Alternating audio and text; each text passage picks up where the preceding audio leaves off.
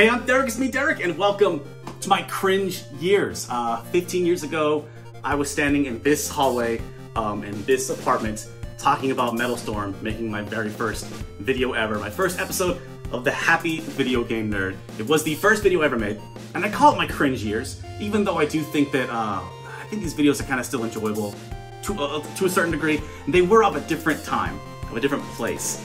In 2007, YouTube the retro gaming scene, the internet, Derek was was it was different. It was all such a different time. So a lot of these videos that you're gonna be watching here, yeah, they, I think they age very strangely.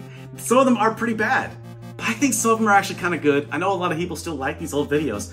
I never did take them down. The original ones are still there. However, uh, at one point I made an HVGN DVD and I had to uh, re-edit a lot of my earlier videos because I actually edited them on a friend's computer and the original files, the original project files, were lost. But I still had all the original components. So they were re-edited in a much slightly, slightly better uh, quality, but they were only ever on the DVD. Well, now they're gonna be here on YouTube.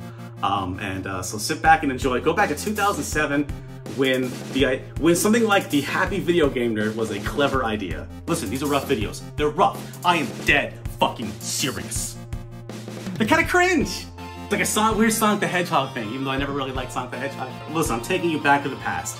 We're going back to before YouTube uh, had HD, before YouTube had unlimited time. Videos needed to be under 10 minutes, uh, under 100 megs, and you can only do 480 at the highest. So, this is these are a time capsule. Should have brought some wine. Should have been. Should have brought some wine, but here's approximately where it was. Fun fact: so 15 years ago, I was standing right here reviewing Metal Storm for the Nintendo.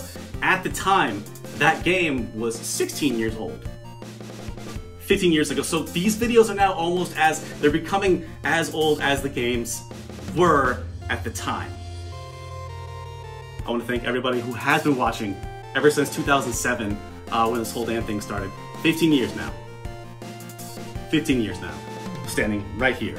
Um, so enjoy me with long hair and not as much facial hair. Enjoy the early years of Derek Alexander. Enjoy the happy video game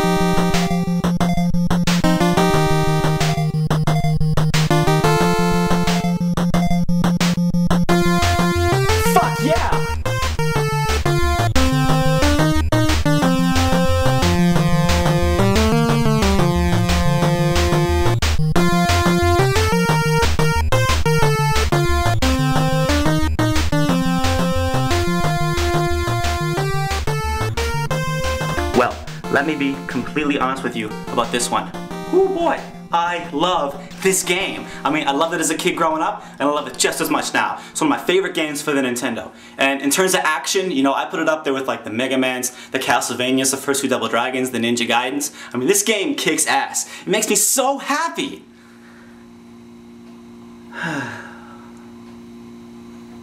but I'm upset. The only really unfortunate thing about Metal Storm is I don't have anybody to share my enthusiasm with. I mean, it's sad, but Metal Storm was a game that was completely overlooked, left behind, and forgotten. And you know, I talk to friends all the time, we wax nostalgic about our favorite games growing up, and I always drop Metal Storm. And they say, oh, I've never heard of that one. I mean, I've never met anybody who has heard of and has played this game. But it's not even anecdotal either. I mean, I go on websites all the time and read magazines and they have their top 10, top 25, you know, most underrated games of all time, best games for the Nintendo. I mean, I've never seen Metal Storm on any of those. I mean, to quote Nintendo Power themselves, this may be one of the most underrated action games of all time. I am dead fucking serious. This game is great! In early 1991, Irem released Metal Storm for the 8 bit Nintendo Entertainment System. Irem is most known for creating one of the best classic shooter series of all time, R Type. They are also responsible for Kickle Cubicle, another underrated NES classic, Holy Diver, and as well as the well documented shitfest Deadly Towers. It is worth mentioning that Deadly Towers was made nearly five years before Metal Storm. Now, the first thing you'll notice is the graphics are some of the best on the system. I mean, look at the detail of your little mech. The enemies are just as well designed. Man, dying never looked so good. Now, the major gimmick and genius of Metal Storm is your ability to manipulate gravity. By simply pressing A while holding up or down, you'll jump to either the ceiling or back down to the floor. This is similar to Gravity Man stage in Mega Man 5, but I just want to point out that Metal Storm was made nearly two years before, and if anything, Capcom ripped off Irem. But either way, this is an amazing idea and they really ran with it. Every level is more ingenious than the last. And this game doesn't mess around either master the controls or be left behind. But this is by no means impossible. Metal Storm houses some of the tightest controls ever. Simply put, if you die, you can only blame yourself. Old school action gamers should have no problem picking this game up. Speaking of dying, when you inevitably lose all your lives, you will be confronted with the saddest game over music you've ever heard.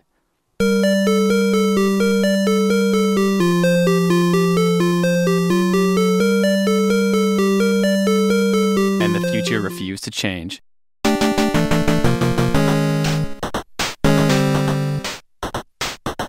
Now, I've read that people find this game to be very difficult, but if you're a seasoned Mega Man or Ninja Gaiden fan, you'll tear through the first quest in an hour or so. And that's right, I said first quest. Because after you beat this game, you're given a password to the second quest described as only for experts. Man, when they say experts, they aren't fucking around. The second quest on Metal Storm is some of the most brutal 2D action out there. Man, I used to be so good at this. Fuck. If a 10 year old me could see this, he'd be crying right now. So, yeah, this game is awesome, but why was it so overlooked? Well, my theory is it had a number of things against it, and it just never stood a chance. First off, it was released the same year as high profile titles like Battletoads, Batman The Return of Joker, Tecmo Super Bowl, Double Dragon 3, and Bart vs. the Space Mutants. Not to mention that the Super Nintendo was only a few months away. What probably did it was the fact that Irem just isn't high profile enough. And I guess the cover of Nintendo Power could only do so much back then. But that doesn't explain why even today it is still a criminally underrated game. As I've said, I've never seen Metal Storm honored in any of the myriad of top 10 or top 25 lists that you see in magazines all over the internet. It seems they're only concerned with the current underrated classics, and trust me, I'd love to be proven wrong. Well, in conclusion, we really do live in a great time. Modern consoles have given us countless classic gaming compilations over the years, and now we have the Wii and Virtual Console, and with it, we receive dozens of inexpensive old school games every month. But in spite of all this, I still see Metal Storm being completely forgotten. I mean, I really don't know what else to say at this point. I think I've said it all. Um, if you're a serious collector, or even a modest collector, you really owe it to yourself to have a copy of Metal Storm. Ah. So, in conclusion, this is the Happy Nerd saying, remember, there are way too many great video games out there to be so fucking angry all the time. Cheers.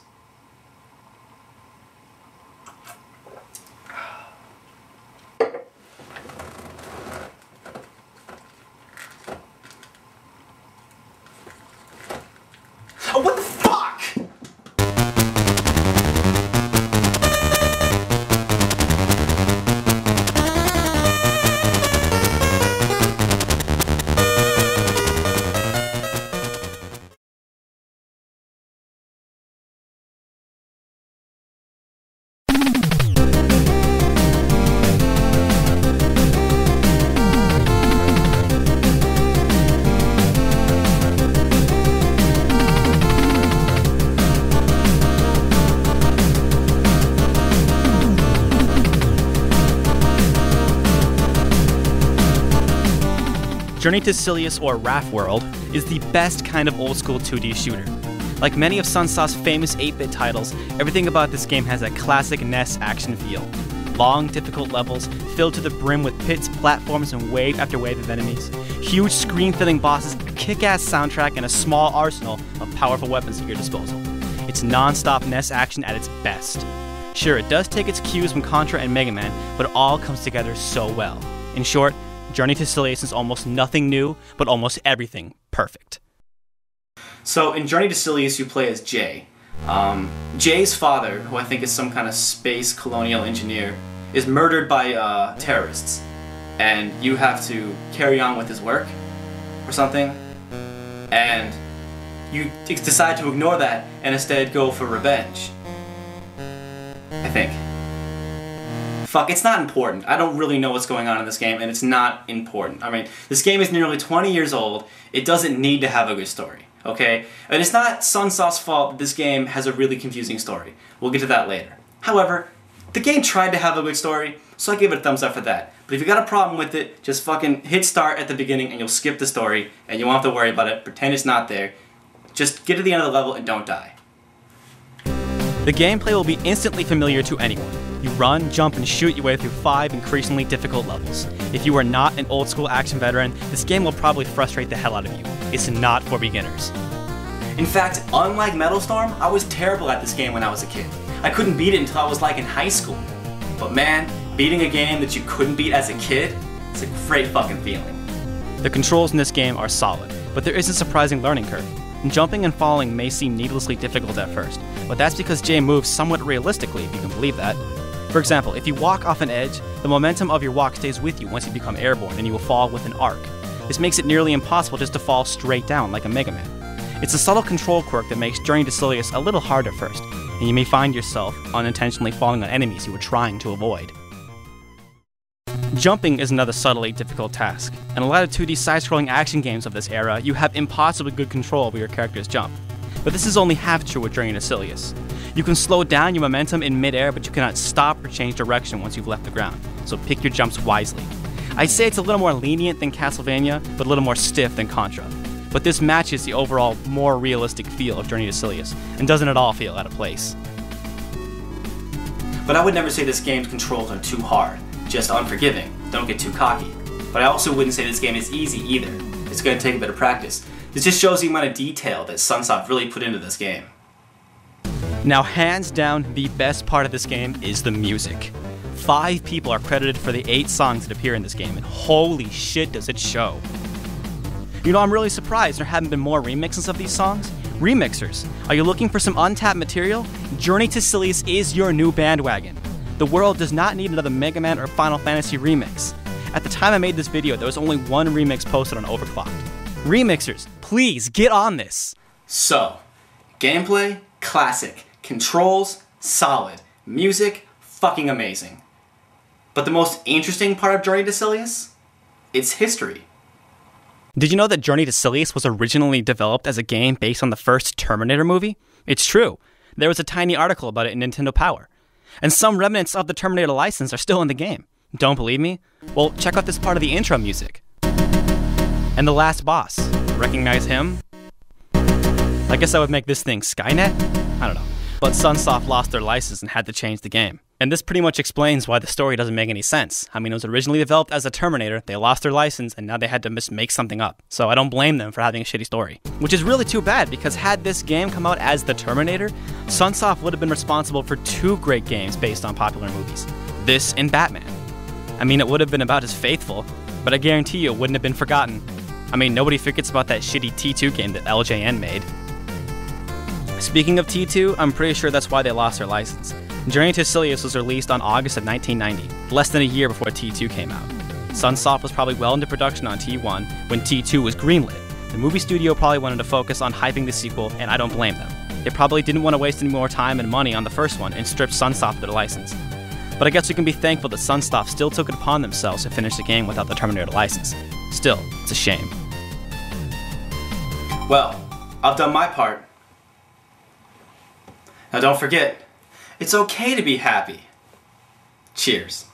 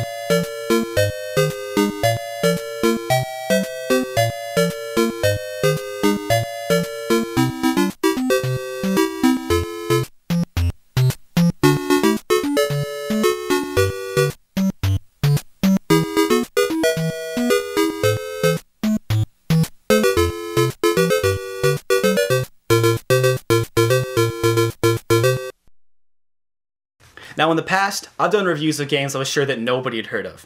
But Star Tropics is different. Star Tropics is a game I'm sure a lot of us know about and fondly remember. But it seems to have been completely forgotten. Like, if you weren't there when it first came out, chances are you've never heard of this game, which is really a shame because it is easily one of the best games on the system. In fact, this game is so good, I don't think I can do it justice alone. So I've asked a friend of mine to help me out. Ladies and gentlemen, meet Neckbone. So what do you think, Neckbone? You ready to spread the good word of gaming or what? Neck bone! Neck bone! This one's got it all. Neckbone! Action, a long adventure, amazing graphics, catchy music, challenging puzzles, creative dungeons, hell, Neck. even Rob makes a cameo. Bone! They really pulled out all the stops here. Neck bone! The game even came with this awesome letter attached to the instruction book, and on it is actually a hidden solution in one of the game's puzzles. Just gotta get it wet.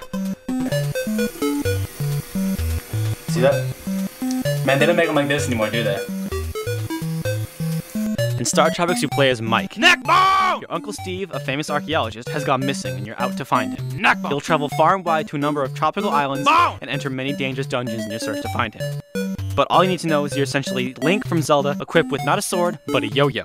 And trust me, that's probably the coolest part of this game. Neckbone! And you may have never thought that a yo-yo could be badass, but Star Tropics will make you a believer. Neck bone! Now, I'm not going to beat around the bush. This game ain't easy. Neck! The programmers are always trying to trick you, and there are little secrets and traps around every corner. Neck It's an extremely clever game that's always one step ahead of you. bone! Damn it! Alright, next one, wanna give it a shot? There you go.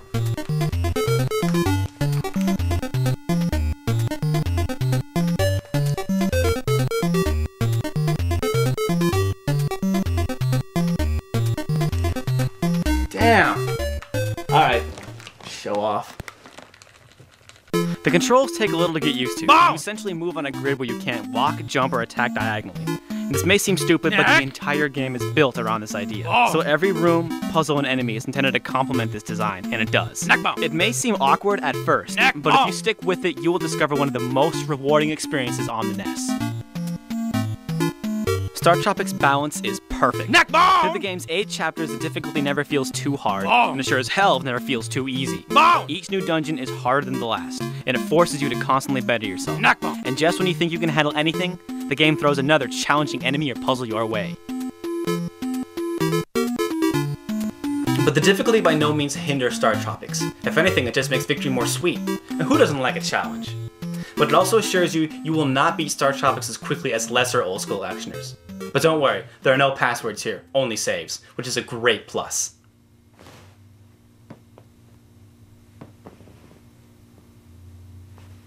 But there are a few things about this game that did not age as well as the rest, and I feel I must address Star Tropics' few blemishes. One of the more annoying things is this forced story progression. Sometimes you cannot move on to the next area until you talk to everyone.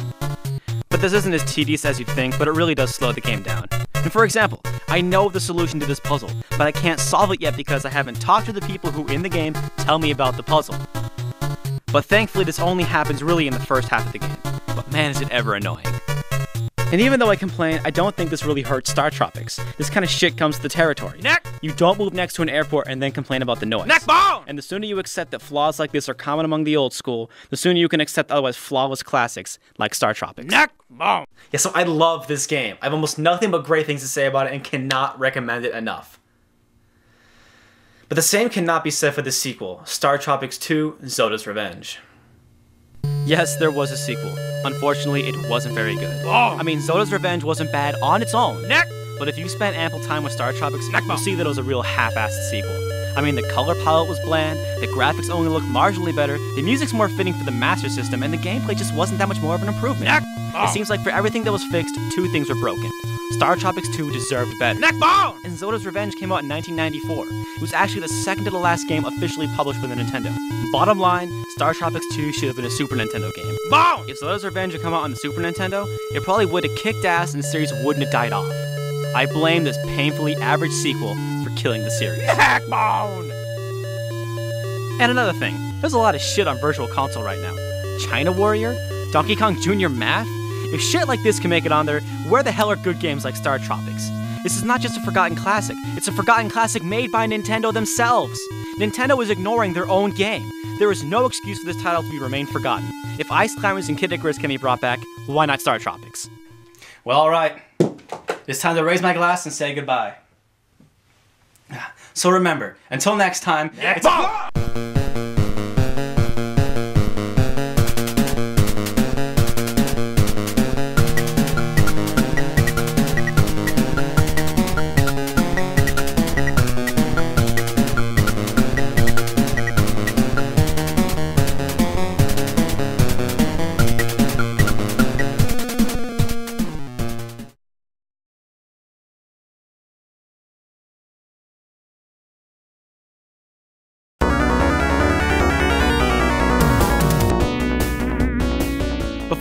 Manhunt, or The Suffering, Carnival, Shadow Man, Nightmare Creatures, Loaded, Blood, Mortal Kombat, or Doom, there was Splatterhouse.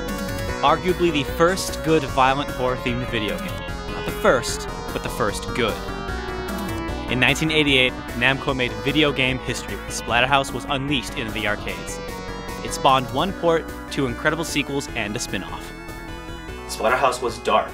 Splatterhouse was violent. Splatterhouse was graphic, gory, and bloody. Splatterhouse was an amazing video game series that has not received the credit it deserves. It is without question one of the most criminally underrated video game series ever. Ladies and gentlemen, it is my absolute pleasure to bring to you a retrospective of one of my all-time favorite video game series, Splatterhouse. The hero of Splatterhouse is Rick, one of the hardest badasses of all video games. Rick will stop at nothing, and I mean nothing, to rescue his loved ones from the clutches of evil. Look at this, prime example. When a knife is thrown at Rick, what does he do? Fucking punches it, that's what. I mean, when was the last time you punched a knife, fist to blade, and it was the knife that lost? Yeah, that's never happened, because you ain't as badass as Rick. Rick will fuck you up. But what makes him such a badass is his mask. Sometimes referred to as the Terror Mask or just simply the Mask, this ancient Mayan relic gives Rick the superhuman strength he needs to save his loved ones. But is this mask a blessing or a curse? And this is a good time to point out that Splatterhouse does pay homage to a lot of horror movies, most notably Friday the 13th. The Terror Mask is white throughout all the games, with the exception of the American TurboGrafx port where it was red. The mask started off rather plain looking, more like a hockey mask, but as the series progressed, it was reshaped to resemble more of a skull. But this doesn't really cover up the obvious influence of Jason Voorhees' signature look. Other references include Evil Dead 2, The Deadly Spawn, and Poltergeist. My point is, Splatterhouse is a game made for horror fans by horror fans. There are four games in the Splatterhouse series. Part 1 came out in the arcade in 1988 and was ported to the TurboGrafx and PC Engine two years later. Parts 2 and 3 came out on the Sega Genesis in 1992 and 93 respectively. And this cutesy SD spin-off Wanpaku Graffiti was released only in Japan for the Famicom. This chibi Japanese exclusive is more of a quirky side story, and in the interest of keeping things focused, this video will only stick to the main three games. Though I will recommend it to importers. Alright, let's get started. According to the instruction book, Rick and Jennifer are parapsychology majors. Because I guess parapsychology also means paranormal, they went to visit Dr. West, a famous parapsychologist's mansion, which had been given the nickname the Splatterhouse. However, when they arrive, Rick is knocked unconscious by some unseen assailant and is left for dead, while Jennifer is captured. But none of this is actually covered in either version of the game. I mean, in the arcade, there was a little movie in the beginning showing the mask floating above Rick's dead body and then attaching itself to his face. So I guess that kind of explains where the mask came from. But this is all left out of the TurboGrafx version. It's completely open. And that really frustrated me, but we'll get to that later. As you can see, Splatterhouse is a stripped down 2D beat 'em up. And this may appear a little primitive, and it is, but you say primitive, I say classic, because Namco mixes things up and keeps things from really feeling stale. There's danger coming at you not just from in front of you, but from the background, from the floor, and flying above you. The level design's always new and fresh, and this one can be tough. You rarely have any time to really breathe. And some levels have a less linear approach where you can choose your own path, though all paths lead to the same boss. And the boss battles are always a new challenge. They start out kinda easy and quickly get hard. There's always a new surprise waiting for you at the end of each level. One of the really unique things the first Splatterhouse brought to the table was the creative use of weapons. Look at that! Classic! It ain't called Splatterhouse for nothing, folks. And really, when was the last time you saw a game this old use a shotgun with such brutal realism? That's video game history. Now, you can't talk about the TurboGrafx port of Splatterhouse without talking about the differences between it and the arcade. Most notable are the color of the mask and the fourth level boss. In the arcade version, you fight a flying inverted cross in a church. And in the TurboGrafx version, you fight another evil mask in some vacant hallway. The funny thing is, in both versions, a church hymn is played after you defeat the boss. But in the TurboGrafx version, all the religious imagery was taken out, so the song makes no sense.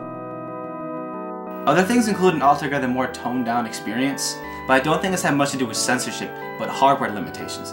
The TurboGrafx 16 really wasn't that powerful, and as a result, we lost a lot of nice gory level decorations and extra animations. But, the gameplay was left completely intact, so this is only a minor gripe. The highlight of the first game, and maybe this series, is a boss fight you encounter towards the end of the game. You finally find your girlfriend, but only to discover that she's a mutated into some horrible bloodthirsty monster. And now it's you or her. Somebody's going to die. Either Jennifer kills her boyfriend, or Rick kills his girlfriend. Wow. That's fucked up. That is cruel, disturbing, vile, and great fucking storytelling. No, I'm serious. This goes down on my list as like one of the best video game plot twists ever. And the creepiest thing is hearing Jennifer say, during her last few fleeting moments when she reverts back to human, she doesn't want to kill you. That's not her choice anymore. And it's moments like these that make you fall in love with these games, as there's disturbing little twists throughout the entire series, especially in the third one. But that's one of the best things about Splatterhouse. It has a great story, and that's not something that can be said about most games, even today. But this ends up being one of my biggest gripes of this game. There wasn't much of it. The potential for a great story was so grand that I was disappointed when I wasn't given one. Like, what the fuck is actually going on here? What happened to Jennifer? And after, what happened to Rick? And the mask? How did Rick find the mask? Or, I guess more accurately, how or why did the mask find Rick? And what's going on with this house? Why is all this crazy shit happening? Is it possessed? Or is it the product of some misguided science? I mean, I don't normally complain about an old school game having a lack of story, but this one would have benefited so much by having a fully realized narrative. And we never really get all the answers either. But this is a problem that was addressed in the sequels. Speaking of which,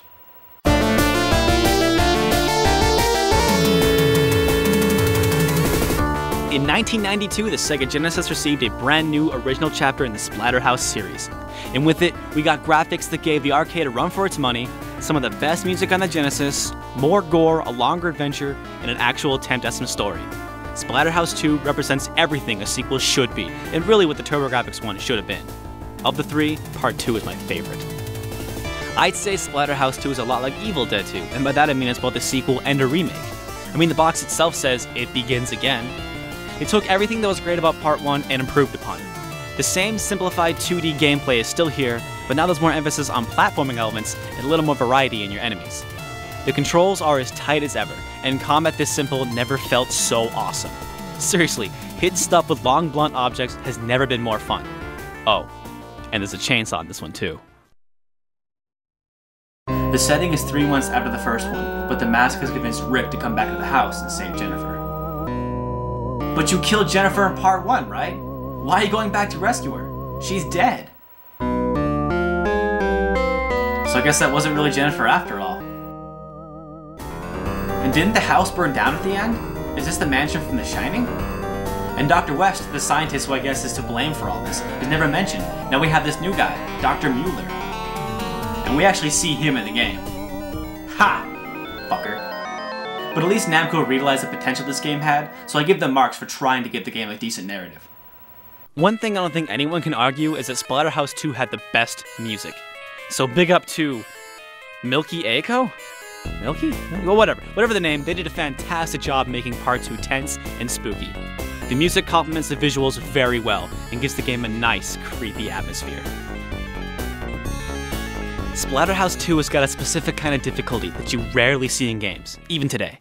If you've played Contra Shattered Soldier or Super Ghouls and Ghosts, then you know what I'm talking about. If you know where to stand, what to hit, and when to hit it, you can tear through this game without ever getting touched. In other words, it's the kind of game that's easy when you know how.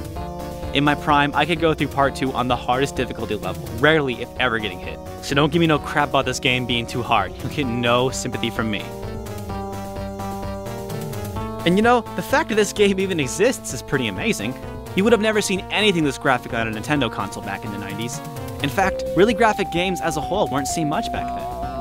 Part 2 was one of the few, if not the only Genesis game to have a warning on the box before the rating system was implemented. And I don't know about you, but that just made me want to play the game more. So when Splatterhouse 2 ends, Rick saves Jennifer and everything's just cherry. With all this behind them, Rick and Jennifer get married, buy a house, have a son, and live happily ever after.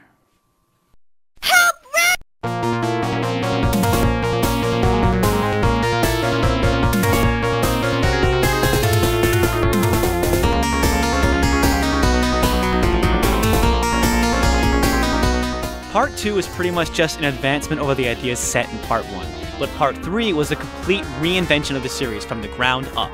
And that's why. Wait, what's going on? Oh, making fun of him too? No, no, no, no, no, no. Yeah. Oh, okay. So Splatterhouse 3 was the most different of the bunch, and it had its strengths and weaknesses. First, its strengths. Gone is that old one plane, two dimensional approach. Part 3 has more in common with Final Fight and Streets of Rage than it does with the first two. And this is a smart move, because I don't think Namco could have outdone themselves. I mean, as far as that type of game goes, Part 2 is about as good as it gets. Part 3 also introduces a completely non-linear level design. Every level has a destination, but how you get there is all up to you. This was a nice, refreshing change of pace and a unique spin on the 2D brawlers. But you still must choose your path wisely. In each level, you have a timer, and if you take too long, terrible things will happen. I mean, you could ignore the timer and just explore, but honestly, there isn't much to see. And besides, that's a one way ticket to the worst ending. That's right, Splatterhouse 3 had multiple endings, which means it had story. Tons of story. Each chapter had a new reason to race against the clock, and with four different endings, Splatterhouse was finally given the story it deserved. And some extra replay value, too. And the way they achieved this was so simple.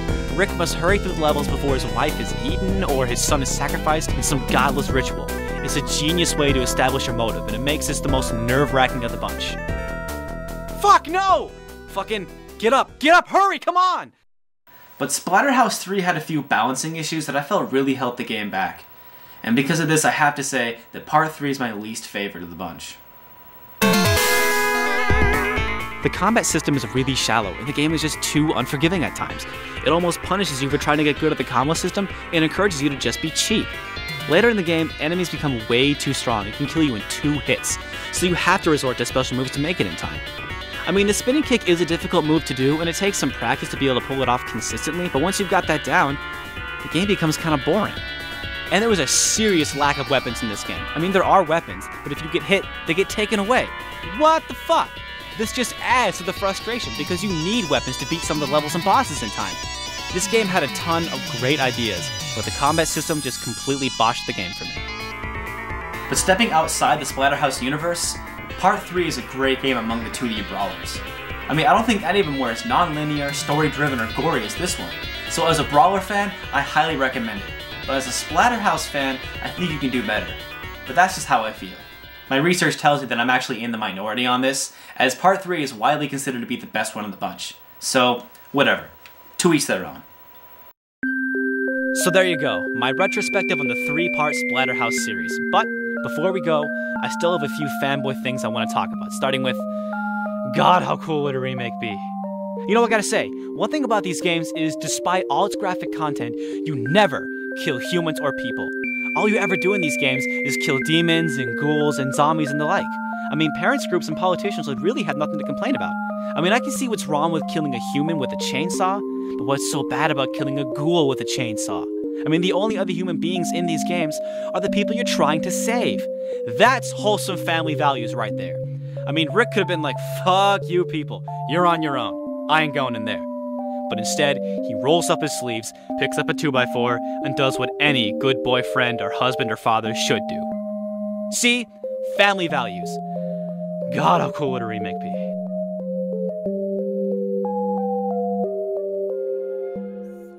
And the reason why I bring up this idea of a remake is because I know Namco hasn't forgot about Splatterhouse. Over the years, they've made little references to our favorite little game. The most recent is this song in the soundtrack of Katamari Damacy. It's actually a reworking of the ending theme from the first one. Come on, Namco, quit screwing with us. I know there aren't many of us, but some of us have been waiting for over a decade for more Splatterhouse. Please, Namco, either remake the game or just stop teasing us. Well, if I haven't convinced you yet, these are games you need to try. I don't know what else to say. If you like a little violence and gore sometimes, I cannot recommend the Splatterhouse games enough. And with that, I guess we come to the end. Ah. I want to wish everyone a safe and happy Halloween. This is the Happy Nerd saying, go have fun. Cheers.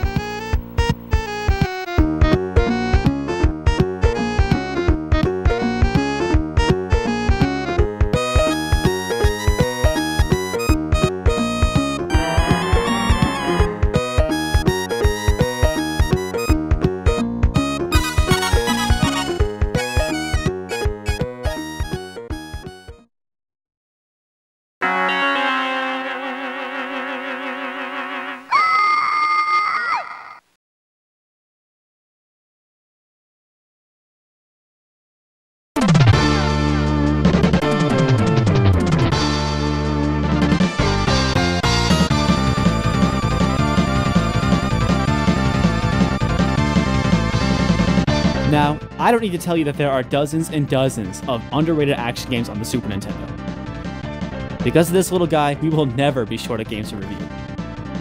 And with this in mind, let me tell you about a little game called Wild Guns. I chose this game not only because it is nearly flawless and extremely underrated, but because it is a rare type of action game you hardly ever saw during the 16-bit era, or really ever. There are only a handful of games like Wild Guns, and I can't imagine why that is.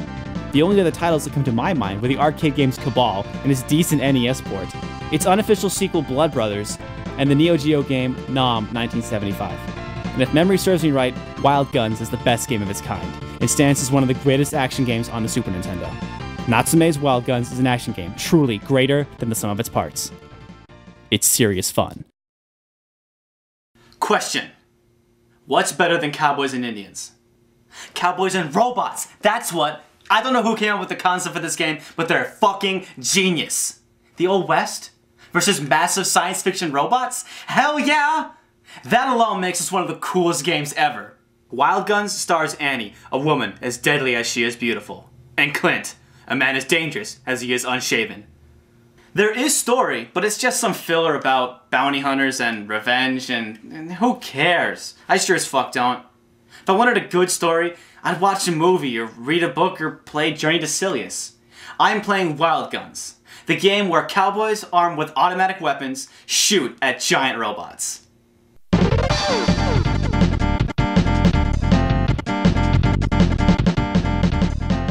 As I'm sure you've noticed, this game is furious in unrelenting action. Things for you to shoot and to shoot back are never in short supply. This is made all the more fun by its destructible environments. Undoing millions of years worth of geological formation has never been more fun. Now, just by looking at this game, it may seem like it'd be impossible to keep an eye on everything at once, and honestly, it would be, if not for an inclusion of an extremely helpful warning system. Whenever a bullet is headed your way, a little speech bubble pops up by your character. That way, stray bullets don't sneak up on you as often as they could. This is a godsend, and a sign of smart, clever game design. This also allows the game to deliver amazing, over the top action without being too hard or frustrating. And if things get too hot, just nuke them. Yeah, Contra 3's got nothing on that shit. One of the most important aspects of any action game is how much it makes you feel like a badass, and Wild Guns is no slouch in this department. And I'm not just talking about single-handedly taking down towering mechs or enormous flame-throwing tanks. Oh no, it gets much better.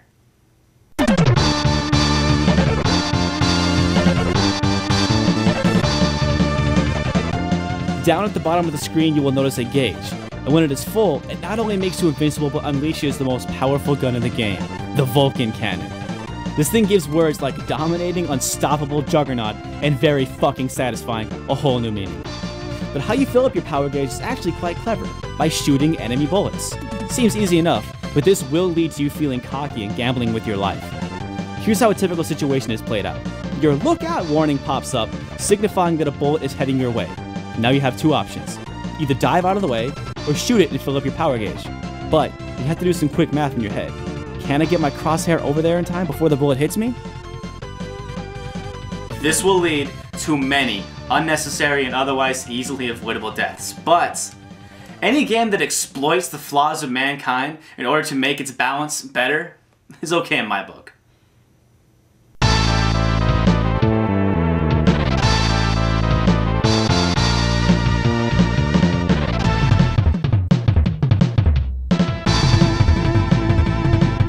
Now, because the action in this game is so intense and fun, you might not even notice how amazing the music is. Do yourself a favor and head to the options menu and check out the sound test. You'll find yourself some rockin' tunes, trust me. Actually, this game wouldn't be anywhere near as exciting without the music. See? Yeah, there we go, that's what I'm talking about.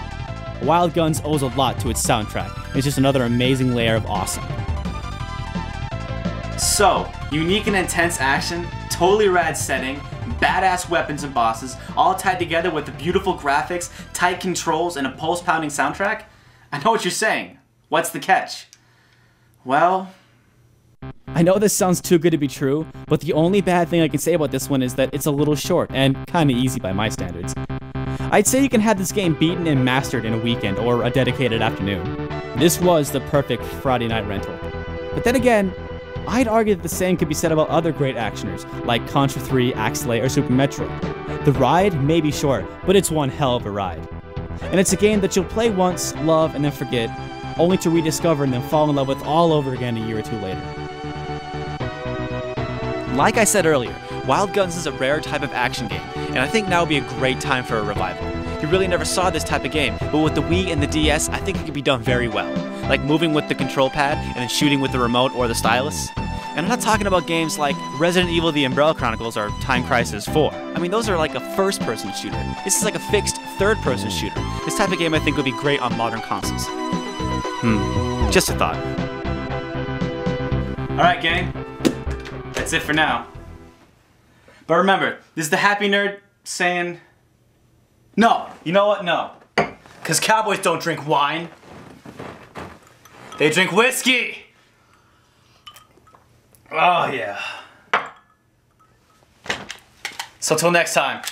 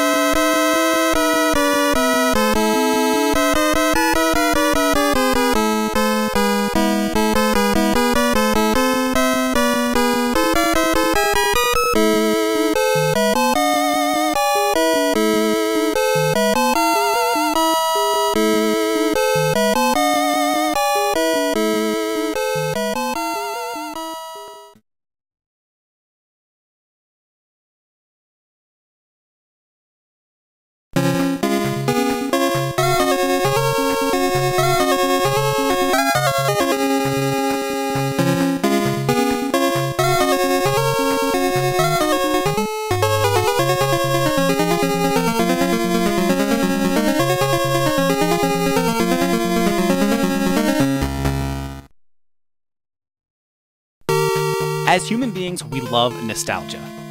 When we're not pining for the good old days of our youth, we're somehow trying to beat time at its own game and make ourselves younger. And while, like most healthy adults, I have accepted my adulthood, but I still hold very dear the days of my childhood. I don't know about you, but when I was seven, I couldn't wait for Friday after school, when I had two whole days to play with my toys, draw pictures, watch cartoons, and of course, play Nintendo. Playing retro games for me is like taking a time warp back to my adolescence, but no game embodies the essence of what it feels like to be a seven year old boy again, like Capcom's Little Nemo the Dream Master. A game where you get to be a bee, a frog, a fish, a mole, travel through mushroom forests, swim through night oceans, fly to a ruined city in the clouds and dash through a house of toys, and use a magical scepter to thwart darkness and save a princess? Sounds like the product of a typical seven year old's imagination to me. This game's greatest feature is its undeniable charm, and while I can say that there are many games that take me back to the past, few truly make me feel like a kid again. It's the type of game you'll want to play on a Saturday morning still in your pajamas. To borrow the tagline from Wes Anderson's Life Aquatic, Little Nemo, the Dream Master. This is an adventure.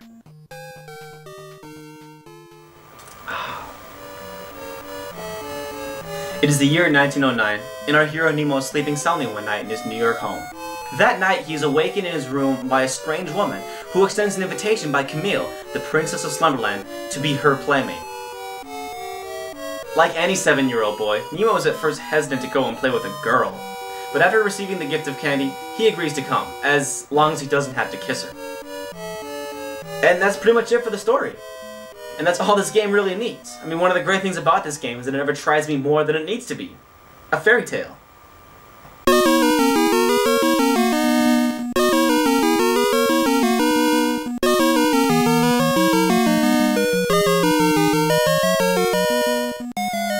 There are many unique things about this game that set it apart from the rest. One is that the goal is not just to get to the end of the level. You must scour each huge world and find all the keys to unlock a door. This means levels are less linear, with branching paths and hidden passages to explore. This design was very uncommon for games back then.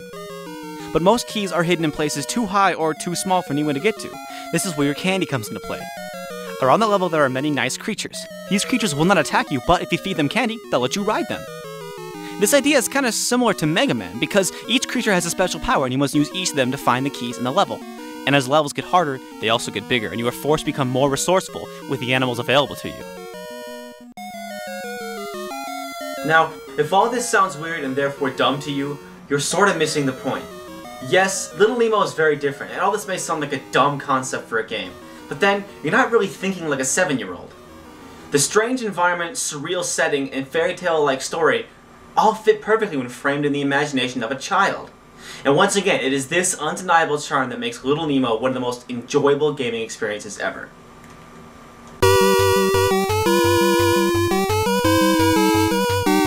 Now, this isn't exactly a kid's game, or at least not what you'd think of as a kid's game today. This game is hard, deceptively hard. In fact, this one is more for the adult gamer who's still a kid at heart. The concept and environment are all very cutesy, but don't let that fool you. This one will have you screaming at the TV, shouting bad words your mother told you to never say. Fucking shit! Derek! Sorry, Mom. Wait, what are you doing in my apartment?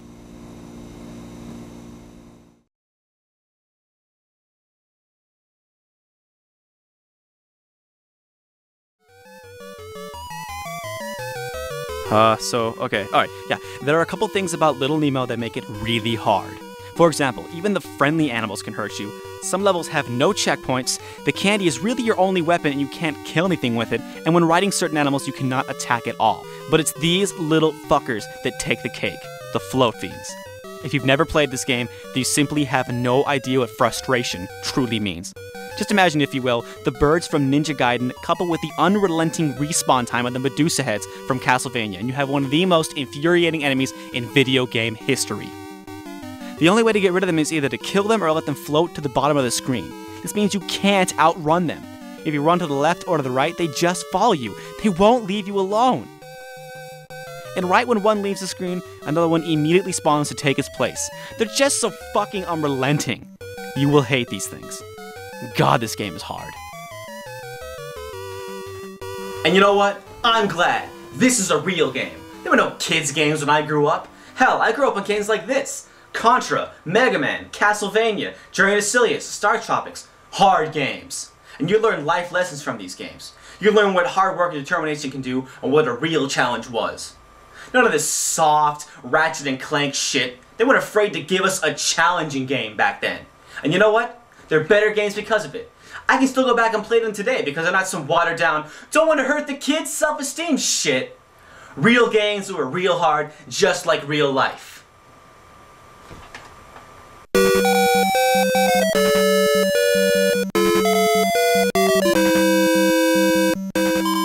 Now, in terms of how this game looks, sounds, and feels, well, see for yourself.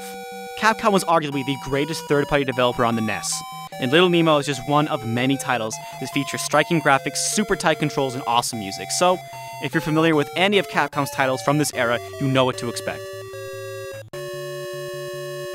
So even with its steep difficulty and frustrating parts, Little Nemo is still a fantastic NES classic. Its soundtrack, graphics, story, and setting all come together to give the game an undeniable charm. This game captures the feeling of the limitless bounds of a child's imagination, much like Bill Watterson's Calvin and Hobbes. And this game is yet another with a truly fascinating history, so get ready to learn something. Little Nemo the Dream Master is actually based on an animated Japanese film called Little Nemo Adventures in Slumberland. It shared both American and Japanese directors and producers, but was made in Japan. An interesting fact is that even though Vampire Hunter D was the first anime conceived with an American release in mind, and Akira was the first anime given a theatrical run in America, Little Nemo was the first Japanese cartoon to be given a national theatrical run in America, where it garnered critical acclaim. In spite of this, however, the film failed to be profitable in theaters and sank into obscurity, which is really a shame because it has some of the greatest non Disney, non Miyazaki hand drawn animation I've ever seen. And the English voice acting ain't half bad, especially with the scene stealing voice work of Mickey Rooney as a voice of Flip. Another noteworthy fact is that Nancy Cartwright, famous for the voice of Bart Simpson, has a small cameo in the film, and it is her character that appears in the intro of the NES game. So, when you watch that intro, just imagine that's Jay Sherman's sister talking. When Adventures in Slumberland came to VHS, it was trimmed, probably to make it an easier sell for the children's home movie market. The VHS runs a little over 80 minutes, whereas the theatrical and DVD cut run at just over 100 minutes. This makes sense, since just like the game, the movie is more for adults, still very much in touch with their inner child and not really for kids. I find it doubtful that most kids could sit through the entire 100 minute DVD. And speaking of the DVD, Adventures in Slumberland had a very limited run and has been out of print for years, and now goes for anywhere between 50 to $100. The VHS and Laserdisc go for much less, but who wants those old things? And interesting still, the movie and the game are all based on American artist Winsor McCay's groundbreaking surrealist comic Little Nemo Adventures in Slumberland, which ran in newspapers like the New York Herald and New York American from 1905 to 1913. So interesting and influential was his life and work, I simply didn't know where to begin when I prepared this review. Suffice to say, the life and work of Winsor McCay, whose stunning animation work predates the heyday of Disney by some 20 years, is truly fascinating. And if you have any interest in entertainment history, art, comics, or animation, I encourage you to look him up. He was pretty much the Bill Watterson of his time. Because his work is so old, it's all public domain, so head to your favorite search engine and learn something about one of America's greatest forgotten entertainers. Okay, gang, well, that's it for this episode. I leave you now with the words of Mr. Tom Stoppard. If you carry your childhood with you, you will never become old. Cheers.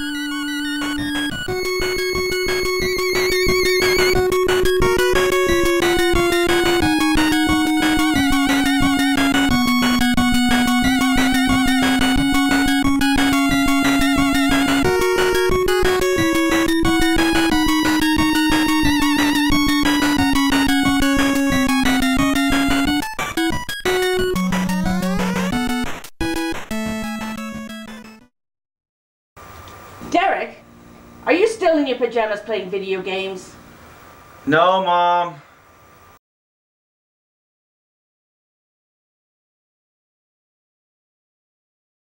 Derek, are you still in your pajamas playing video games?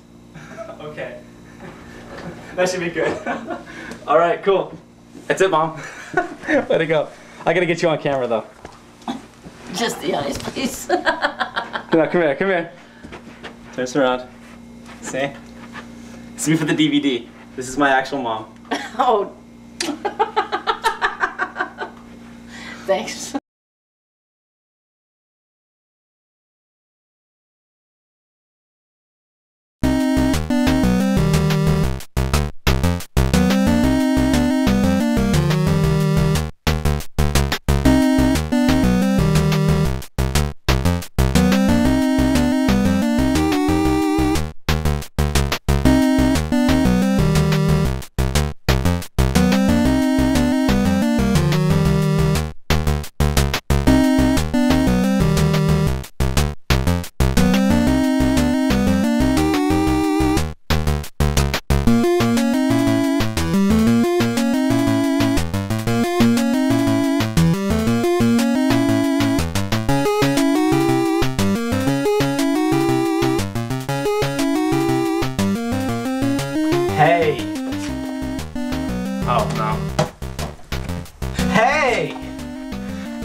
Nightshade. You heard of this one? Let's go.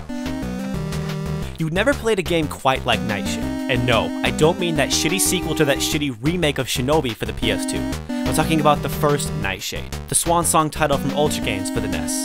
It's hard to describe what exactly Nightshade is, but imagine a game with a present day setting that is one part King's Quest, one part Maniac Mansion, mixed with a little bit of Street Fighter 2 and Earthworm Jim, and that's pretty much Nightshade. If you're still lost, just know it's by far one of the most ambitious and creative titles on the NES. It isn't perfect, but the fact that this game's many pieces work as well as they do makes this game more than noteworthy. Nightshade is an amazing achievement for the NES, and not only have you probably never heard of it, you've never played anything quite like it. Enter the crime torn streets of Metro City. There was a time when these streets were safe and welcomed citizens of all walks of life. But that was before the city's protector, Vortex, fell at the hands of criminal mastermind Sutek. Now Metro City is in dire need of a new savior. A person with the courage and bravery to take a stand, to fight back, and take back this troubled metropolis from the clutches of evil. That person is Nightshade. Wow, what a guy! I'd love to meet him in person. Holy shit, lampshade! Nightshade. Holy shit, Nightshade! Oh my god, I can't believe this is my own house! Nightshade! Night fucking shade! Knock it off! Stop ripping off James, you no talent sack of shit! And Where's that goddamn Nekbone? Ow! There he is! Oh shit! You ruined the Star Tropics review! You stupid son of a- Nightshade, Nightshade, man! What? What are you doing? Man, what are you doing? Acting happy, drinking wine, and playing games all the time. Nobody plays games and drinks wine, you f- But Nightshade, I'm reviewing your game. I'm reviewing it because it's really good. And be honest, when was the last time anybody was talking about Nightshade? Um, that's fine, I guess. But why can't you do your own thing? Why do you have to rip people off way more talented than you? Oh, well, because I'm lazy and I have no talent. But Nightshade, listen, the angry nerd is not going to review your game. I'm the only one looking out for you, man. That's not true. What about Little Miss Gamer? Well, yeah, that's true. But listen, Nightshade, you're here. Why don't you help me out with the review? Okay, what do you say? Alright. At least James is funny. Oh, you're right.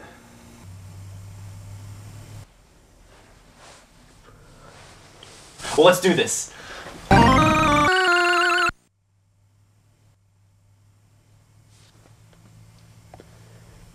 We don't have to. No. We could. No. We don't. Let's- We did. No. Yeah. Why Oh, not? yeah. Okay. yeah. Um, Join me on that. Okay. Yeah. It's, Yeah. what's this? This is where I. Oh, Uh, really? The whole magic thing. this. Yeah. Okay, now that we got that out of the way, let's get back to the review. To give you an idea how unique this game is, I'll give you a quick walkthrough of the first few minutes. Supervillain Sutek has tied our hero to a chair next to a bomb, armed and ready to explode. To escape while avoiding harm, Nightshade must quickly find cover and safely wait for the bomb to detonate before moving to the conveniently placed candle to let the fire burn through his ropes. Then, after some clever investigation, our hero finds his way outside of the building and into the heart of the crime ridden city. And from there, Metro City becomes your playground. You're not really given any specific direction, but trust me, this is a good thing. Half the fun of this game is just exploring the city and trying to figure out what you're supposed to be doing. You can rescue cats, visit the library, check out the ladies' changing room, save citizens in peril, or don't. It's all up to you. Hell, just exploring the ins and outs of the city will take you about a half hour, and this is an 8 bit Nintendo game we're talking about here. And unlike games like Dr. Chaos and Castlevania 2, it'll take you a long time to exhaust every idea and become hopelessly stuck. Truth be told, you will probably need a guide to help you through all the way to the end, but even when you know exactly where to go, there's still so much to see and do. Really, for an original 8 bit Nintendo title, this is about as rich of an experience you could ask for. You know, Nightshade, some people don't like this game. Really? Yeah, Like who? some people on the internet. Fuck you.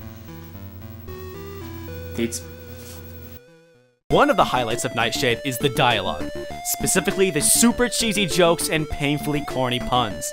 There are stupid jokes everywhere. This game is fucking hilarious. And if you're a fan of stupid humor done right, you'll agree. There's so many jokes in this game, there's something to laugh at on literally every screen. Nightshade is always describing something in a humorous way, or saying something so painfully dumb you can't help but groan and laugh at the same time. Nearly everything that comes out of a hero's mouth is so deliciously bad. Cool. What a great great. My great great grandfather had a great that was greater than this, though. Great. Hmm, that's pretty great. So not only is this one of the most unique games in the NES, it's also the funniest. Sorry, Maniac Mansion. So there's all these mini side quests and things to do in the city, but is there actually a point to them? Well, yeah. Right next to your health meter, you will notice something called a popularity meter. Every time you do a good deed or beat up a bad guy, it fills up a little. And this allows you to actually get to new places and new people recognize you, and you need to actually fill this bar up to get to certain parts in the game. It's nothing too special, but it's a really cool feature and something I think entirely unique to this game. Still not convinced this game is awesomely unique? How about this? Instead of having lives, every time you die, you are captured by Sutekh and put in a different James Bond like trap. If you escape, you get to keep playing. If not, then it's game over. Each trap is like a mini puzzle, but once you die enough times, you're put in a trap that you can't escape from, so it's not like we have unlimited lives or anything. And even though you'll probably figure out all the solutions to Sutekh's traps within the first hour or so, you can't deny that this is a really cool idea. Again, I'm just a sucker for how creative and unique this game is. So did you like my Star Tropics video? I liked it, except for Oh. that damn. I liked him. But this game has a few big problems. A clunky menu system where you have to deal with a tedious examining process and item management rears its ugly head in to remind you just how old this game is. Because of this, I can only recommend this one to gamers who are truly down with retro games. Interacting with your environment can seem like a real chore, and unless you're really a retro gamer, you probably won't be able to forgive this archaic system. But if you still think games like Snatchers, Shadowgate, and Deja Vu are fun, you'll feel right at home. If those games bore you, Nightshade might not be for you, because unlike those games, Nightshade is far more interactive since you have complete control over your character. So one could argue that you may have hated Snatcher, perish the thought, but still enjoy Nightshade. Nightshade is by no means a terrible game, but add this with the fact that there are no passwords or save points, and it just might not be your thing. Another problem is the combat. It's kinda lame. There's a big lack of balance here. Some fights are stupid easy and others are really, really tough. You don't have a whole lot of fighting moves, Nightshade. I'm just an average guy. What do you want? But you're an action star in the game. Well, I don't have a utility belt. But you're like a superhero. All you do is uppercut. Well, that's a start. This is still unlike any other game on the NES, so I can't really hold it against the game. And if memory serves me right, it's better than TMNT Tournament Fighters, which was the only domestic fighting game for the NES that I can think of. It's not completely broken, but it could be better. I still feel Ultra Games deserves credit for Nightshade's fighting system. This game just crams in so much. It tries to be so many different things, and for the most part, it succeeds on all fronts. It's not perfect, but for what they had to work with, I'd say they did fantastic. Nightshade is a game clearly ahead of its time, and I hate to sound redundant, but this would have kicked so much ass on the Super NES. And what's this? The game is subtitled Part 1? Does this mean they had other ideas in store for a sequel, but never had the chance to make it? Man, Nightshade Chapter 2 on the SNES? Where do I sign? Actually, I'd say it's just as likely this is another corny joke. Like, how pretentious is it for a game to have a Part 1 in its title? The idea that a game company would be so presumptuous that their game would reach the financial merit of a sequel while they were still making it is absolutely absurd. Yeah, this is probably a joke on the fact that they were sure nobody was gonna play this one. And with a 1991 release, this was the typical fate of a high quality, low profile game for the NES. what a shame. Well, Nightshade, that about does it. This is part of the video now. Would like to raise my glass and have a bit of wine. Care to join me? No, superheroes don't drink, especially when they're on duty. Wow. Okay. Well, until next time, gang, remember, good games are great because they're good. What?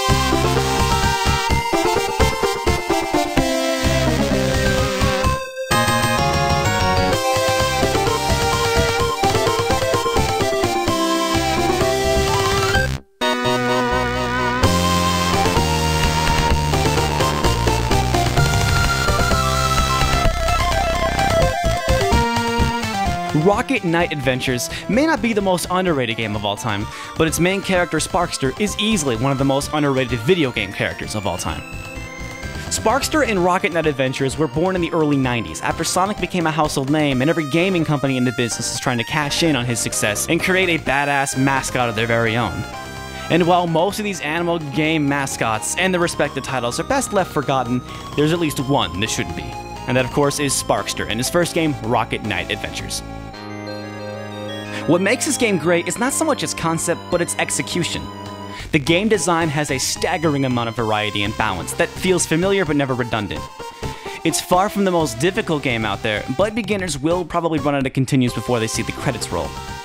The artistic design is so rich with characters and environments, I wouldn't be surprised if there were plans for an anime or a Saturday morning cartoon. Throw in a unique little gimmick, perfect controls, a fun, catchy soundtrack, and you've got one solid package. So, even though Sparkster was just a ripoff trying to cash in on Sonic the Hedgehog, that doesn't change the fact that Rocket Knight Adventures is still one of the finest games in the Genesis and one of the finest action platformers of the 16 bit era. Sparkster is a possum. Or a possum. A possum. Not possum? What's the difference? Anyway, this may sound ridiculous, but then again, we've accepted the idea of a Bandicoot and a Lombax as video game characters, so why not an opossum? Or possum. A possum. A possum. But that's not why we love Sparkster.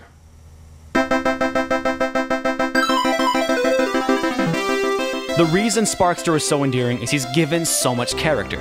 Not only does he just look cool with his goggles, armor, and jetpack, he's genuinely well animated and fun to control. He's given a whole range of emotions, faces, sound effects, and the motherfucker's just cute.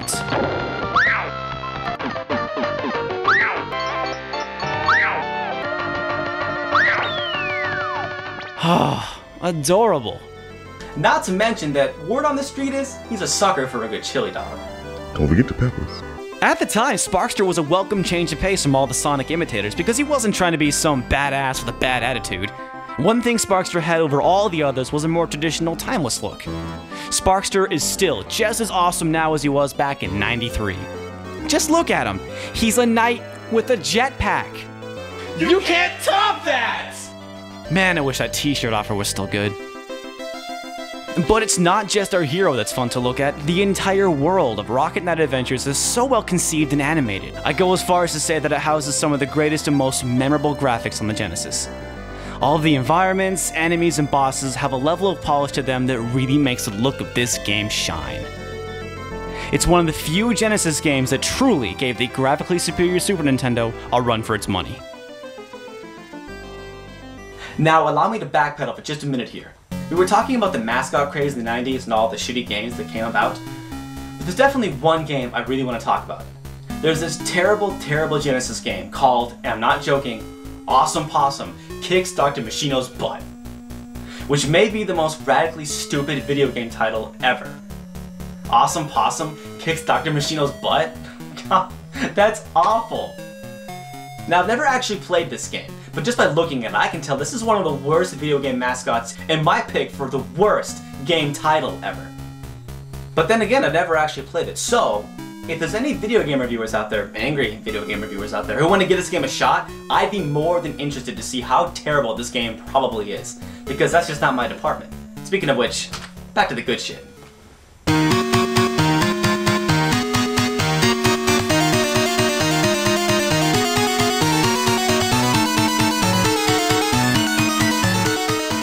The gameplay of Rocket Knight Adventures feels like a greatest hits collection of classic action platforming. Each of the game's seven levels is divided up into different stages and boss fights, each of them feeling like a different classic action platformer you've played before. And this isn't surprising when you realize the game was designed by Nobuya Nakazato, who made Contra titles like Alien Wars for the Super Nintendo, Hardcore for the Genesis, and a personal favorite of mine, Shattered Soldier for the PS2. But unlike Mr. Nakazato's other titles, which are among some of the most difficult games of all time, Rocket Knight Adventures is not really that tough. Well, not on its default difficulty, which is actually easy. But if you want a challenge, you can play this game on hard, where you start with no lives, everything kills you in one hit, and you have no continues. That's right, you pretty much have to beat the whole game without ever getting hit, which puts the American Splatterhouse 2's Game Master difficulty to absolute shame. At least there you got two hits. Ah, so good. And it's on Virtual Console now. Oh, sorry. So I've been talking a lot about how Rocket Knight Adventures is similar to other classics you might be familiar with, but I don't want to give you the impression that there isn't much unique about this game. Trust me, nothing could be further from the truth.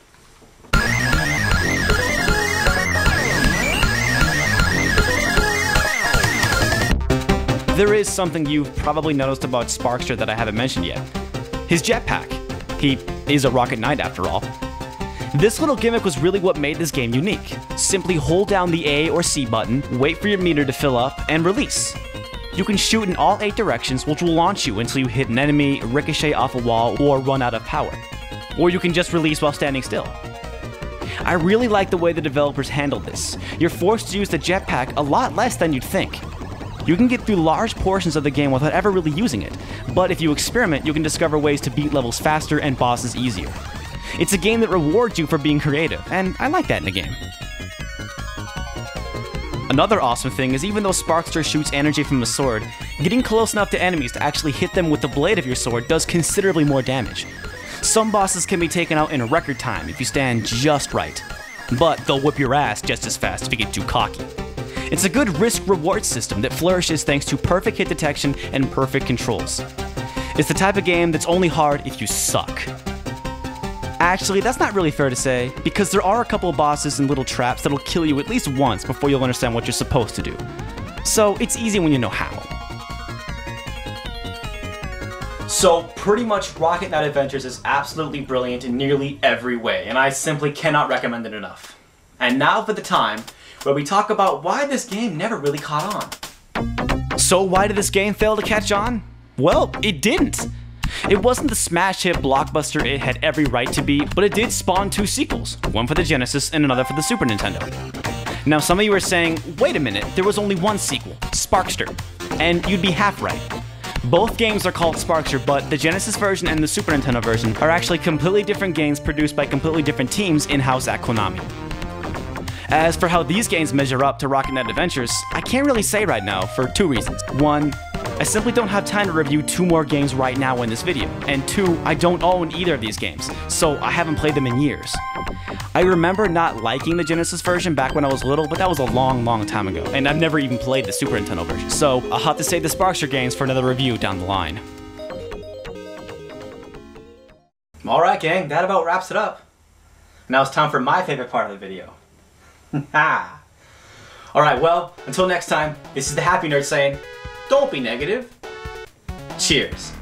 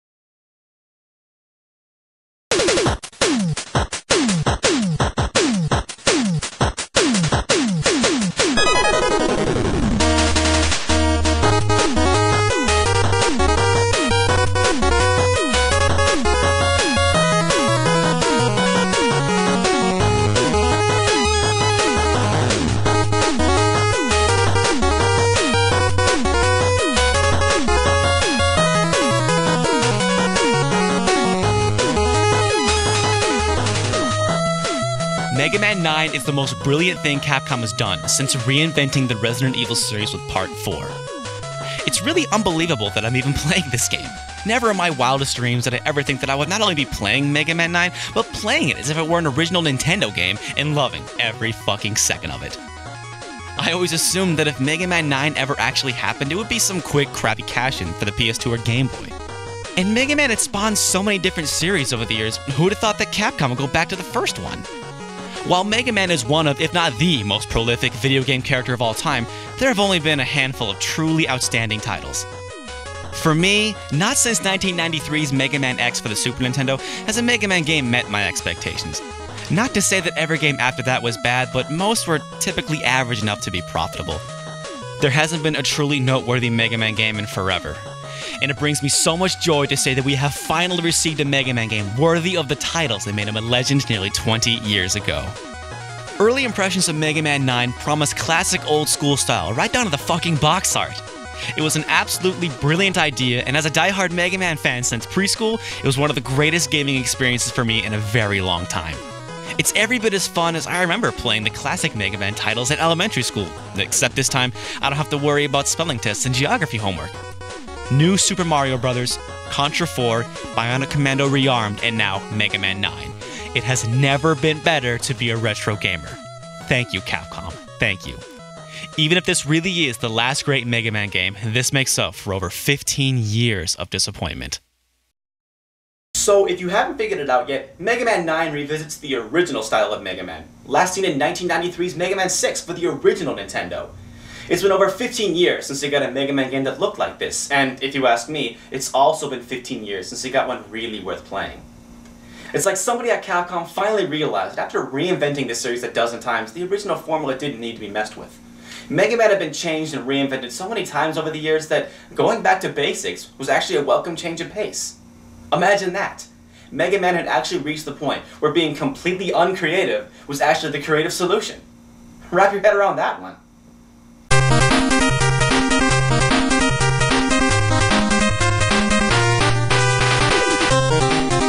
The main reason Mega Man 9 works is that the creators were serious about not really being all that serious.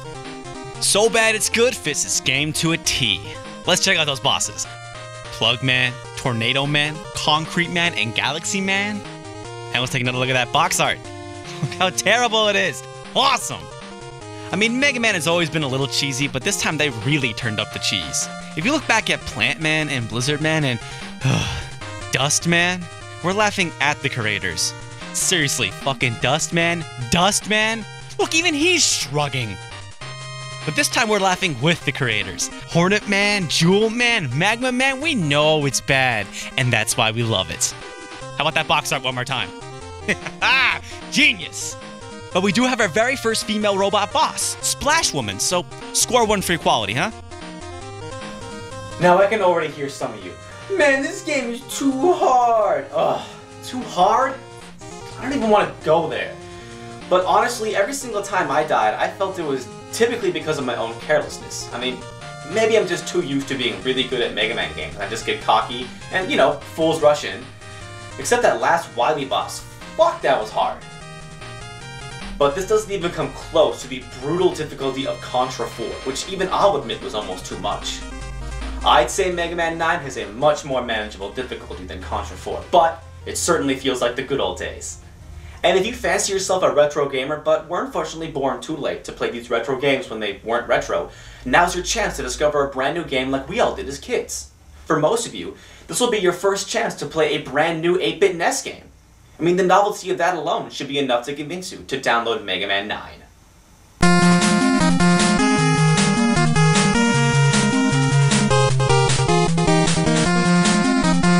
Now, some might say this game is pretty short, and I'd say that's because there isn't any filler. Playing this game reminds me of all the annoying things I see in modern games. You see, old school games didn't waste your time with long winded training stages where they held you by the hand and made sure you knew how to play the game before we started. No! In the old school days, you pushed start and then you learned by dying and dying again until you got good enough to move on to the next part, where you will most likely die and die again. Or what they would do is they'd introduce to you a new gimmick on one screen and then thrust you into a large room where you had to utilize what you just learned two seconds ago. And Mega Man 9 retains this tried and true tradition. It keeps things fresh and doesn't break the flow of your adventure with a long, boring tutorial introducing some new element to the game.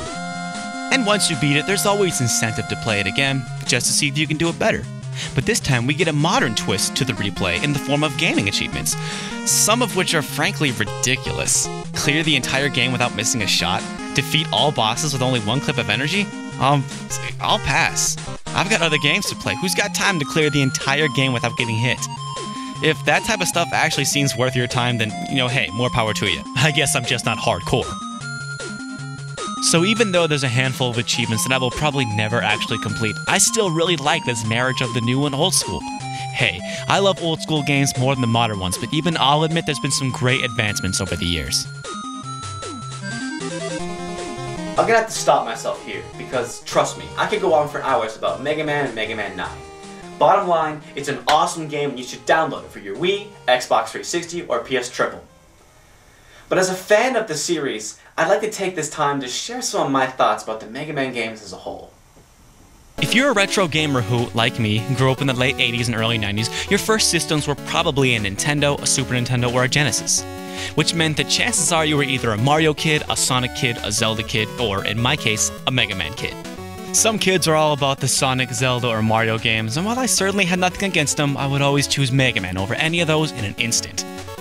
But that was a long time ago, and honestly, it hasn't been easy to be a Mega Man fan for the last 15 or so years. Oh, there have been some decent titles, but nothing has ever come close to the original games that consumed so many wonderful hours of my youth. And I think longtime Sonic the Hedgehog fans feel the same way. The Sonic games on the GBA and DS aren't bad and still retain that classic look and feel, but just like the Mega Man Zero and ZX games, it's just not the same. And don't even get me started on the Battle Network series. Who the fuck keeps buying those?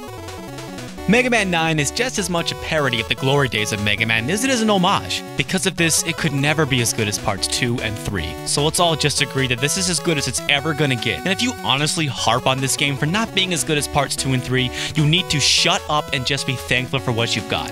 What we've got with Mega Man 9 is unprecedented. This is not a reinvention or an updated port, this is a return to form. My gratitude for Capcom far outweighs my rabid fanboyism. Not that there really is that much to nitpick and complain about, I feel that doing so would just be disrespectful and ungrateful of me. So my two cents on the matter is, it's not perfect, it never will be, but the fact that we've even got this in the first place makes nitpicking disrespectful. And hey, maybe if we're nice, we'll get Mega Man 10, right? Actually, I take that back, because I don't think Mega Man 10 will really be necessary. I know as a fanboy I'm supposed to be insatiable and constantly demand more, but I'm just not greedy. I don't want Capcom to ruin a good thing.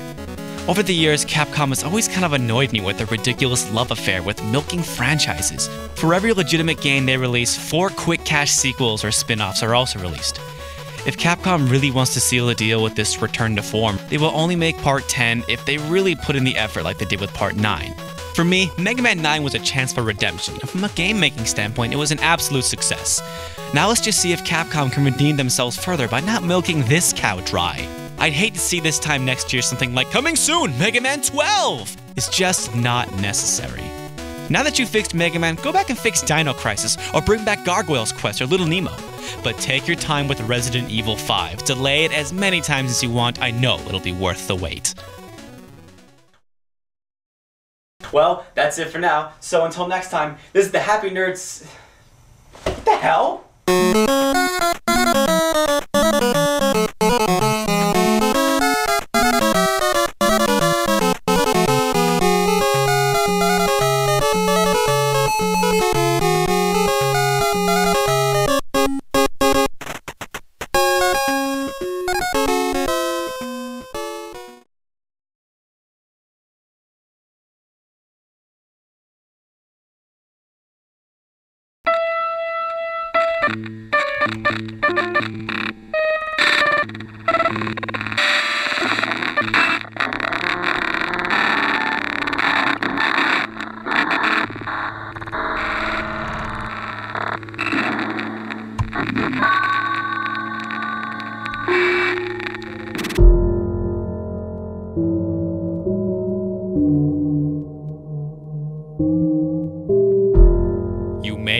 Realized it, but the word unique starts with a capital D.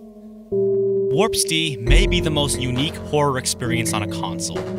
Not so much a game as it is an interactive movie, D is still one of the scariest experiences in gaming.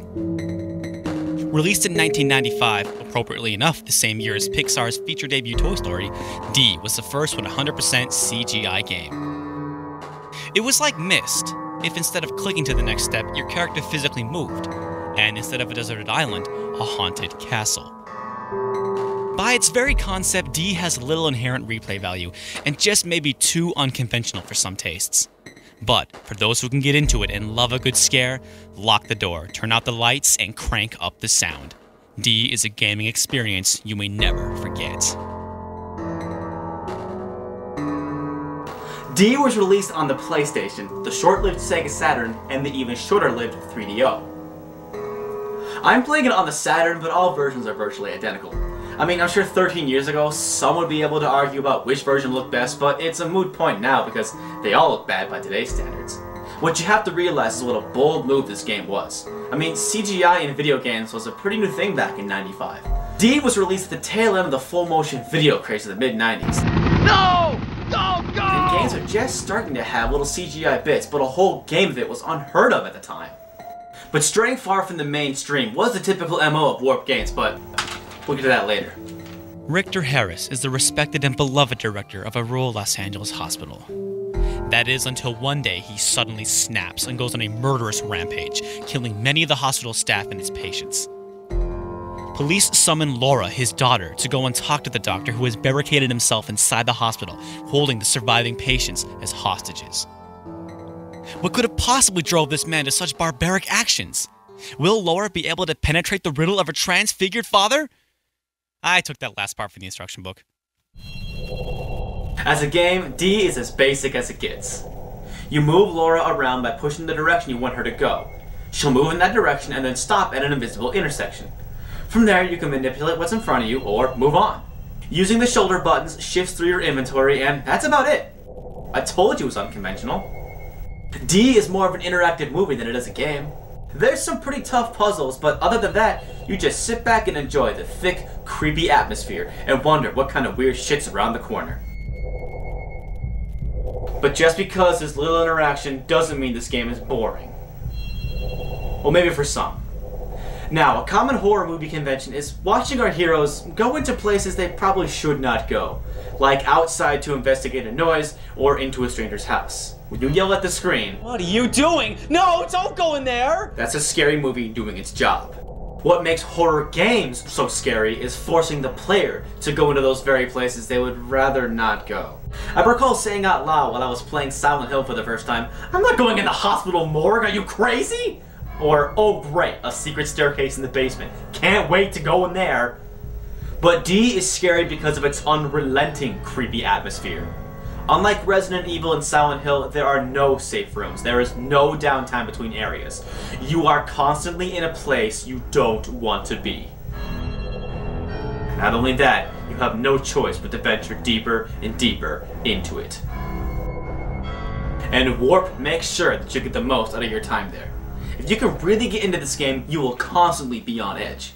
You really don't know what to expect next. It is established very early on that D takes place outside of the confines of reality. So anything can happen and it doesn't really need to make sense. Before long, you'll realize that every part of every room that you can explore has some creepy gag waiting to creep you out. Might be the subtlety of the music, or just something about the room that you're in. The journey to the end of D may be short, but it offers virtually no downtime. With the exception of maybe one puzzle. And since you don't really have complete control of Laura, you never really get a good chance to explore and become comfortable with your surroundings. This can heighten the mood, as sometimes you'll be standing at the threshold of a new room that you might not want to just run into. In Resident Evil and Silent Hill, you can ease your way into a suspicious room. Take your time and explore, make sure things are safe before pushing onward, but not in D. You're either in or you're out. Pick one. Now. And I mean now, because the clock is ticking. There are only a few ways you can die in this game, and one is if you take too long to complete your journey. You take longer than two hours to finish D, and it's game over. But that's the limit. I personally have never taken longer than an hour and a half to finish this game. But that means there are no save points, and I really like this, no pausing either. But you can't deny the fact that this is a very short game with very little replay value. But again, it's more like a movie than a game anyway. And just like a good scary movie you've seen before, it's worth playing D once every couple years. I've long since played through the Resident Evil and Silent Hill games, but every once in a while, I just gotta play through them again. And D is no different. It's a very short but very memorable experience. It's never as scary as it was the first time, but that doesn't make it not enjoyable. The concept, story, and execution of it all make it an experience worth revisiting at least twice. But please, don't go watch videos of D online. You're only cheating yourself.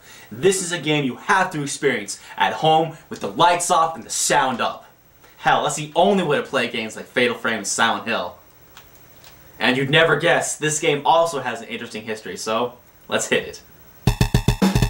D was made by Warp Games, a company headed by Kenji Eno. Warp made a whole range of strange and unusual titles, not just horror games. But most of these never made it outside of Japan. The history of Warp is definitely an interesting one, but is for another time. This is a review of D, so I'll stick to D and its respective sequels. Apparently, D was heavily censored in the US, which is quite amazing considering what they left in. This is probably the most graphic teen rated game of all time. While it was a big hit in Japan, it wasn't very successful in the US. There exists an extremely rare Japanese version of D called D's Diner for the 3DO. It's sort of a super ultra mega double dip director's cut. According to an interview, this version was sold and hand delivered to buyers by Kenji Eno himself. Interestingly, the English translation of the Japanese name D no Shokutaku was incorrectly translated as D's Diner by the now defunct Game Fan magazine. While D's Diner does have a good ring to it, Shokutaku actually means dinner table, which makes a lot more sense since the setting of this game is not a diner. D was eventually followed up by D2 for the Dreamcast, but before we get to that, there were actually a couple games that came between D and D2. Enter 1997's Enemy Zero for the Sega Saturn. Enemy Zero was sort of a spiritual sequel to D. It was a horror title, played in the first person, and starred Laura. Not the same Laura per se, Laura was a digital actress, as it were. Enemy Zero is famous for its free roaming first person segments, where you had to tread through sprawling, dimly lit corridors, trying to avoid monsters you couldn't see. And these weren't monsters that would hurt you, nope, we're talking instant death. Since you couldn't see them, you had to depend on a chime that got faster and faster the closer and closer they got until. Yep, you died. And it leads to some pretty tense shit, let me tell you. Next came D2, but not that D2. D2 was originally going to be the flagship title for the M2. What the hell is the M2? The M2 was going to be the successor to Panasonic's 3DO. And I say was going to be because the M2 was scrapped and never released. Had the M2 been released, we would have seen a D2 that starred Laura's son and was more free roaming. But as the M2 was scrapped, so was this version of D2. The D2 we all know is this one. Now, despite its title, D2 has almost nothing to do with D and has absolutely nothing to do with the scrapped M2 version.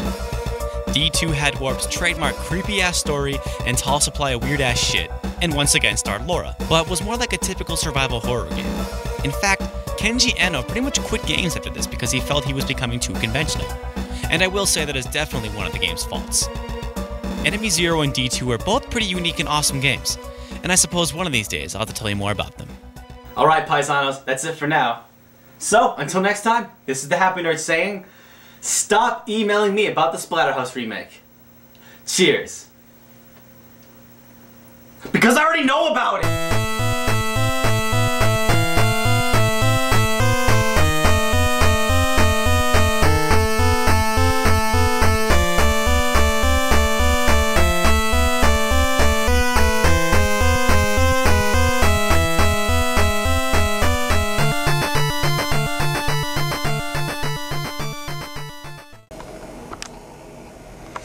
Hey, it's Derek. Um, I'm editing right now.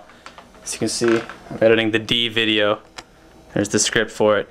And I realized I forgot to shoot something, so I'm gonna do that now. Um, I forgot one little audio thing. So I, am guessing, I, I guess I might make this as like a Easter egg for the DVD. Okay, so I have to, um, where is it? To find it first, okay. Here we go. It's just an audio thing, so I just here we go. what are you doing? No! Don't go in there! Okay. What are you doing? No! Don't go in there! this is awesome.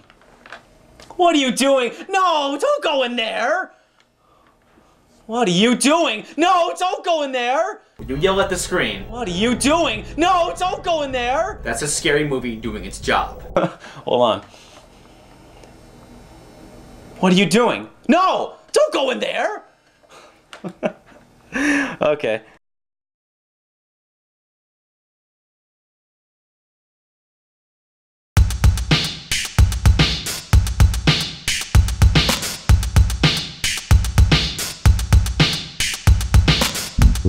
Música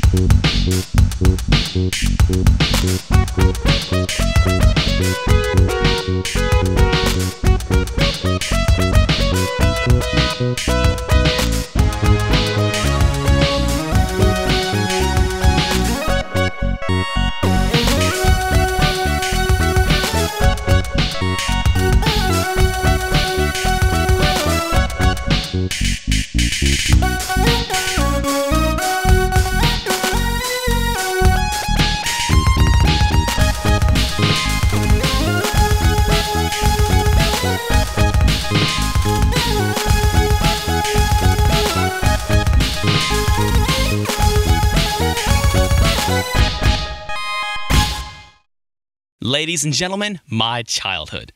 When I think of the word nostalgia, I conjure up the image of Capcom's DuckTales for the Nintendo. It was one of my favorite childhood games, and it was based off of one of my favorite childhood cartoons. That's right, DuckTales is not just a kick ass game, it's a kick ass licensed game, and of a children's television show. Now, I know for some of you this may be a difficult concept to grasp, but I got the proof right here. Bright, well designed worlds, solid, unique, one of a kind action platforming, and the very definition of a memorable soundtrack. All this for a title essentially made for kids? You bet! It's a game so good, even my big brother, the Angry Nerd, likes it. DuckTales was a very important and popular television show for its time, but today in the gaming community, the game is probably more well known than the TV series it's based on. Even if it wasn't a licensed game, DuckTales would still be a classic, but because of this distinction, it is noteworthy not just as one of Capcom's best titles in the NES, but as one of the greatest licensed games ever made. Or rather, one of the few licensed games truly worth your time. And before we move on, I want to take a moment to thank my parents for buying me this game for my birthday. This is the very cartridge given to me on my seventh birthday, so thanks, Mom and Dad. In DuckTales, you play as Uncle Moneybags himself, Scrooge McDuck. And what else is the world's richest duck doing? Getting more money! The game consists of five levels played in the order of your choosing, each with a million dollar treasure guarded by a boss. And along the way, you'll collect diamonds, rubies, and other treasures hidden in every nook and cranny of the five levels to add to Uncle Scrooge's money bin. It's a simple plot, but typical for your average episode of the show, so the storyline's appropriate. There are two forms of attack, but you use one way more than the other. You can use your cane as a pogo stick or as a golf club, but as I'm sure you've noticed, you use the pogo stick method as your basic form of attack. This isn't the hardest game out there, but getting that pogo move down can take a little practice. If you land a little off center or go into it a little too close to the enemy, you'll miss your target and take damage. And it can get stressful at times because you have so few hits and very short post damage and vulnerability. Oh, and there's no continues. This all combines to a pretty balanced experience. I mean, it is a short, five-level game, but it's pretty unforgiving with its precision-heavy controls, limited supply of health, and lack of a continue feature. Oh, and did I mention multiple endings and difficulties? Not only is it balanced, it's got some pretty decent replay too. The level design is really where DuckTales stands out from similar games of the time. None of the levels are a straight line to the end. In addition to that, there are hidden rooms and treasures everywhere, and I mean everywhere. There are so many hidden diamonds and treasure chests, you couldn't possibly find them all on your first time through. I mean, I've been playing this game for over a decade, and I'm sure there's still a few I've missed. And if you want to get that top score and the good ending, you'll have to find the super valuable hidden treasures. There's only five levels, but each one is packed with secrets, traps, treasures, and enemies.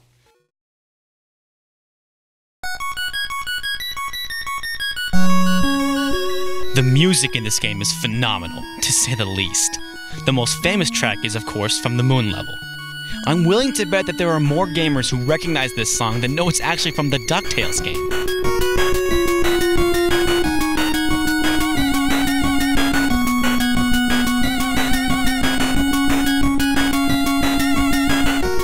Oh man, so good. Man, screw greatest video game songs ever written. This is just one of the greatest songs ever written. But what would you expect from the same guy that co-composed the first two Mega Man games, Yoshihiro Sakaguchi, aka Yuki-chan's papa? And by the way, The Advantage did an amazing cover of the song on the sophomore record Elf titled. In fact, both their albums are amazing. It's bought in stores now. But all the 8-bit music you've heard so far is from the other levels of the game. So, the Moon level easily trumps all, but the rest of the soundtrack is certainly no slouch. So, it's a great game based on a license, but how faithful is it to that license? I'd say pretty faithful. The title screen accurately portrays that super catchy theme song. You play as Scrooge McDuck, and along your adventure, you run into your nephews Huey, Dewey, and Louie. And there's Webbigail, Mrs. Beakley, Gizmo Duck, Bubba, and the man himself, Launchpad McQuack. Launchpad even calls him Mr. McD. And there's some of the show's main villains too, like the Beagle Boys, Magic Magica De Spell, and Flintheart Glomgold. But there are a few coloring mistakes, like Scrooge's coat is actually blue, same with Dewey, who on the stage select screen is wearing green. And the Beagle Boys don't wear white, they wear red. The weird thing is, is most of these mistakes were fixed in the ending. DuckTales was made by Capcom, or more specifically, Tokuro Fujiwara, or even more specifically, the fucking man. Fujiwara is responsible for Ghosts and Goblins, Mega Man's 1, 2, and 3, Gargoyle's Quests 1 and 2, and the Tomba games the PS1. So it's no wonder the first DuckTales game was so solid. That's right, there was a sequel, DuckTales 2, that also came out for the Nintendo. Most people probably don't know about this game because it came out in 93, near the end of the Nintendo's life cycle, and long after the show started its first run in syndication. DuckTales 2, also made by Capcom, has nearly identical gameplay from the first one. The graphics are much better, but the music, while still solid, is nowhere near as memorable. The controls and hit detection feel tighter, so hitting enemies is a little easier. The levels have more hidden paths and puzzles to them, but feel padded, making them feel longer than they actually are. There's upgradable weapons, gadgets, and a store this time around, which is pretty cool. There's a little more variation this time than there was in the first one. On its own, it stands as a pretty solid NES title, but just isn't as good as the first one. One thing that really irks me is that Launchpad and Gyro keep calling you Uncle Scrooge. They're not related to Scrooge. That's why Launchpad says Mr. McD in the TV series. And you lose all your money when you die, unless you keep buying safes. And you have to buy a new one every single time you finish a level. That just seemed really stupid. DuckTales 2 is pretty rare and will net you around 50 bucks. It's not as good as the first one, but is still recommended. It's one of the better titles from the post Super Nintendo days of the NES. DuckTales 1 and 2 were also ported to the Game Boy, and though I got them right here, handheld games not my forte, gotta call the man.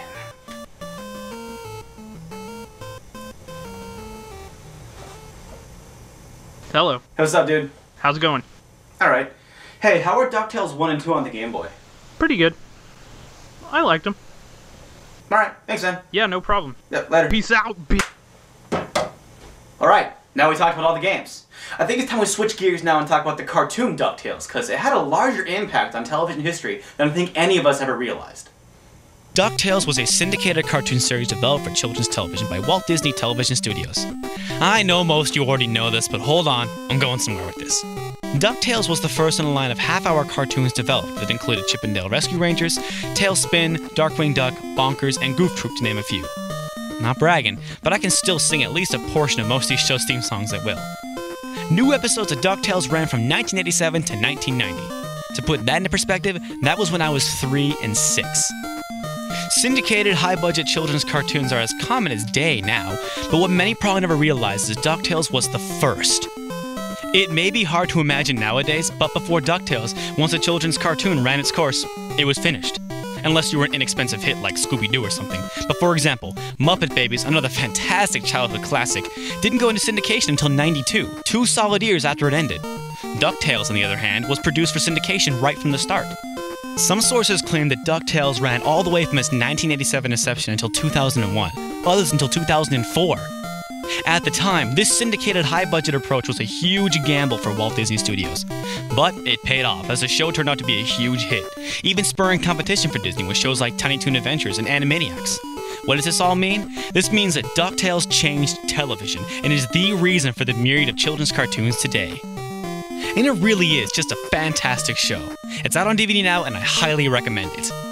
I know it's a kid's show, but there are so many stupid and corny jokes that it's honestly fucking hilarious at times. And hey, you can watch it with your younger siblings and relatives. But I wish the people who produce these DVDs realize that a lot of older people buy them out of nostalgia. The 1980s Transformers and Wally DVDs both have special features for both kids and movie lovers. This is the kind of approach I wish DVD producers would have with shows like DuckTales. Because honestly, before I started doing research for this video, I never knew DuckTales has such an amazing history behind it. But then again, this gives me the opportunity to tell you all about it. Yeah, never mind, their loss. That's it for DuckTales, but stay tuned, because pretty soon we'll be talking about a very similar licensed game. So, I'll catch you next time.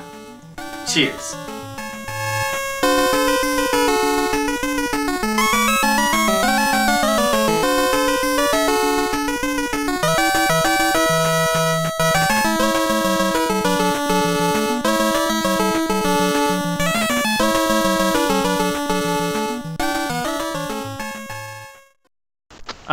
Peace out, bitch. I got nothing. Um, And what else is the world's richest duck doing? Getting more money. Getting more money. Getting more money. Getting more money. Getting more money.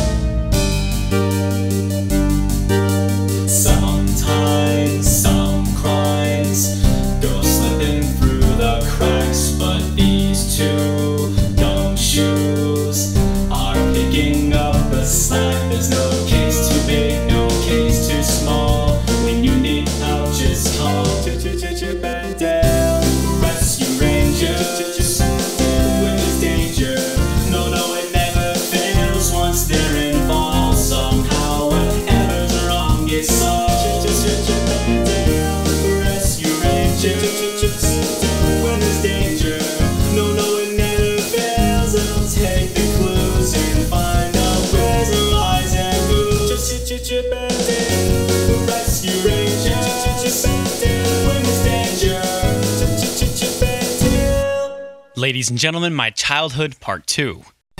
Some things just go together. Milk and cookies, nouns and vowels, Max Bemis and Chris Conley, and of course, DuckTales and Chip and Dale Rescue Rangers. Discussion of one will invariably lead to another, especially when discussing the amazing NES games. So, since we've already talked about DuckTales, it only feels right we talk about Rescue Rangers.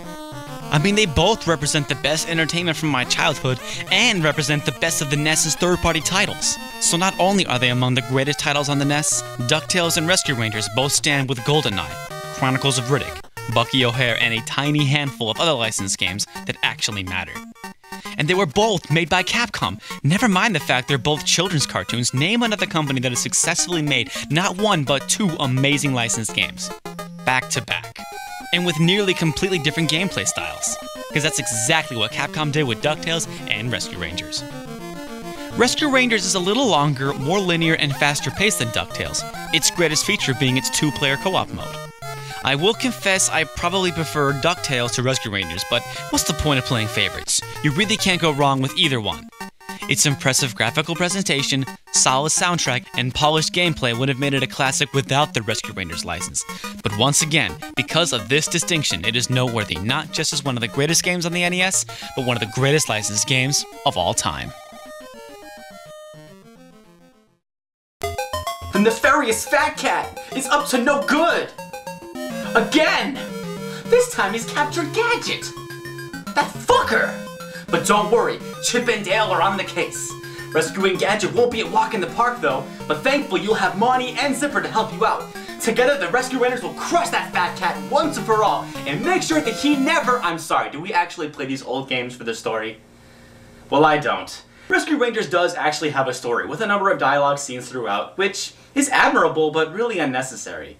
They are peppered with helpful hints about the upcoming levels, but they're more annoying than anything else. But thankfully, they don't hamper the overall experience and are kind of a stupid thing to bitch about.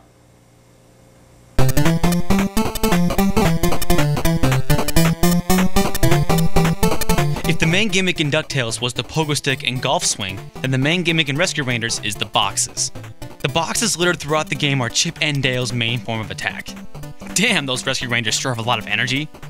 And man, Fat Cat's lackeys are such wimps. You don't even need to throw the boxes at them. Solid Snake wishes he could do this much damage with the box.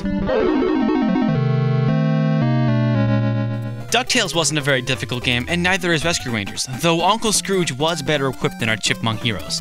Other than the boxes, there was no other way to defend yourself. And unlike DuckTales, there aren't any health upgrades, so be mindful of those 3 hit points. But both Chip and Dale can jump amazingly high, so maneuvering around the tricky segments later in the game are easy enough in the right hands. One disappointing thing, most of the bosses are stupid easy, and essentially all the same. I mean, the bosses in DuckTales are nothing to write home about, but the ones in Rescue Rangers are all a bit of a letdown. But all in all, it's a little harder than DuckTales, but it's nowhere near as difficult as other Capcom games like Codename Viper or Little Nemo.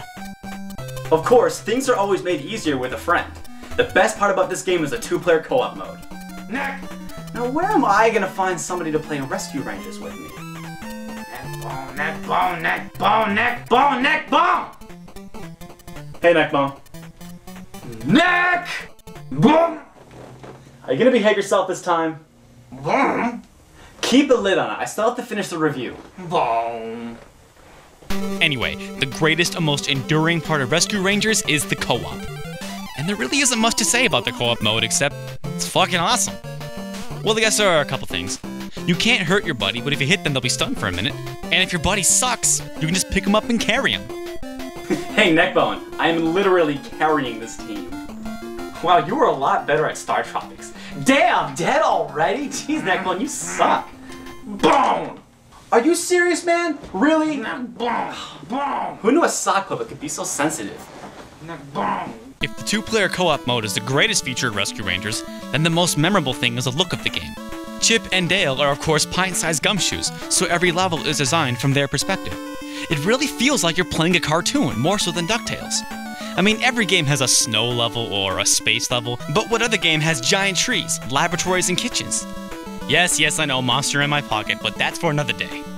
What I'm trying to say is ninja flying squirrels are awesome. And so is running through giant factories, on power lines, and shutting off giant faucets. I guess I'm just a sucker for this kind of aesthetic. Just like with Little Nemo, you'll never have more fun feeling like a kid again. The experience of DuckTales can be described as quality over quantity. There were only five levels, one of which you visited three times, but to make up for this, they were all unique, sprawling, and well constructed, and you could choose your own level, not unlike Mega Man. But with the Rescue Rangers, you get more of a quantity over quality feel.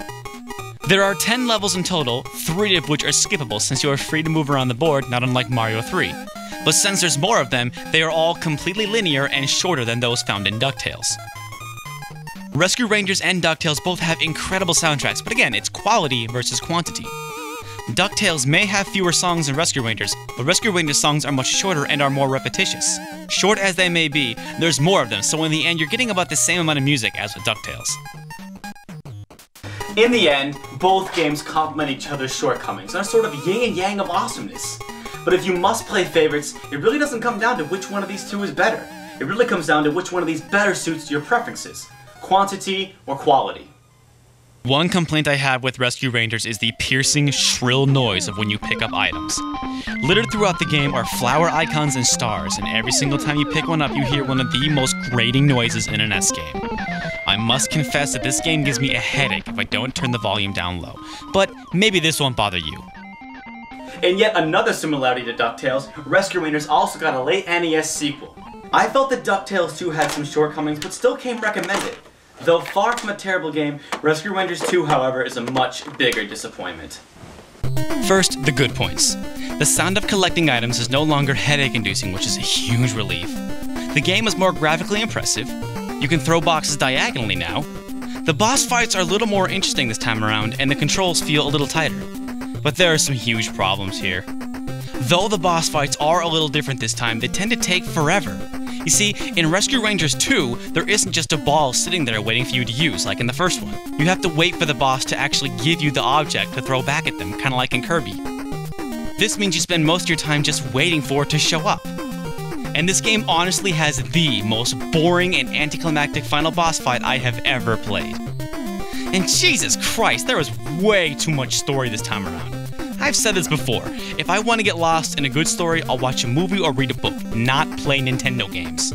There is a ridiculous amount of dialogue here, and all it does is slow things down. It's not even peppered with helpful hints this time, it's completely pointless. Once again, the soundtrack doesn't hold a candle to the original, but at least DuckTales 2 had a few memorable tracks. And finally, all the levels are boring. A restaurant? A freezer? A haunted castle? Where are the enormous sinks? The giant tree limbs? The ceiling fans? You could just remove Chip and Dale from some of these levels and throw in Mega Man and I wouldn't notice the difference. But by this time in the NES's lifespan, Capcom had pretty much written the book on this type of game, so all in all, it's still a solid NES title, but when compared to the original, it's garbage. My guess is by late 1993, Capcom must have been hard at work on something else. Of the four games, it's easily the worst one. But when compared to most games in the NES's library, it still comes recommended. Unlike DuckTales, the Rescue Rangers games were never ported to the Game Boy. Unless you count Mickey's Dangerous Chase, which had similar gameplay and was also made by Capcom. But they both had PC games. However, I decided not to mention the DuckTales PC game in that video because, just like with the Rescue Rangers PC game, I have nothing to say about it. I don't own either of these games, I never played either of these games, and neither of them was made by Capcom. The few reviews I found spoke well of them, so I guess they're worth checking out if you're really interested. So to sum up, both DuckTales and Rescue Rangers represent the finest in licensed games on the NES, by arguably the system's best third-party developer. Their respective sequels didn't impress me as much, but they still come recommended, though I wouldn't pay too much for Rescue Rangers 2. But these aren't the only two games that Capcom made for Disney. Disney and Capcom had a very fulfilling partnership back in the NES and Super NES days, and there were a lot of awesome games that are the product of this partnership. And I got most of them right here. So tune in next time, we'll talk about the rest of the awesome Capcom and Disney games. So until then, this is the Happy Nerd saying, is it wrong for me to be drinking an alcoholic beverage while I just got done talking about games essentially made for kids? Yeah, it probably is. Ah!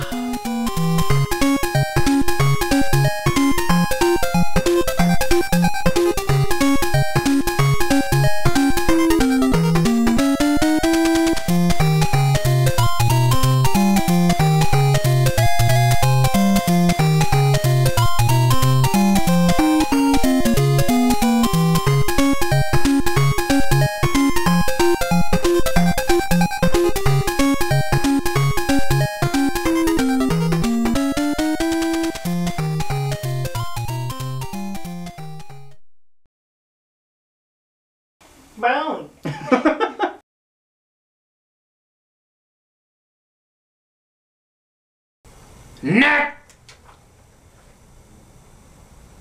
Neck! The best part about this game is the two-player co-op mode. Neck! Now where am I gonna find somebody to play Rescue Rangers with me?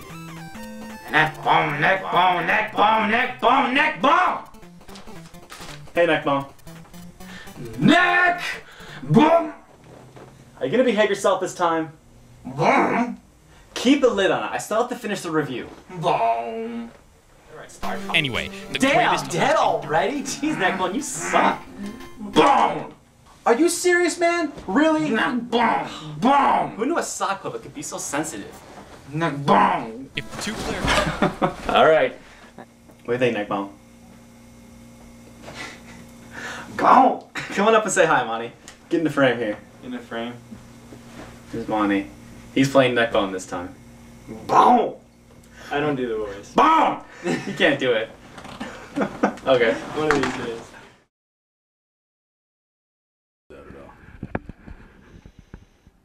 Why are you recording me? Just for the hell of it. Timing and shit. Okay, so. You You think, do it? Nekbone? You ready to spread the good word of gaming or what? Neck bone! Neck bone!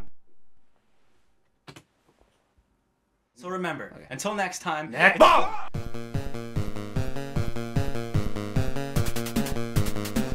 But don't worry, there are no passwords in this game, only saves, which is another big plus.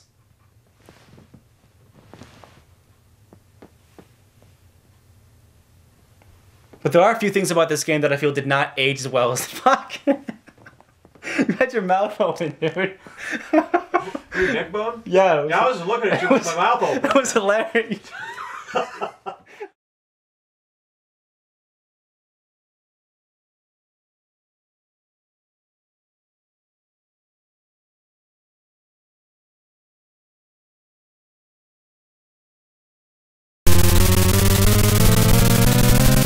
Capcom is the greatest third party video game developer of all time.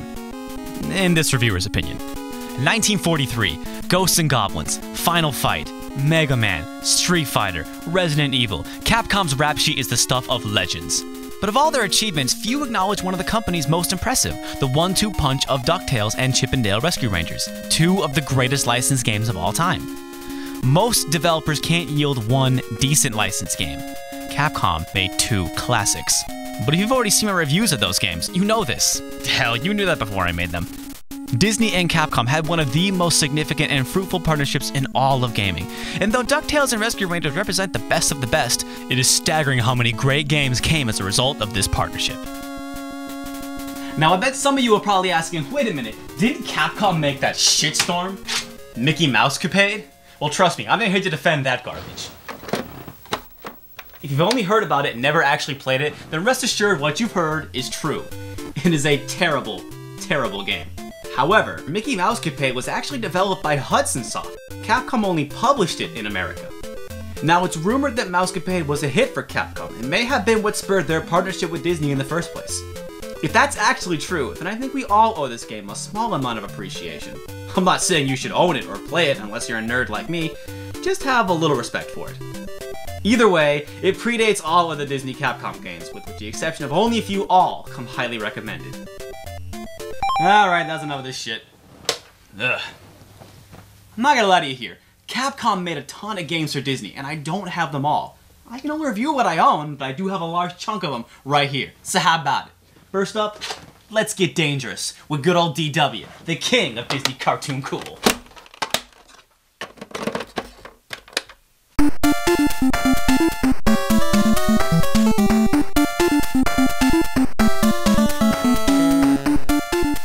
Nineteen ninety Darkwing Duck can be described as a poor man's Mega Man.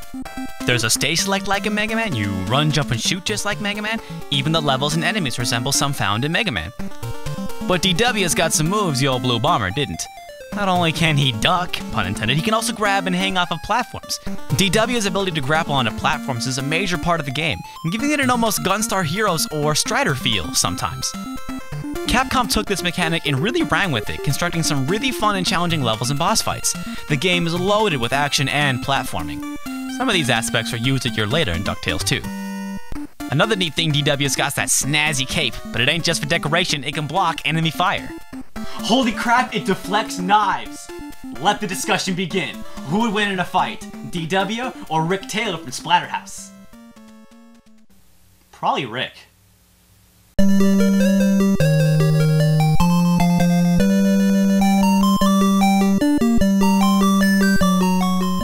Probably say this a lot, but I really mean it here.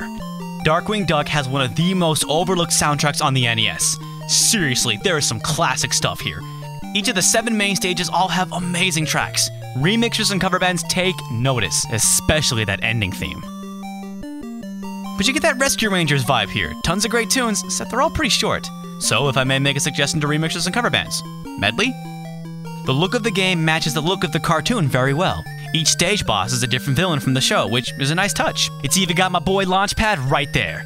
It once again shows that Capcom knows how to keep a game faithful to its license without compromising for solid gameplay. But like I said earlier, Darkwing Duck is pretty much a poor man's Mega Man.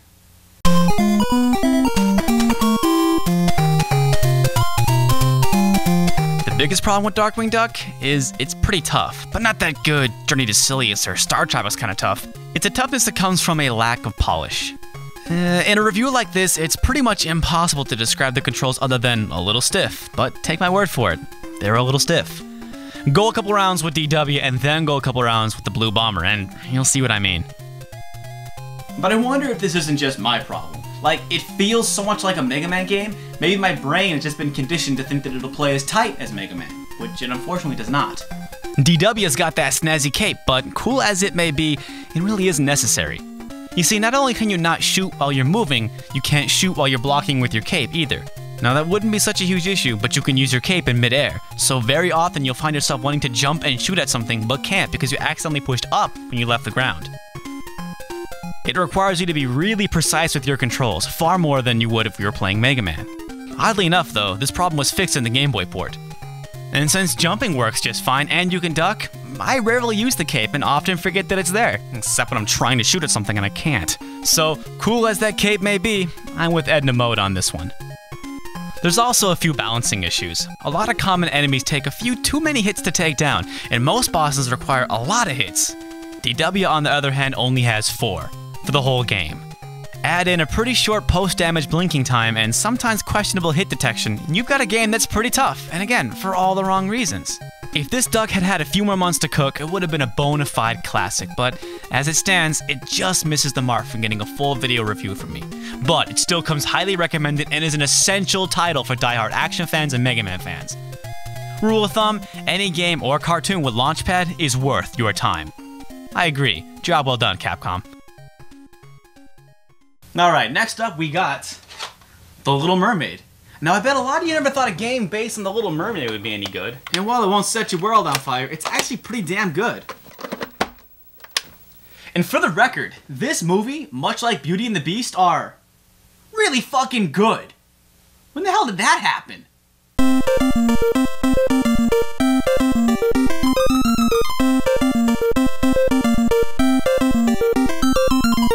This one was clearly made for the kids, as it's a pretty easy and short 5 level affair, but it's still solid. An interesting note about this game is it was made years after the movie, a fact that some like to complain about. Really? I'm sure this game is better because it wasn't made to coincide with the movie's release, which is something I think that dooms most movie licensed games in the first place. Actually, this may be the reason why the opening cinema doesn't follow the movie or really make much sense. Otherwise, there really isn't much to say about The Little Mermaid on the NES. Other than if you see it at a thrift store or a flea market, don't pass it by. The most noteworthy thing about The Little Mermaid, it's not total garbage, like I'm sure most people would expect it to be. But they all can't be zingers. TaleSpin is garbage. I'll give Capcom an A for effort, but that's about it.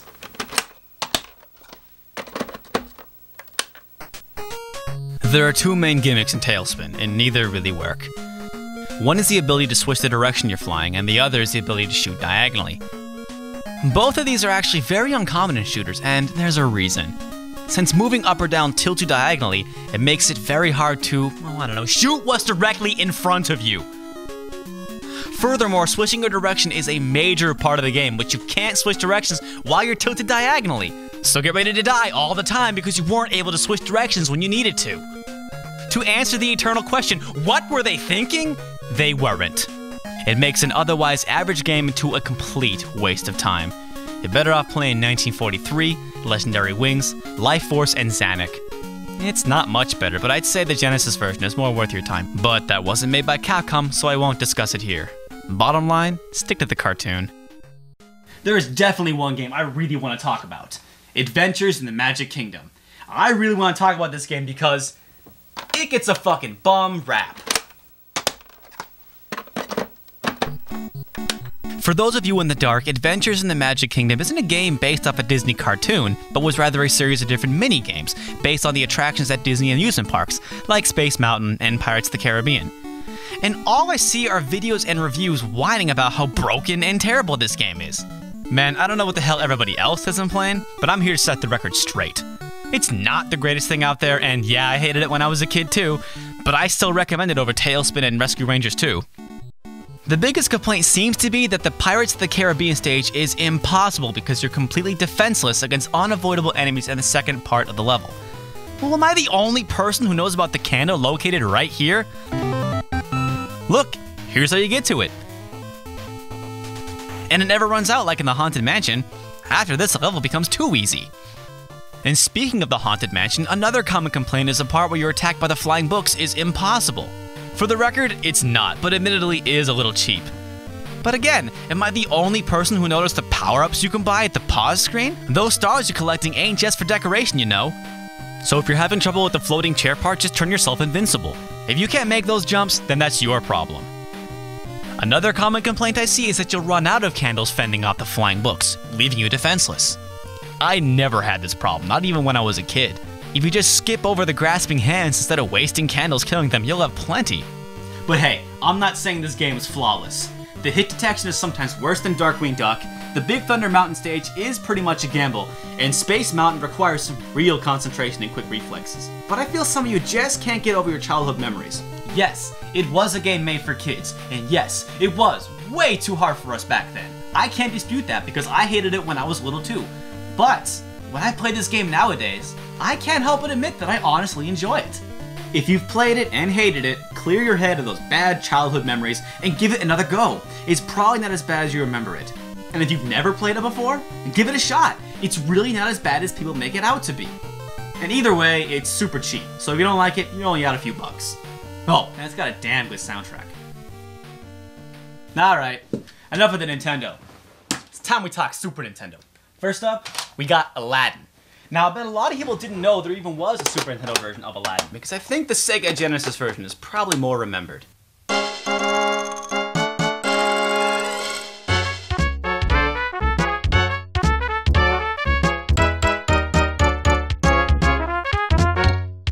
First off, Capcom doesn't skimp on the presentation. The levels all look beautiful, the animations are all smooth and detailed, and the music faithfully recreates memorable numbers from the movie, while still having that distinct Capcom sound.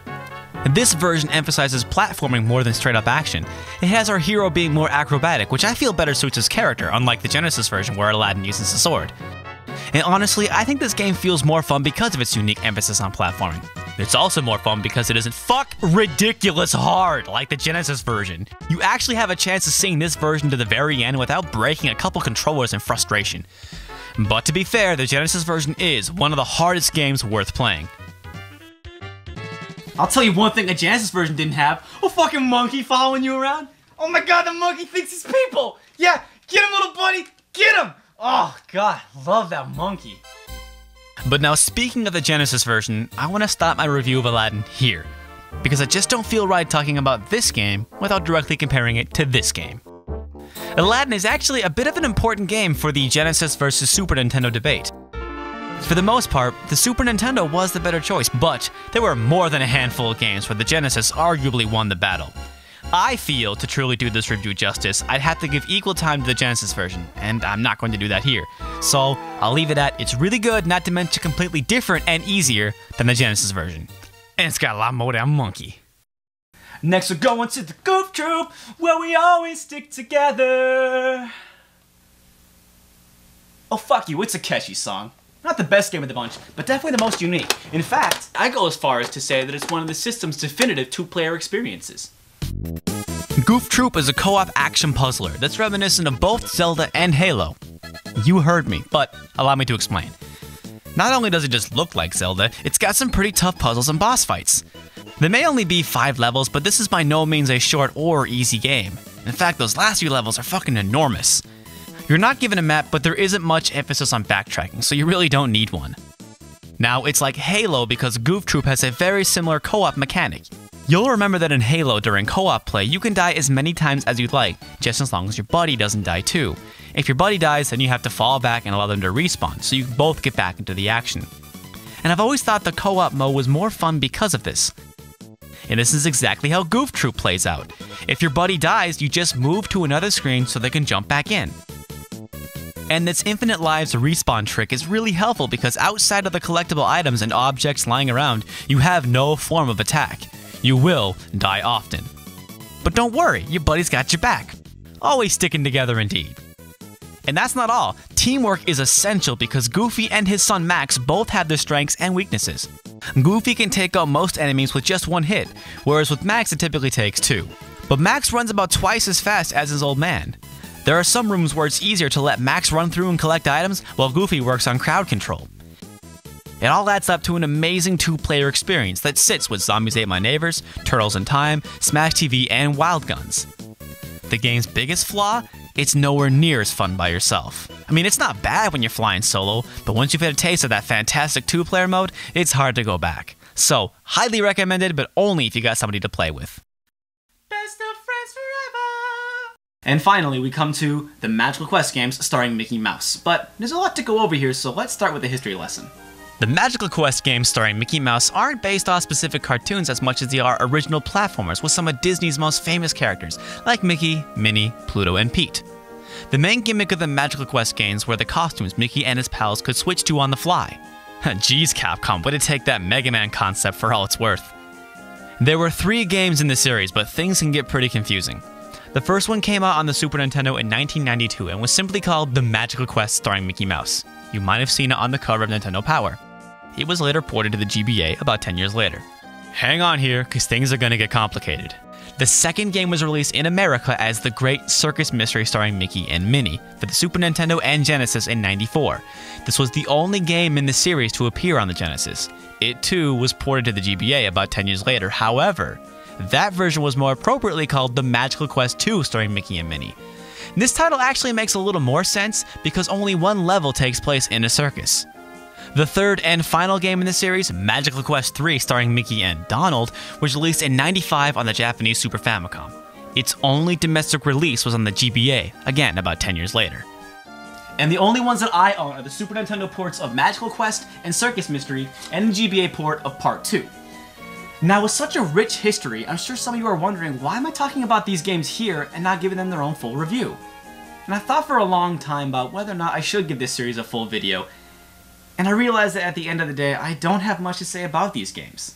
I mean, they're not bad, they're just really not that good. But before I get to all that, let's start with the positive.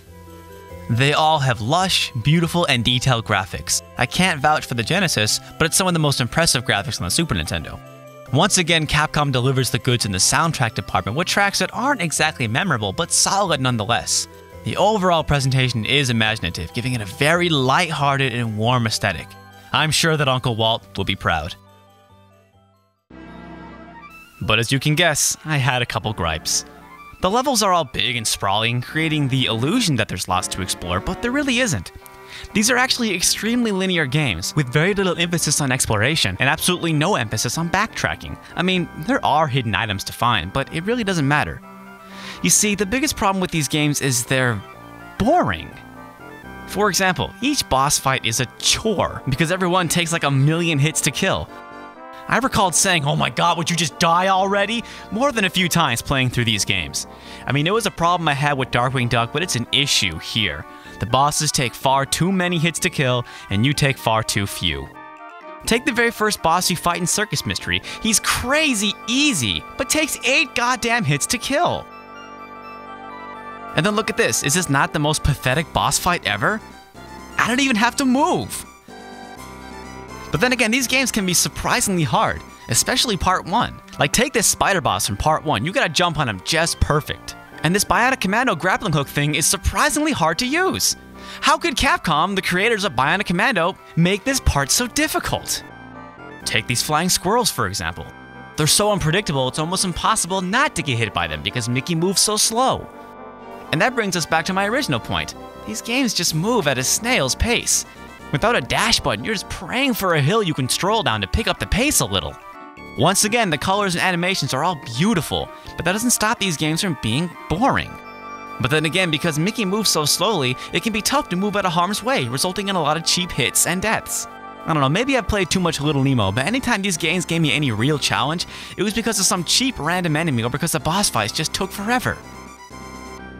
But I'm aware that I'm raining on people's childhoods here, so let me be clear. These are good games. They're all still really solid. And I'm sure my opinion of them would be different if I had played them as a kid, but since I have no nostalgic connection to these games, I have to be critical and honest. They really don't impress me much. I will confess I've never played the third one, but all the reviews I've read make it clear that it's par for the course and probably something I wouldn't enjoy. And this brings us to the end. Like I said earlier, I don't own all the Disney Capcom games. I'm only reviewing what I own, but this really was most of them. Capcom would continue making games for Disney over the years, but they became few and far between. Not to mention kinda shitty. So, where are they now? Disney actually had a ton of great games based off their cartoons. Virgin made a number of quality titles like The Lion King, The Jungle Book, and of course the Genesis version of Aladdin. Sega made a bunch of games for the Genesis, with Castle of Illusion, World of Illusion, and Fantasia. The two Illusion games are phenomenal. Fantasia, on the other hand, is fucking garbage. And then there's Quackshot, all the different versions of Mickey Mania, Rare's Mickey Speedway, the list goes on. And then, of course, there's the immensely popular Kingdom Hearts games. I myself am not a huge fan, but the series' enormous fan base is undeniable. Capcom would continue milking Mega Man, Street Fighter, and Resident Evil for all it's worth, while making new franchises to milk, like Onimusha and Devil May Cry. That said, they still remain a driving force of creativity in gaming, releasing many commercially unsuccessful yet critically popular games like Beautiful Joe, Okami, Killer 7, Maximo, and Zack and Wiki. And Capcom would continue its streak of great licensed games, with titles like Little Nemo the Dream Master, the arcade and Nintendo version of Willow, the Dungeons and Dragons arcade games, and the phenomenal series of the Marvel fighting games X-Men Children of the Atom, Street Fighter vs. X-Men, and the two Marvel vs. Capcom games, the second being one of the craziest, most ridiculous, and popular fighting games of all time. But before I wrap things up, let us not forget that there are a ton of great licensed games out there. GoldenEye, Chronicles of Riddick, Ghost in the Shell for the PlayStation, Astro Boy for the GBA, King Kong, Beetle Adventure Racing, The Warriors, the Rainbow Six series, Bucky O'Hare, Monster House for the GBA, a handful of TMNT and Tiny Toon games, the two PS2 Rocky games, the Genesis version of Dick Tracy, who knows how many Star Wars games, and not to mention recent titles like the LEGO games, Ghostbusters, or Batman Arkham Asylum. I could go on, but the point is, there are way too many great licensed games out there to be so fucking angry all the time. Cheers.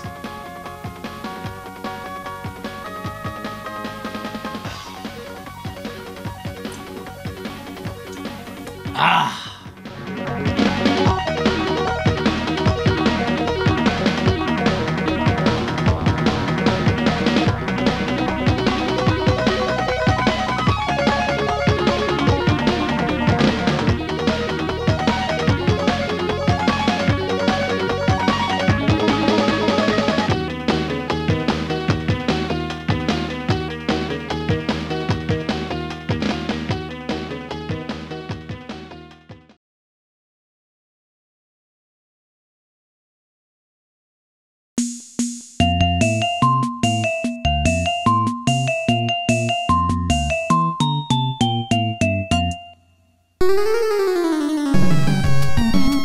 I've said that Capcom is the greatest third party developer of all time, and I still stand by that.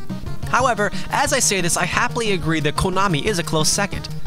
As a matter of fact, the two companies have both had a sort of competitive relationship that goes back decades. Capcom had Resident Evil, Konami had Silent Hill. Capcom had Mega Man, Konami had Castlevania.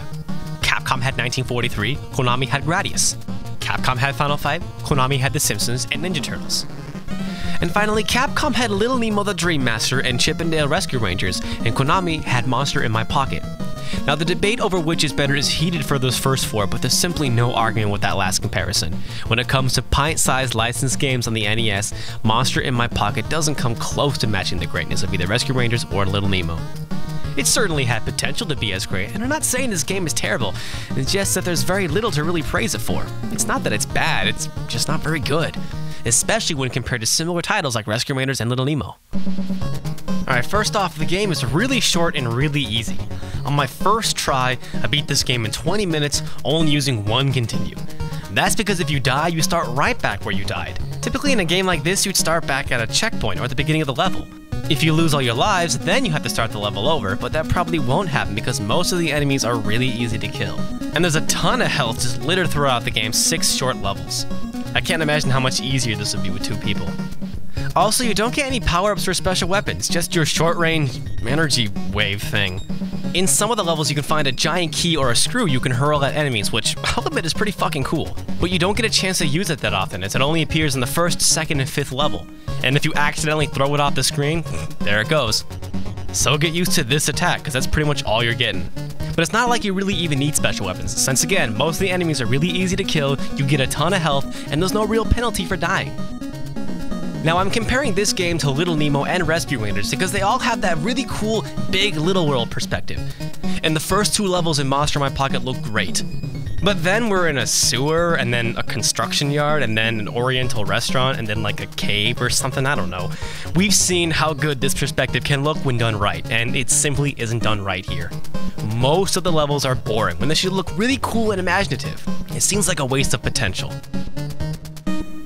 Monster in My Pocket has a laughably stupid storyline, and that's a plus in my book. So, you know, the monster and the vampire that's chilling, you know, watching some TV, when all of a sudden the bad guy comes on and says, I've set my henchmen after you. And they pretty much go, uh uh, we're gonna kick your butt. And that's it. Gotta love those terrible NES stories. I'll also give Konami praise for calling the Frankenstein monster the monster, which is the correct name for that character. A lot of people seem to forget that Frankenstein was the doctor who made the monster, not the actual monster. But I will not give them praise for how silly the vampire looks. I know they're probably going for that classic vampire look, but come on, Konami knows how to make a cool looking vampire. But maybe this is the fault of the source material and not Konami. Who knows? They're both still goofy looking when they run, though. Another thing I'll give Monster in My Pocket the thumbs up for is a solid soundtrack. The soundtrack isn't quite up to the level of overlooked classics like Journey to Silius or Power Blade, but it's got some pretty damn good tunes.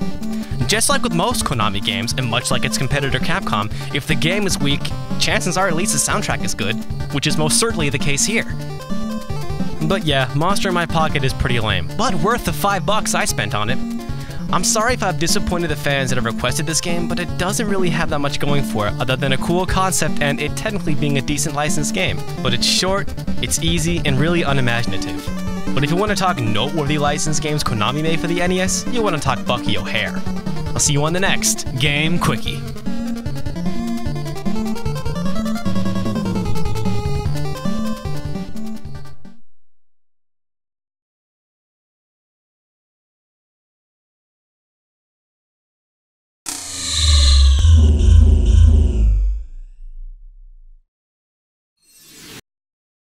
Hey everyone, Happy Nerd here, and welcome to another episode of Sold Separately. Now, if you're anything like me, you still enjoy playing Game Boy games, but feel weird sitting at home playing a portable game system. That's why the Game Boy player for the GameCube kicks so much ass. You can play all non-DS Game Boy games at home on your TV. But I'm not here to talk to you about that. I'm here to tell you about the only way to play games in the Game Boy player. BAM! The Hori Digital Controller. Now some of you are saying, wait a minute, I never saw this for sale at GameStop or Best Buy or Walmart. That's because this bad boy had an extremely limited run here in America and was pretty much only released in Japan. Man, they get all the cool stuff. Look at this thing. Do I even need to explain it? It's a Super Nintendo controller with the GameCube's button layout. It couldn't be a more fitting controller. I mean, most GBA games have the same look and sound of a Super Nintendo game, or are Super Nintendo ports. In short, it's as awesome as you think it is. But let's take a closer look, shall we? The biggest and most noteworthy improvement over the GameCube controller is the D-pad. It's much bigger than that piddly little thing. And I'd say it's an improvement over the Super Nintendo controller too because the shape of the backside. As opposed to a flat backside, the Hori controller is better shaped to fit your hands. It's even more comfortable than the Wii Classic controller. This controller comes recommended as a companion to the Game Boy player only, as the D-pad is not a proper substitute for the GameCube's analog stick. Most Cube games require use of the analog stick and are therefore not compatible with the Hori digital controller. So you're best sticking to Game Boy games. That being said, I actually prefer this controller with GameCube games that are compatible with it, like Soul Calibur 2, Ikaruga, Resident Evil, Alien Hominid, and of course the Zelda Collector's Edition. Man, it's so surreal to be playing a PlayStation 1 game ported on the GameCube with the Super Nintendo controller. Any game you can play with just the GameCube's D-pad can be played with this controller, provided the use of the C-stick isn't necessary. For example, you can use the Hori controller to play Resident Evil Zero, but one of the game's main gimmicks, the ability to move your partner, is lost due to the absence of the C-stick. Which is really a shame because the game controls so much better on a pad rather than the analog stick. As you can see, the Z button has been mounted to the face, so it's only missing the two analog sticks.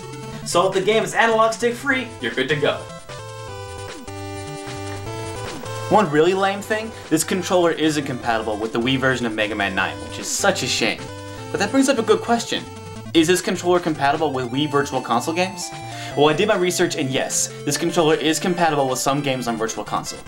I had to do research because I don't know firsthand. I don't download games on Virtual Console, why would I? I got the originals, punk! Anyway, this thing is definitely worth the money, if you can find it. It can be hard to track down because it has a really simple name, Digital Controller. Or I guess, Nintendo GameCube Game Boy Player Digital Controller. Over here was just called the Game Boy Player Controller, but again, good luck trying to find one. Just know that the company that made it is Hori, H-O-R-I. I wanted to give you a price, but when I made this video, I couldn't find any of these on eBay, so I have no idea how much these cost nowadays. My guess is it won't be cheap. So I'll wrap things up by saying happy hunting for this highly recommended controller. Until next time.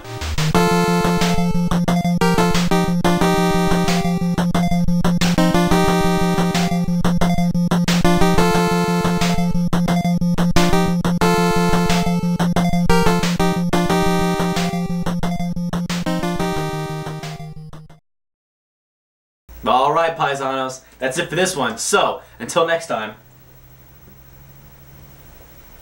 What was I gonna say?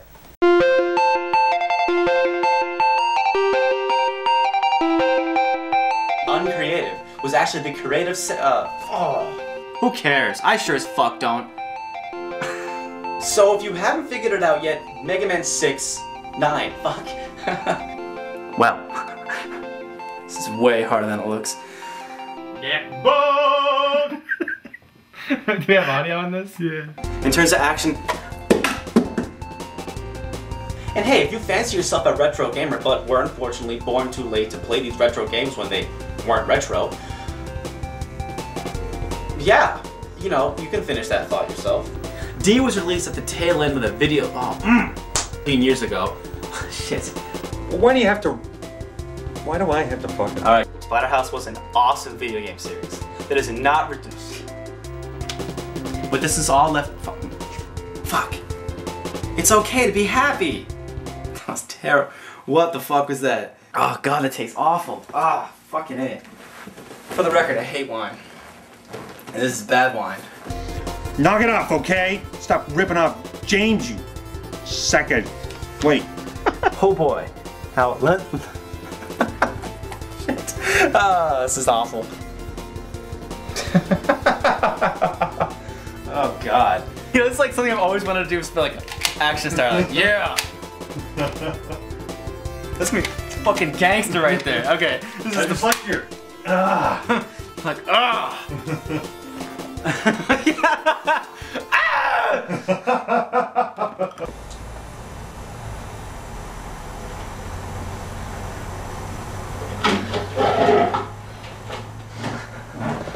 My mom was cleaning my bathroom. Never invite your parents over to your apartment. The concept, story, and execution. Oh shit. I am getting fucking tired. Oh my god. It is after 3 o'clock. It is a short five level game, but it's pretty unforgiving with its limited controls, precision heavy hit points. Trust me, I could go on for hours about the Mega Man games and Mega Man 9. Just know that it's a fantastic game, and it's even better when I get what I wrote down right. It's embarrassing to me when I can't even remember what I wrote. This is why I'm not an actor. Cheating yourself. This is a game you have to experience at home with the sound and up, TV on, sleeping in bed. Yeah, this is. Not weird, is it? Stop, dude, get off, man. Alright. That's about all the time we got, Night. Uh, I said Nightbone. I almost said Nightbone. Nightbone! Nightbone! Or it's worth playing D every once every ah. Ugh. Bottom line, it's an awesome game and you should download it for your Wii and other systems. Okay. Ugh. The concept, story, and execution of it all make it an, make it an experience. Make it an experience. Okay. This Metal Storm is a classic Nintendo game that was completely overlooked, left behind, and forgot. But who cares? I sure as fuck don't. If I wanted a good story, I'd read a book, or watch a movie, or play Journey to Silius. I'm here to fucking stop laughing. Sorry. Mega Man 9 is an awesome game and you should download it for your Wii, Xbox 360, or PS Triple. But as a fan of the games as a whole, I'd like to take this time to kind of share some of my thoughts about the games as a whole. Damn it. Alright. No, come on, you gonna do this? We gonna do this? But the same cannot be said for its sequel, StarTropics 2 Zoda's Revenge.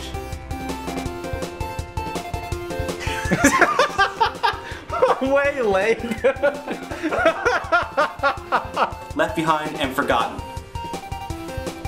I'll get it eventually.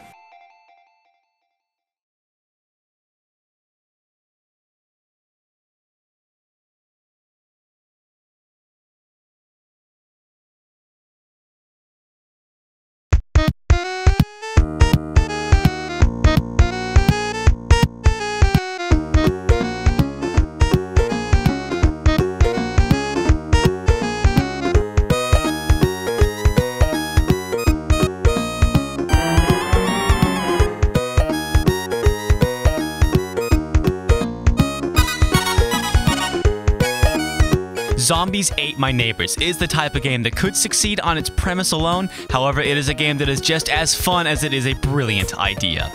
It's every B movie and classic horror movie ever made rolled into an awesome action game. And when you think about it, there really aren't that many games like Zombies Ate My Neighbors. We've got our Resident Evils and our Silent Hills which deliver the scares, but how many games pay homage to and make fun of everything great and ridiculous about horror movies? Zombies Ate My Neighbors is that game. Oh yeah, and it's just as fun as you'd hope. 48 challenging and varied levels, including 7 secret levels. Fantastic music, tons of enemies, just as many weapons to use against them, 2 player co op, you can't ask for much more in a 16 bit action game. Not without its flaws, but come on, Mars needs cheerleaders? All is forgiven. I can imagine this game is already a Halloween tradition for some of you retro gamers, and if it's not for you, then perhaps this Halloween is time you filled up your water Uzis and saved the neighborhood. The premise is simple. Everything from zombies to Martians, chainsaw maniacs to killer toy dolls, giant ants to giant babies, werewolves to vampires are out to terrorize your neighborhood. And you've got water Uzis, soda pop, fire extinguishers, silverware, footballs, bubble guns, bazookas, and more to annihilate these fiends. Each level has no more than 10 people to save, and you gotta get to them before they do. Fail to save at least one of your neighbors or run out of lives, and it's game over. There are no continues, only passwords, but we'll talk about those later. Zombies Ate My Neighbors was made by LucasArts for both the Super Nintendo and the Sega Genesis. Now, I'm playing the Super NES version because this is the version I've always had. I have played the Genesis version uh, once um, at a friend's house in elementary school, and all I remember was that version didn't look or sound as good as this version, but played every bit as well. However, if you play the Genesis version, just like with the Lost Vikings, you gotta have a six button controller.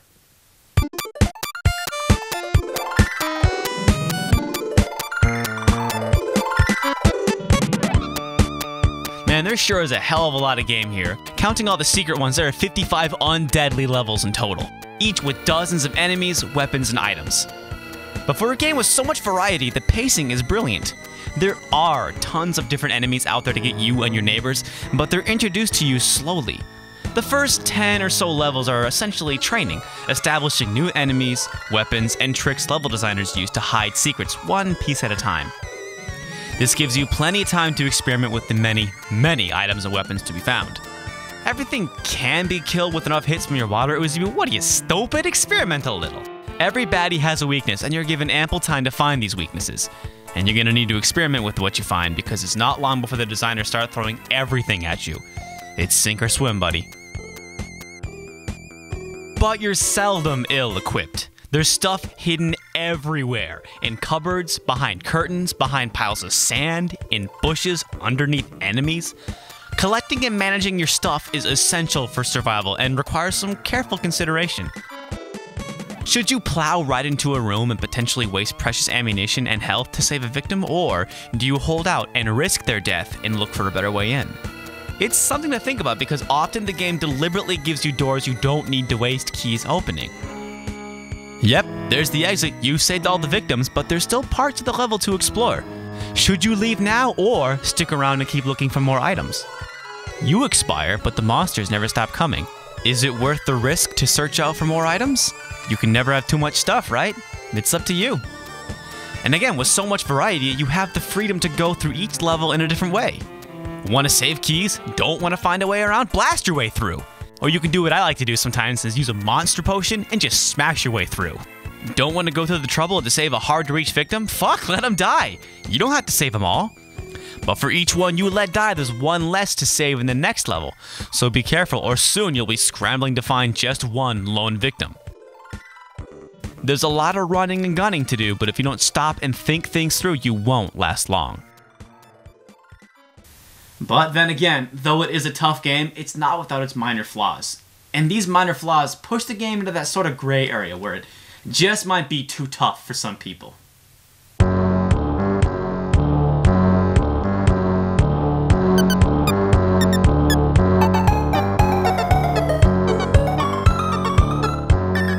With so many weapons and items to sift through, it can be really hard to find what you need when you're in a pinch.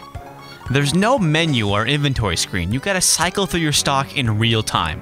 And you can't cycle backwards, so don't be too quick on that inventory scroll.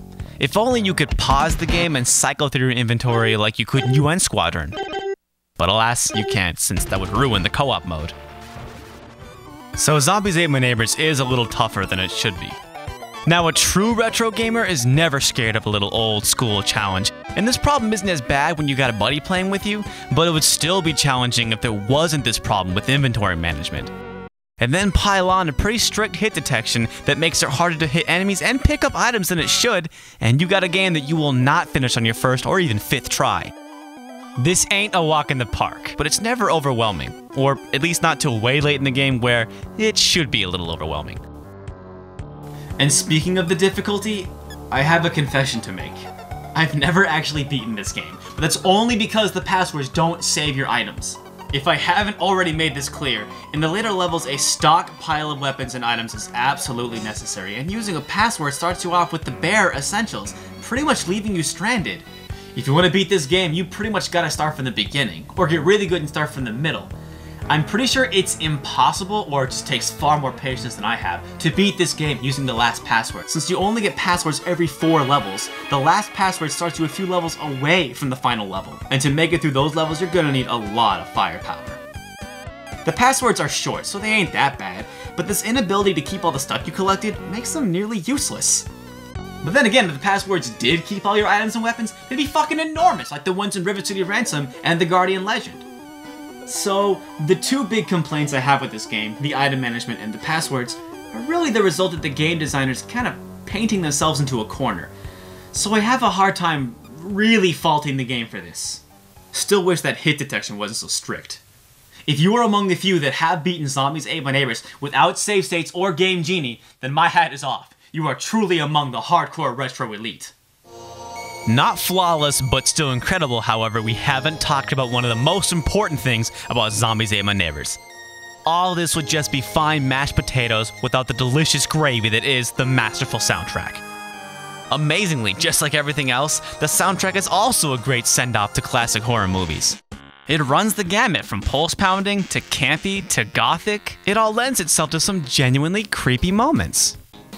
In the later parts of the game, when you're down to just one or two victims, it gets pretty tense, and when you hear that harrowing noise and you know you just lost a victim, shit can get pretty tense, man. So as goofy and as fun as this game is, a lot of credit goes to the sound effects and the soundtrack for making this a genuinely creepy game sometimes. So with a game this good, I bet you're wondering about the sequel, right? And there was a sequel to Zombies Ate My Neighbors. Sort of. Ghoul Patrol was released exclusively for the Super Nintendo about a year later.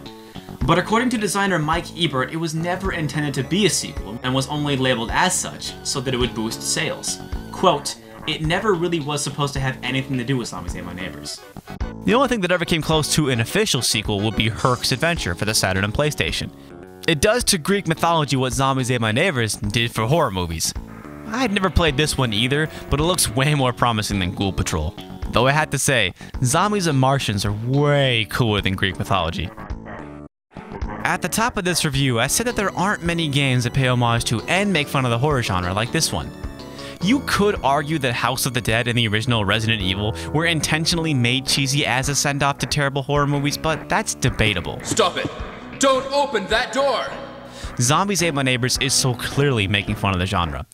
And it is true that House of the Dead Overkill, and to a lesser extent Wet, are a direct send off to Grindhouse cinema, and it's true that Castlevania has been borrowing from the horror genre for years, but Zombies Ate My Neighbors' scope of parody is so much more broad, therefore, I'd argue it deserves more acclaim. And one last thing before I wrap things up, it's rumored that this game is on its way to the Virtual Console, so hopefully by the time most you see this, wait, back that up. While I was editing this video, Zombies Ate My Neighbors was released for Virtual Console, so get on that shit. Alright, so that's three years, three Halloween videos. How about we end with some hilarious Halloween jokes? Why did the vampire go to the orthodontist? To improve his bite! What do you get when you cross a vampire with a snowman? Frostbite! What is a vampire's favorite holiday? Thanksgiving. What was his gold material? What kind of streets do zombies like best? Dead ends. What is a skeleton's favorite musical instrument? The trombone. What do ghosts add to their morning cereal? Boo Oh, hold on, I got plenty more.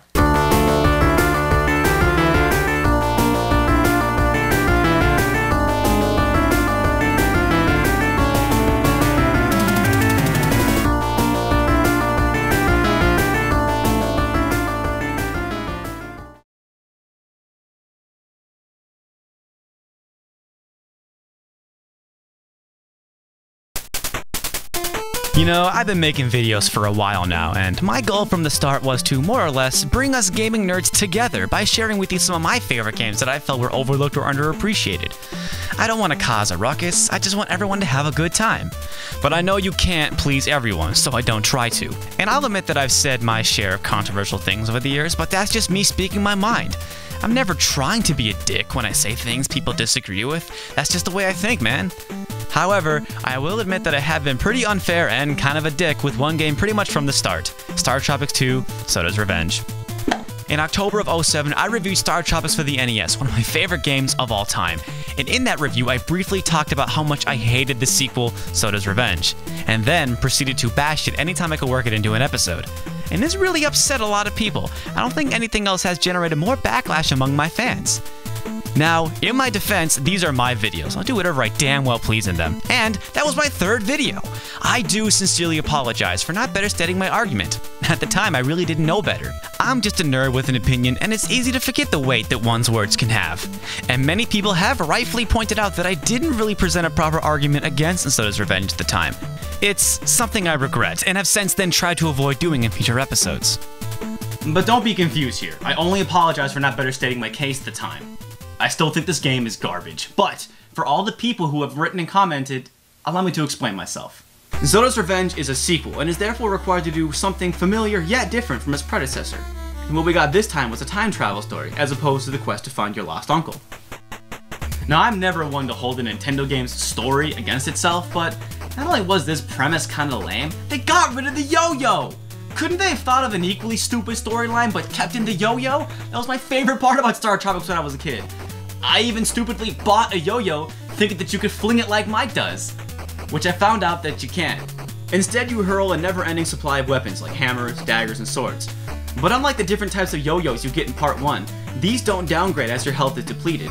Your magic item does, which shoots further than your weapons, but is weaker. And I'll admit, this is one of the few improvements made over the first one. It makes combat a little more balanced. But I still miss that yo-yo. But back to the story premise. Why Zoda's revenge? He wasn't really a huge part of StarTropics. We didn't even know he existed until pretty much the very end of the game. I mean, never mind you killed him in part 1. Why time travel? Why couldn't Zoda get his revenge by just kidnapping all the Argonian children again? Then you have a simple setup. Seven kids on seven different islands, and you gotta rescue them all, right? Yeah, it's about as lame as time traveling, but at least Mike gets to keep his yo-yo. I have other gripes about this premise, but I'm not even gonna get into how fucking dumb it was to have Cleopatra ask Mike to bring her a pizza, hold the anchovies, or how dumb it was to find a chicken nugget buried in a cave. Bottom line, the time travel thing is a really stupid idea, but I honestly can't think of anything much better. But the story is just a minor gripe when compared to the changes made to the gameplay. A lot of people had a problem with the original StarTropics because of its stiff controls. You see, in games like Blaster Master or Guardian Legend, you have a more familiar setup. If you push in one direction, you not only turn in that direction, but you also start moving. It's something you take for granted until you play a game like StarTropics. Pushing in one direction simply faces you in that direction, so moving out of harm's way isn't as easy as you think. And there's no walking or jumping diagonally, it's like you're restricted to a chessboard. This is a deal breaker for many because some people just could not get used to this design, and that's totally valid. I still argue that it worked for StarTropics because every dungeon was meticulously built around this design, so you were constantly rewarded for mastering all the traps and puzzles. But anybody who played StarTropics to the end would probably agree that once you get used to this design, the game's brilliance is undeniable. But in Zoda's Revenge, I get the sense that the designers are trying to please both fans and critics of the first one. Mike can not only walk diagonally, but walk anywhere he wants, not to mention change his trajectory in mid-air. So that chessboard concept is gone. Now this may sound like the perfect solution to part 1's biggest problem, but the levels in Zoda's Revenge still feel like they were designed for that old-fashioned chessboard setup. So what we have are levels that feel like they were made to complement the rigid design of the first one, but don't at all feel right with the loose controls and gameplay changes made for part 2. In my eyes, this breaks the game, because there's still a lot of emphasis on platform jumping, and it's all made needlessly harder with this looser control mechanic. It can be difficult to gauge your distance and easy to miss your jumps.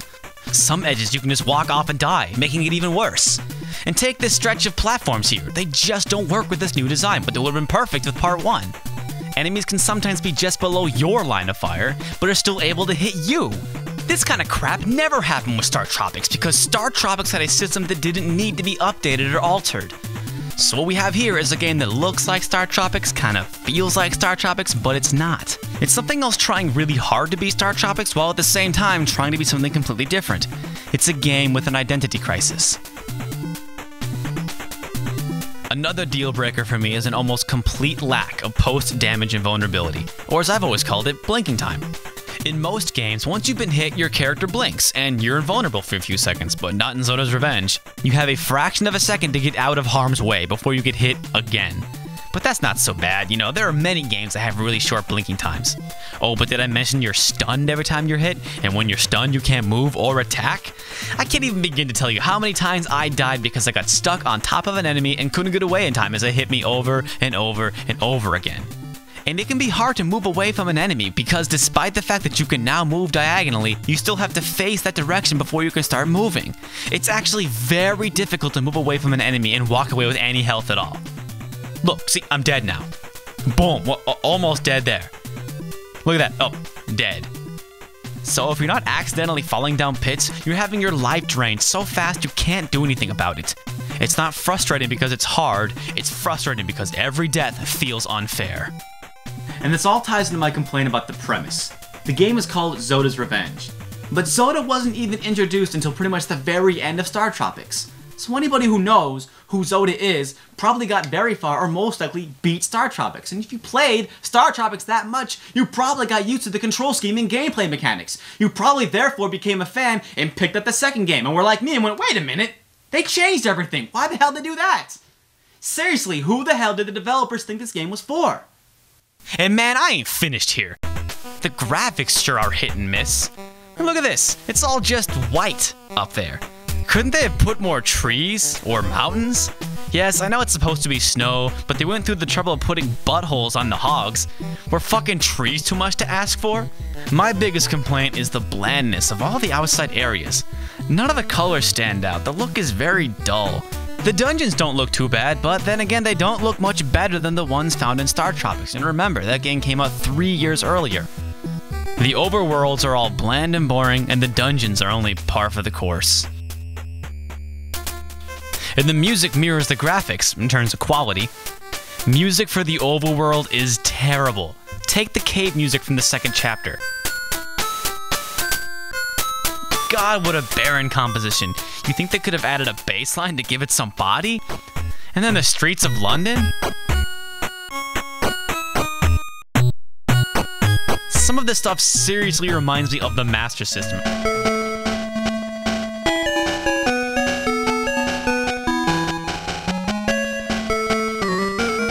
For a first party NES game made in 94, that's just unacceptable. But that being said, the tracks for the dungeon fare much better. There's some quality stuff here, and this is definitely something I failed to mention in my review of StarTropics. But again, it ain't got nothing on the first one. The best comparison is when you visit the first dungeon again.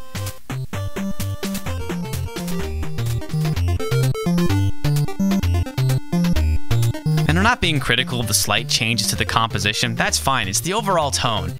It just doesn't compare. But you're probably noticing a trend here. Zoda's Revenge sucks when compared to StarTropics, one of my all-time favorite NES games. I mean, maybe if this game wasn't StarTropics 2 and just some unrelated title like Time Traveling Mike, I could forgive these flaws. I have played this game through to the end, and I can say with experience, I cannot stand this game. But all this being said, I still recommend you play this game for yourself. And since my StarTropics review, I have received about as many comments and emails that disagree with my opinion as I have that agree with it. I don't like this game, but judging by the emails, a lot of people do. So play them both and decide for yourself. They are both now on Virtual Console, and judging not by my opinion, but rather the general consensus, they are both games worth your time. I hate this game, but I've got no problem if you like it, you know? But I think we can all agree on one thing. This game brings out the worst in me, so I think it's time we wrap things up. I'll leave you with, remember, opinions are like assholes. Everyone's got one, including the hogs. Cheers.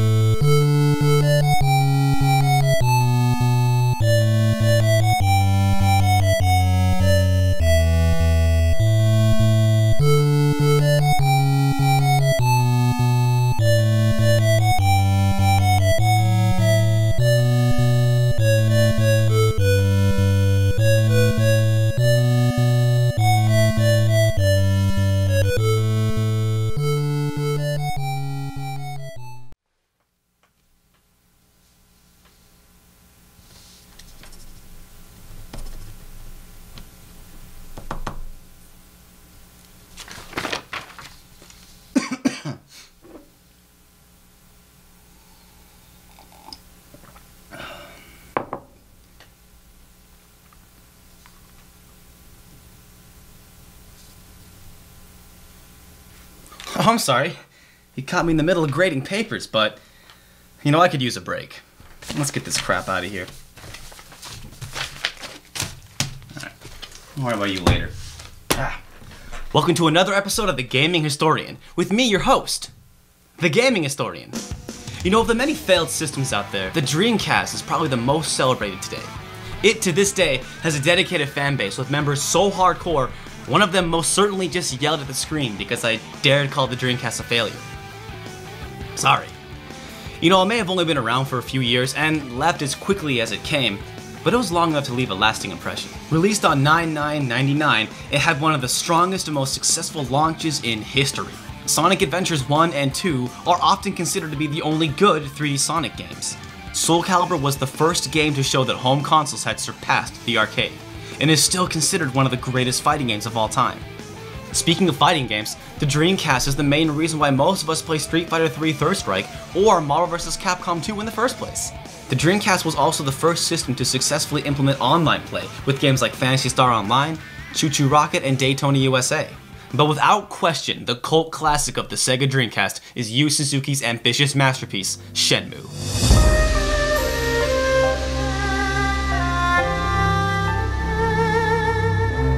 Released in November of 2000, it pushed the boundaries of graphics, presentation, and interactivity in video games.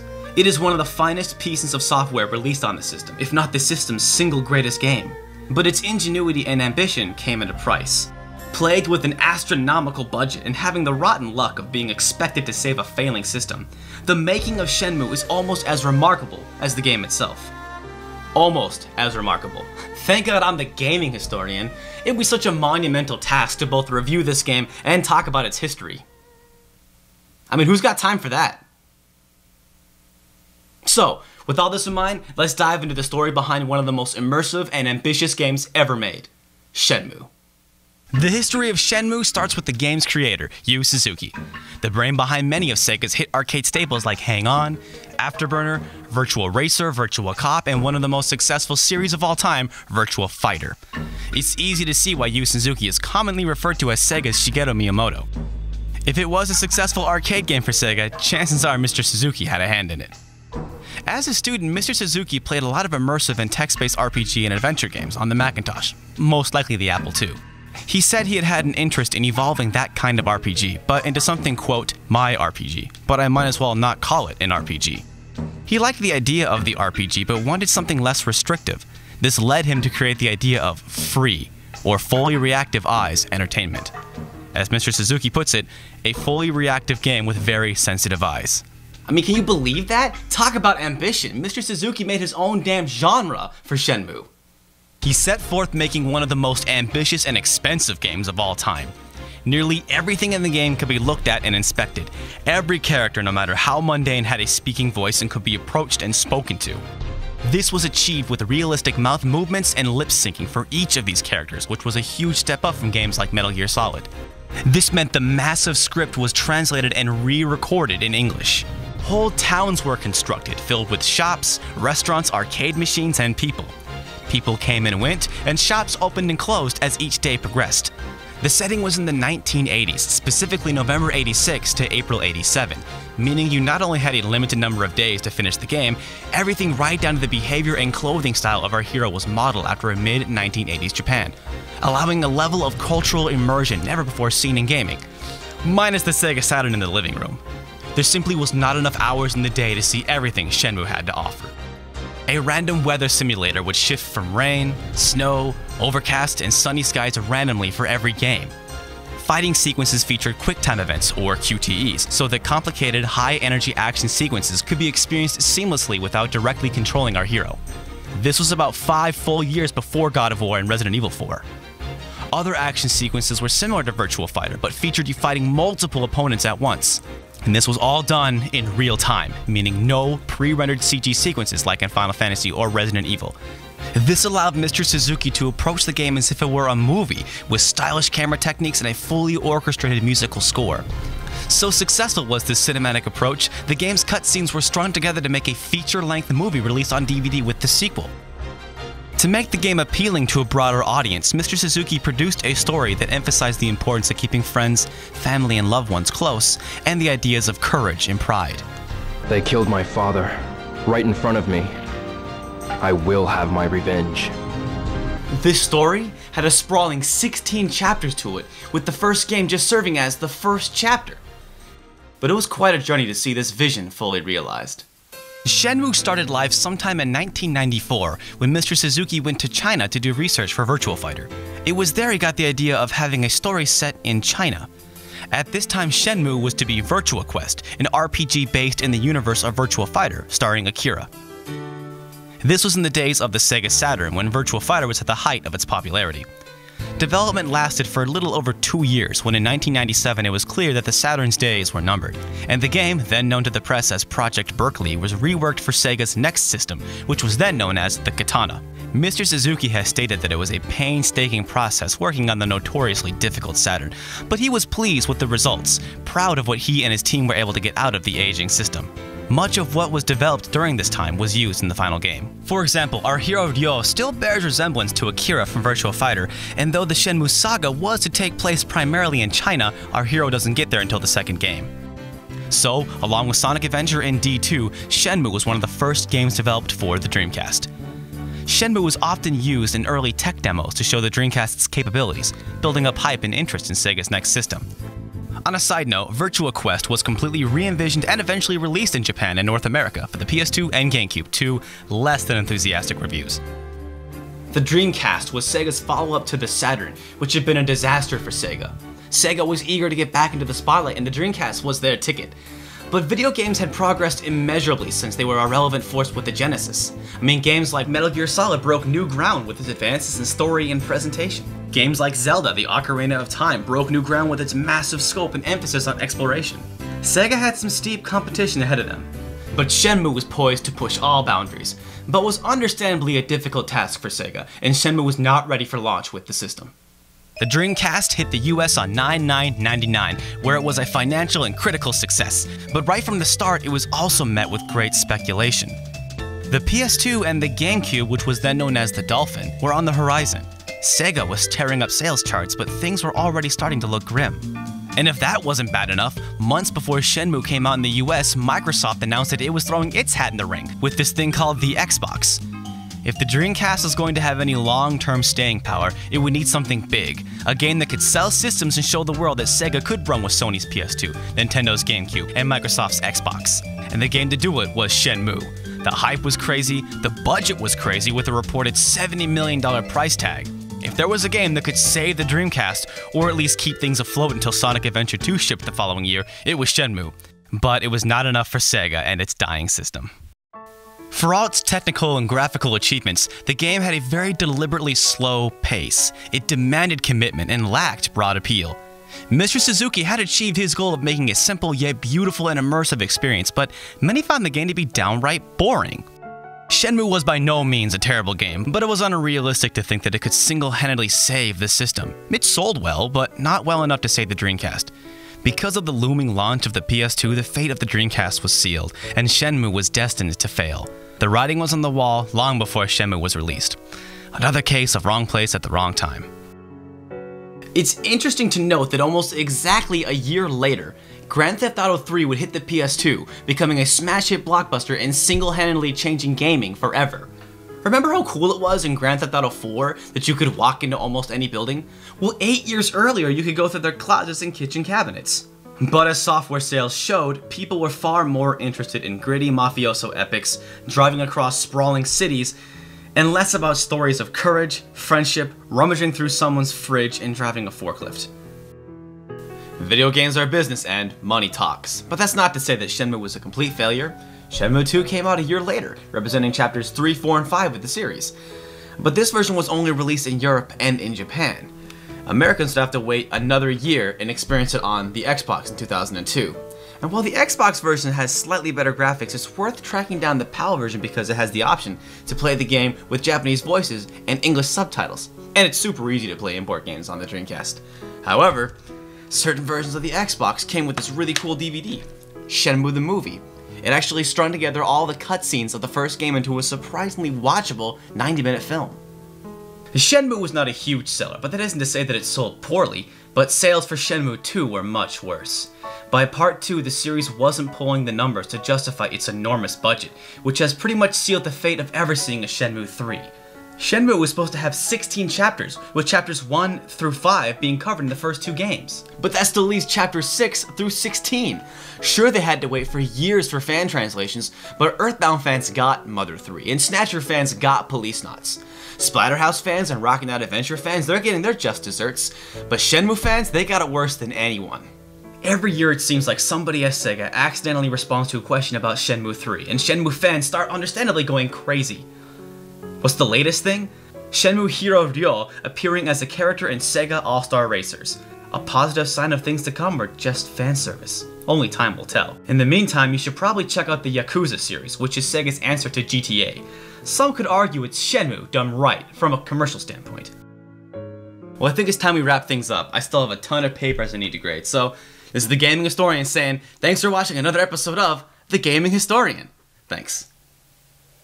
Ah, I was grading papers with Shenmue on my desk? Didn't even make any sense.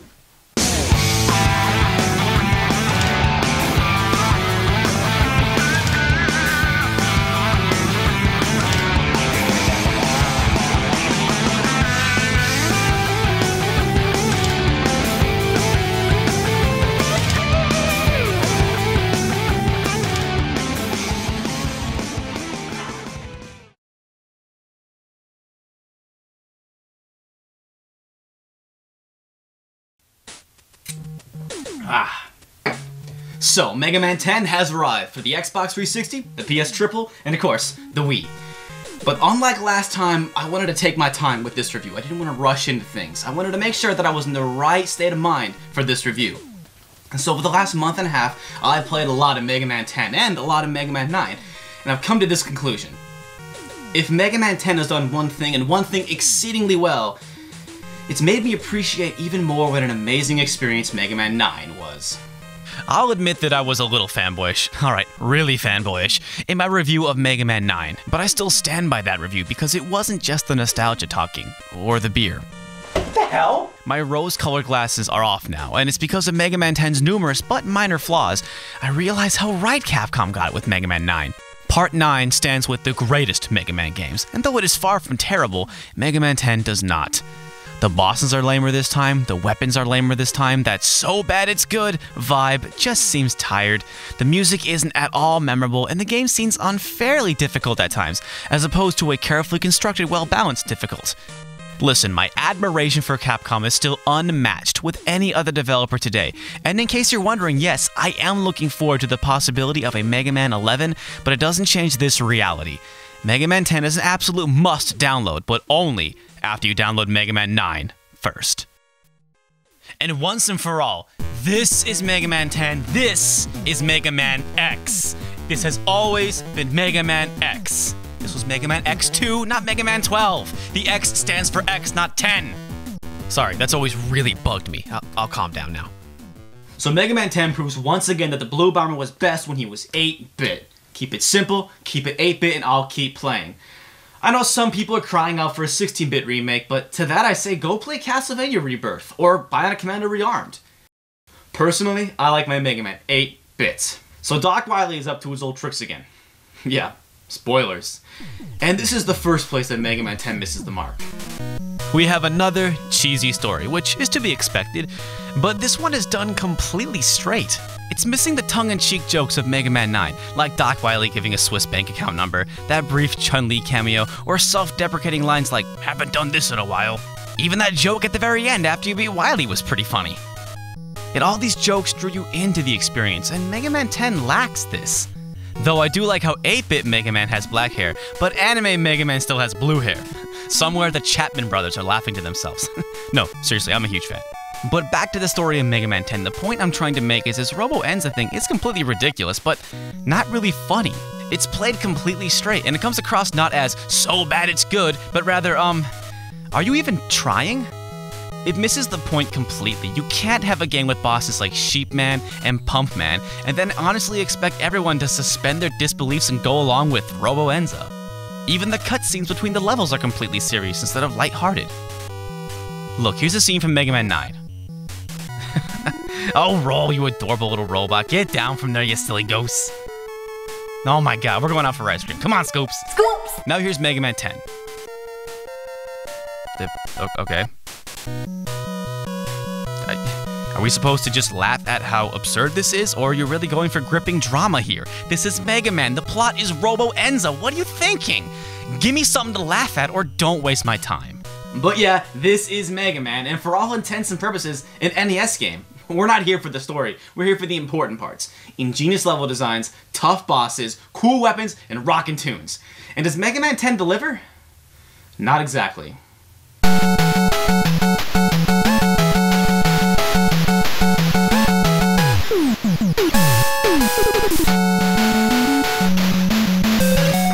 Start with the level design. Mega Man 10 definitely delivers. Each level has its own set piece, making for some brilliantly designed moments in brilliantly designed levels. The Sandstorms and Commando Man stage, the breakaway blocks of Ice and Chill Man stage, the disappearing color coordinated blocks of Sheep Man stage, the trucks on Nitro Man stage, the rocket soccer balls and Strike Man stage. Some of these levels have branching paths, others have awesome mini bosses. It's some great stuff, chock full of variation and challenge. Uh, a lot of challenge, actually. These aren't just some of the most well designed levels, they're also some of the toughest. You know, people complain that Mega Man 9 was hard, but I'd argue that Mega Man 10 is harder. People could learn a lot by playing Mega Man 9 and Mega Man 10, because Mega Man 9 is the right way to do a hard game, but Mega Man 10 walks that dangerous line between a healthy challenge and hard to a fault. The levels are a bit unfair sometimes. They aren't as fine tuned as Mega Man 9's, and I think the culprit is the easy mode. Each level had to not only be designed to work in normal mode, but also be adaptable into easy mode. It may have painted the level designers into a corner, but whatever the case, each level could have used a bit more polish, but they're still incredible. Not much to complain about here. Solid. And this is a good time to mention that I'm speaking as a Mega Man veteran. Mega Man's what got me into games in the first place. I've been playing them for a while, so I'm not interested in no easy mode. But for what it's worth, friends of mine who thought that Mega Man 9 was too hard told me they really enjoyed Mega Man 10 because of its easy mode, which is great for the casual crowd, but not for veterans like me, because I suspect this may have affected the overall experience a little, but, uh, you know, I'm getting ahead of myself. Let's move on.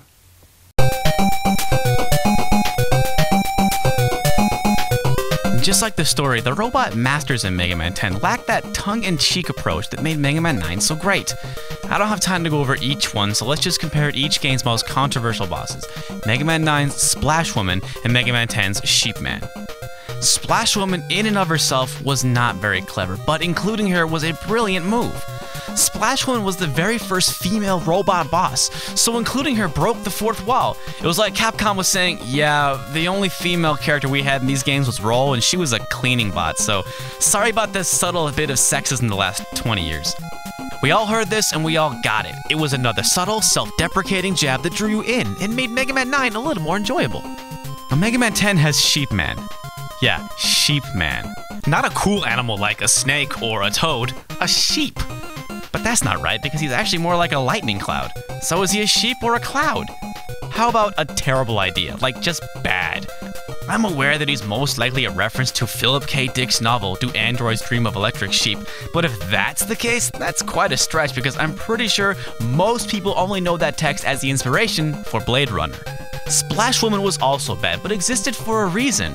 Her inclusion was actually quite clever and worked with the so bad it's good vibe.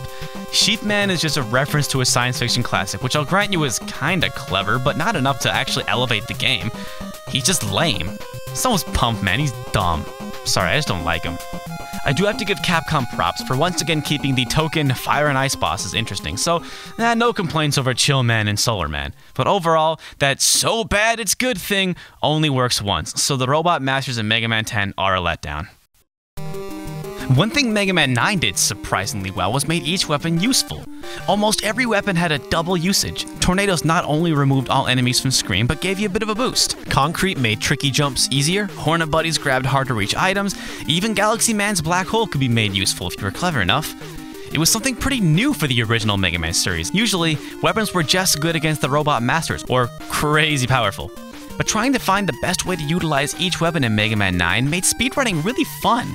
But here, um, you can climb walls with the Nitro Cutter thing, you can freeze stuff with the Chill Spark, you can blow stuff up with Crash Bomb. Sheepman's weapon is completely useless, I could never get that thing to help me. Even the weapon screen looks strangely empty.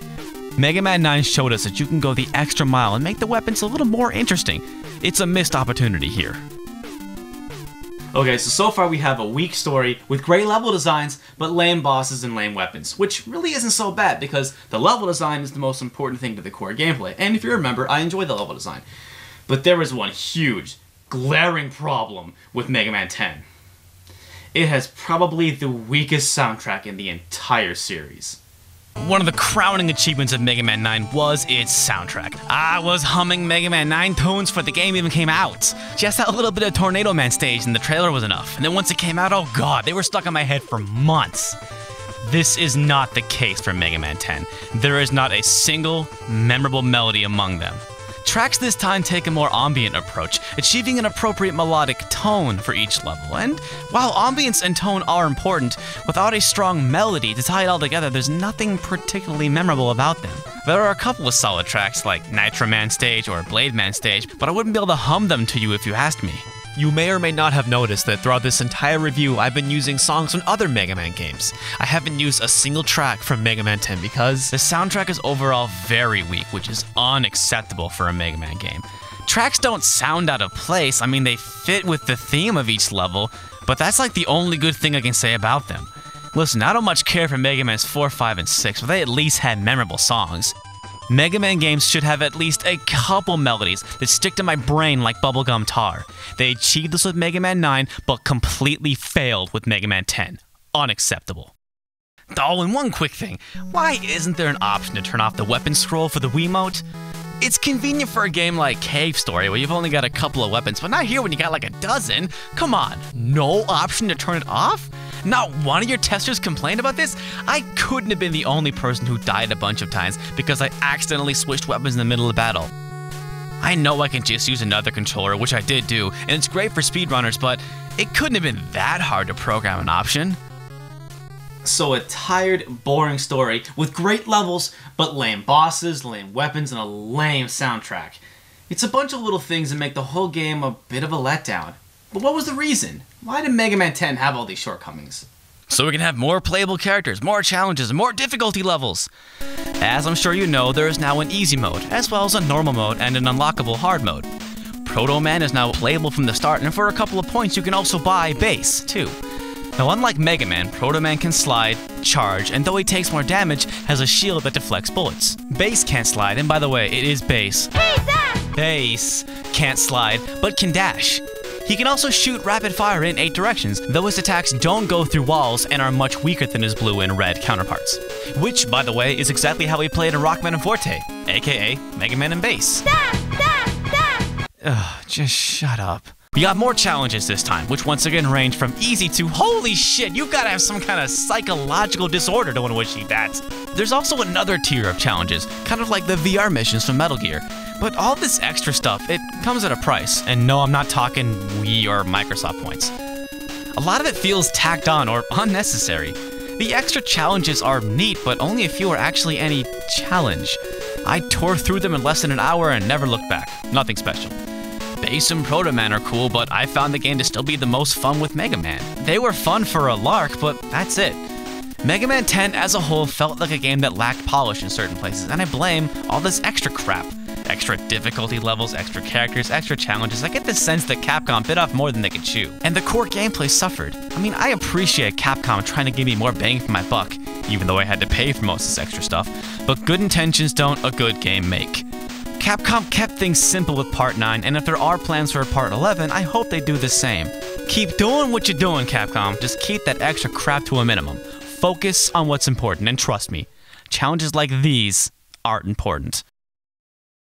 Well, that's about all I got to say about Mega Man 10, but before I reach for my wine, allow me a brief moment to, um, cover my ass. In my review of Mega Man 9, I was passionately against the idea of badmouthing it. I was so happy that Capcom had given me a DeLorean ride back to my childhood that I didn't want to sound ungrateful. But now here I am, complaining about what a letdown Mega Man 10 was. Does that make me a hypocrite? Well, maybe, but a lot has changed since Mega Man 9 was first announced in the spring of 2008. Retro revivals are all over the place now. Splatterhouse, Rocket Knight, Blaster Master, Punch Out, even obscure games like A Boy and His Blob, Klonoa, and Shantae are getting another go in the spotlight. The novelty is gone, and like I said earlier, I've taken my rose colored glasses off. I now expect my retro throwbacks to do more than just tug at my inner child's heartstrings. So, do I take back the heaping mound of praise I gave Mega Man 9? Well, I might word things a little differently now, but no. My nostalgia may have gotten the best of me, but Mega Man 9 truly is one of the best Mega Man games this series has ever seen. It didn't just go through the motions, it hit all the right marks, but with Mega Man 10, it felt like Capcom was just going through the motions. It doesn't exactly make it a bad game, but just one that's not as good. Oh, and by the way, when I say more, I don't mean more challenges and playable characters. In early June of 2010, Capcom revealed that the much talked about Mega Man universe will in fact be an MMO. So it's possible that Capcom will finally put the cap on the series. And why not? 10's a good number to stop on. But if Mega Man 11 is on the way, all I can do is plead with Capcom to keep things simple. but who am I kidding? Regardless of what Capcom puts out, I'll be the first in line to get my hands on the next Mega Man game. Even though I wasn't too impressed by Mega Man 10, I have to admit, I still have renewed faith and enthusiasm in this series. But my nerd DNA runs deep with Mega Man. Don't let me down, Capcom.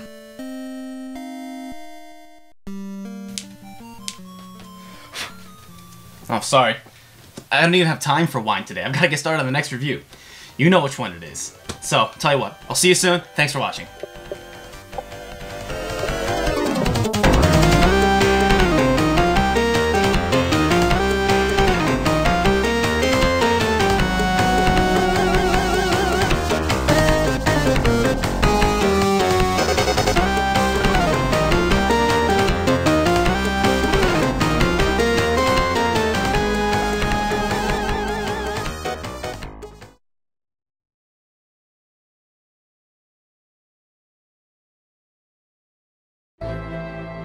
Kenji Eno, the head of Warp Games, was at a Sony press conference showcasing his new project, Enemy Zero, which was the follow up and pseudo sequel to his hit game D.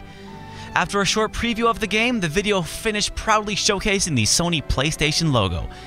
Then, in a move that perfectly exemplifies Kenji Eno's rebellious nature, the Sony PlayStation logo slowly morphed into the Sega Saturn logo. Yeah, the term burning bridges was coined for situations like this. Mr. Eno was apparently not pleased with the way Sony handled its port of D, producing only 28,000 copies when sales orders called for over 100,000. His response was essentially to tell Sony to go fuck themselves and to make his follow up title, Enemy Zero, a Sega Saturn exclusive. Say what you want about his games, but Mr. Eno had balls. The history of Warp Games and Kenji Eno is a storied one, but again, it's one I do not have time for in this review. It's enough work reviewing the games, much less talking about the mad genius who made them. Kenji Eno, early in his gaming career, worked with many licensed characters and on many licensed games, and he has stated he hated doing that. He's a man who liked to do his own thing, and you can tell in D, Enemy Zero, and D2 that these are games that he wants to make. So right off the bat, you should know that these games are not for everyone. But you know what, I'm already wasting time. Let's get to it. This is Enemy Zero. The spacecraft Aki and her crew are returning back to Earth, having successfully completed their mission. Suddenly, the ship's emergency system is activated when some kind of alien creature breaks loose from the bowels of the ship, and the ship's crew are jolted out of cryogenic sleep. Our heroine Laura Lewis, that's Laura Lewis, not Laura Harris, receives a video call from fellow crew member Parker, just in time to watch in horror as an alien creature savagely attacks and kills him. Shortly thereafter, it is revealed there is an untold number of these aliens prowling the ship. How did these creatures get aboard the ship and what exactly are they? Will Laura be able to save the rest of her crewmates? Will she be able to save herself?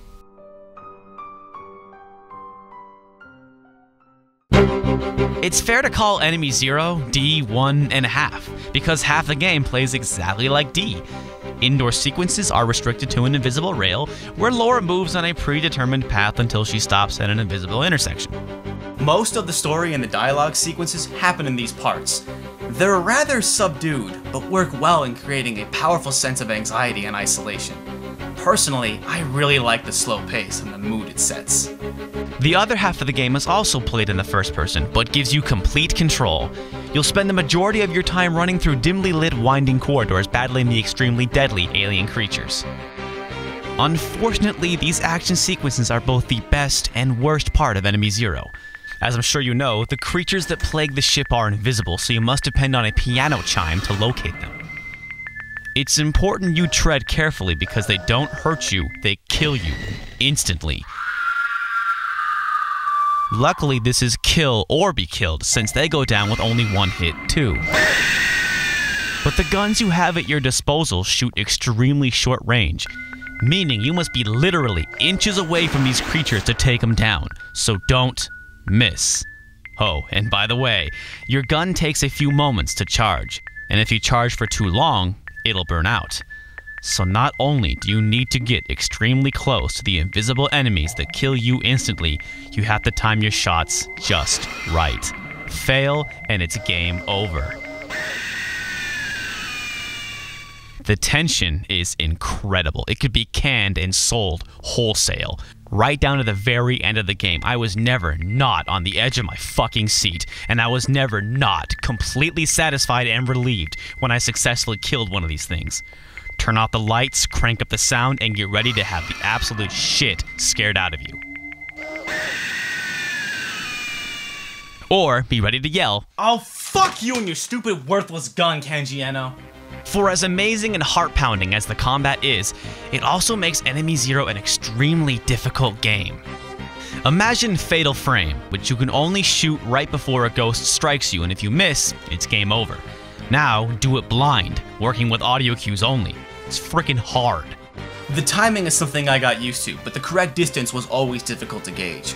My frustration reached its peak near the end of the game where you had a long sequence of labyrinths, and you had to kill about 5 or 6 creatures without a break. It was both one of the most frightening sequences in video game history, and one of the most frustrating.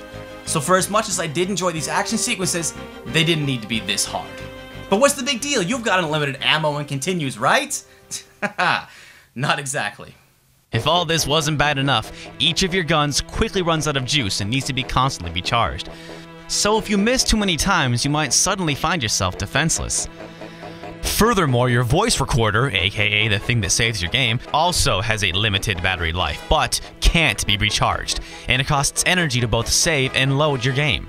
So if you die because you fired your gun a moment too soon or too many times and ran out of juice, loading your game is going to cost you. There's no getting around the fact that Enemy Zero is incredibly unforgiving. But hold on there, things aren't so bad. Contrary to what your crew members say and how they move in the cutscenes, the creatures actually move very slowly. They seem to wander around aimlessly, never actively seeking you out. I'd say about half the creatures in this game can be circumvented, and quite easily since your tracker has enormous range.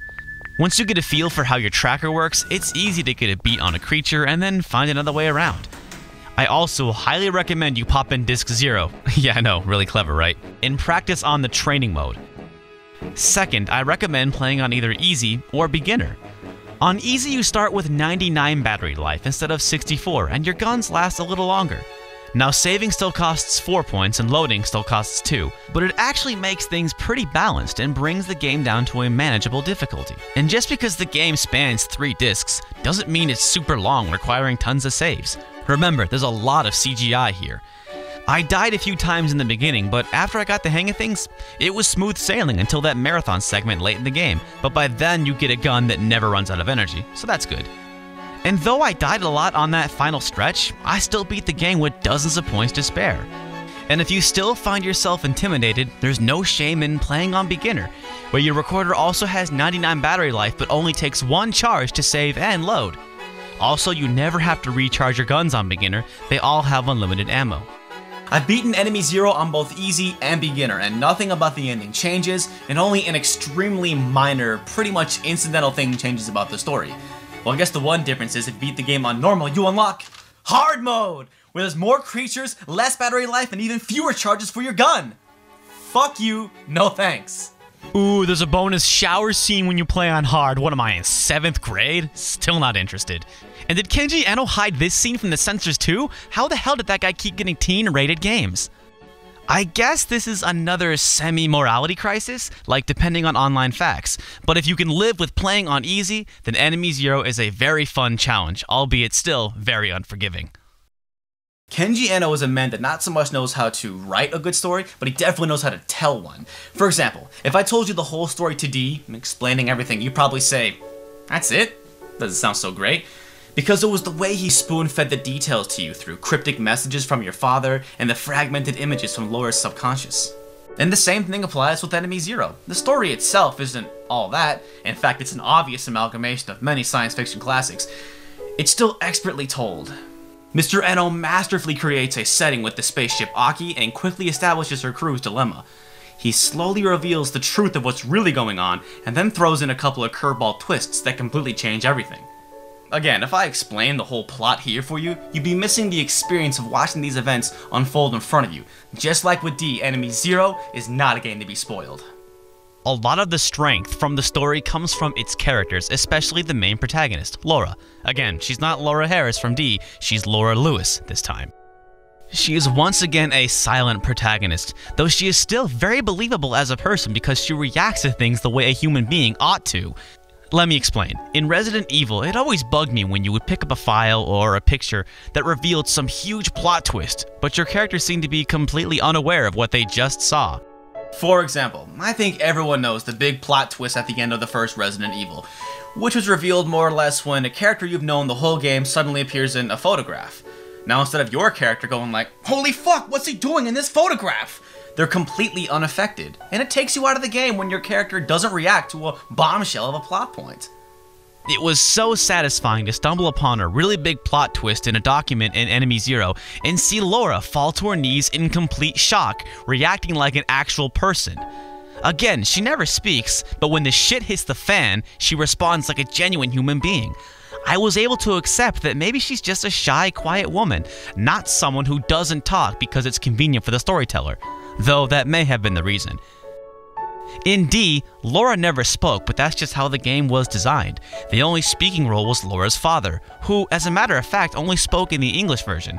In the Japanese version, it was all text. Here, they made an attempt to give our heroine a soul instead of a voice, which I personally found made her easier to sympathize with. Though technically, Laura does have a voice. Voice record number 013, Laura Lewis. And though these parts are excellently performed by Luscious Jackson frontwoman Jill Cunniff, they're only inner monologues recounting recent developments in the story and are dictated in an appropriate monotone. It's convenient for people resuming old games and a pretty cool feature, but doesn't build Laura's character or draw you more into the story. Of course, this is of no fault to Mrs. Cunniff's performance. For a character that, as far as the story goes, never speaks, she's still incredibly well developed and believable.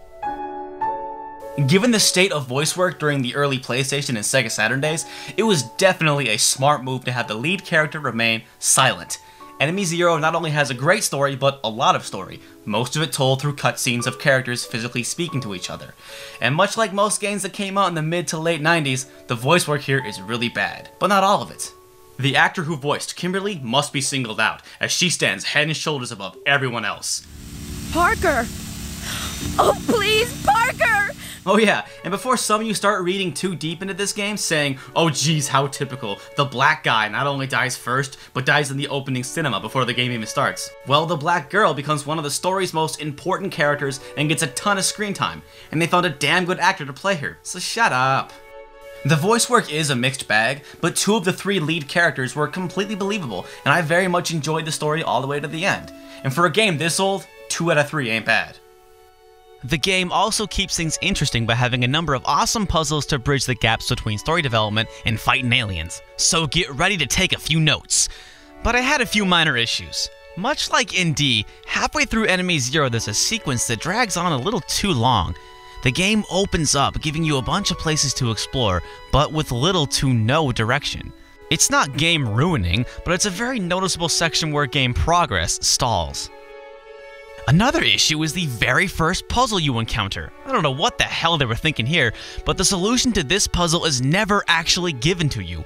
Without any indication, you're supposed to just guess the solution all by yourself. That's a horrible way to start a game. Like, how was I supposed to know you gotta figure it out all on your own? But now you know, so no complaining. And one must mention the music. Kenji Eno is many things, including a very accomplished musician. For example, all the music in D was written and performed by him. The dude is a mutant. But Enemy Zero features a score written by accomplished composer Michael Nyman, who is best known for writing the score to the 1993 award-winning drama The Piano, winning himself a Golden Globe and BAFTA nomination for his contribution. I wasn't too surprised to find out that a Hollywood-level composer was responsible for the music in this game because it's incredible. But how Mr. Eno got him to do the soundtrack is actually a pretty funny story. To quote from his interview with 1UP.com, there was a big earthquake in Kobe, Japan in 1995, and Michael Nyman was donating pianos to schools in the city. Later, he said he wanted to check out how the pianos were doing, so he came to Japan. When I found out, I invited him to my hotel room and tried to convince him for six hours to come work with me. So at the end, Michael was like, okay, I'll do it. Just let me go back to my room. We didn't work out terms or conditions, he just said he would do it. And one last thing Ico and Shadow of the Colossus director Fumito Ueda got his start as an animator for Enemy Zero. Though, according to that same interview, he wasn't with Warp Games for very long. And Mr. Eno doesn't take any credit for his success. Quote, I handpicked him because I saw his potential, but it's not like I groomed him or anything. He already had talent when he came to work. So, in closing, Enemy Zero is an interesting little horror gem. It has its flaws, and just like with D, some will be able to overlook these flaws and others will not. But it's worth mentioning that even though D came out on three different consoles, Enemy Zero only came out on the Saturn. So if you're a die-hard Sega Saturn fan, there is no reason you shouldn't own this game. Now, we're almost done with the D trilogy. We got one last game to talk about, which is, of course, D2 for the Dreamcast. I'll see you soon. Cheers.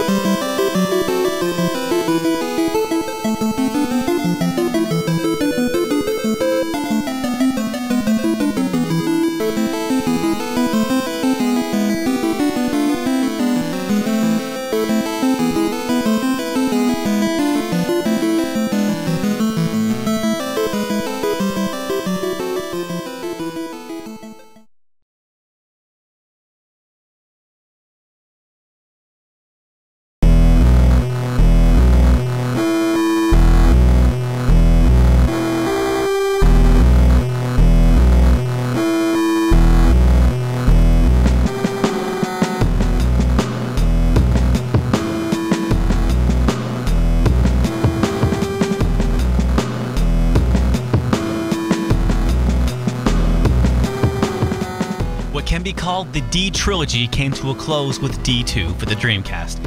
And much like the first D and its Sega Saturn pseudo sequel Enemy Zero, D2 was a bit of a watershed game. Not exactly perfect, it's a very unique game whose crazy ideas work more than they don't.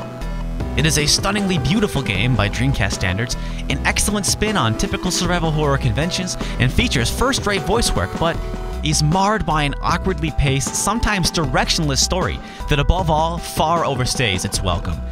Everything else is creative and engaging, but that story? And you thought Kojima was long winded.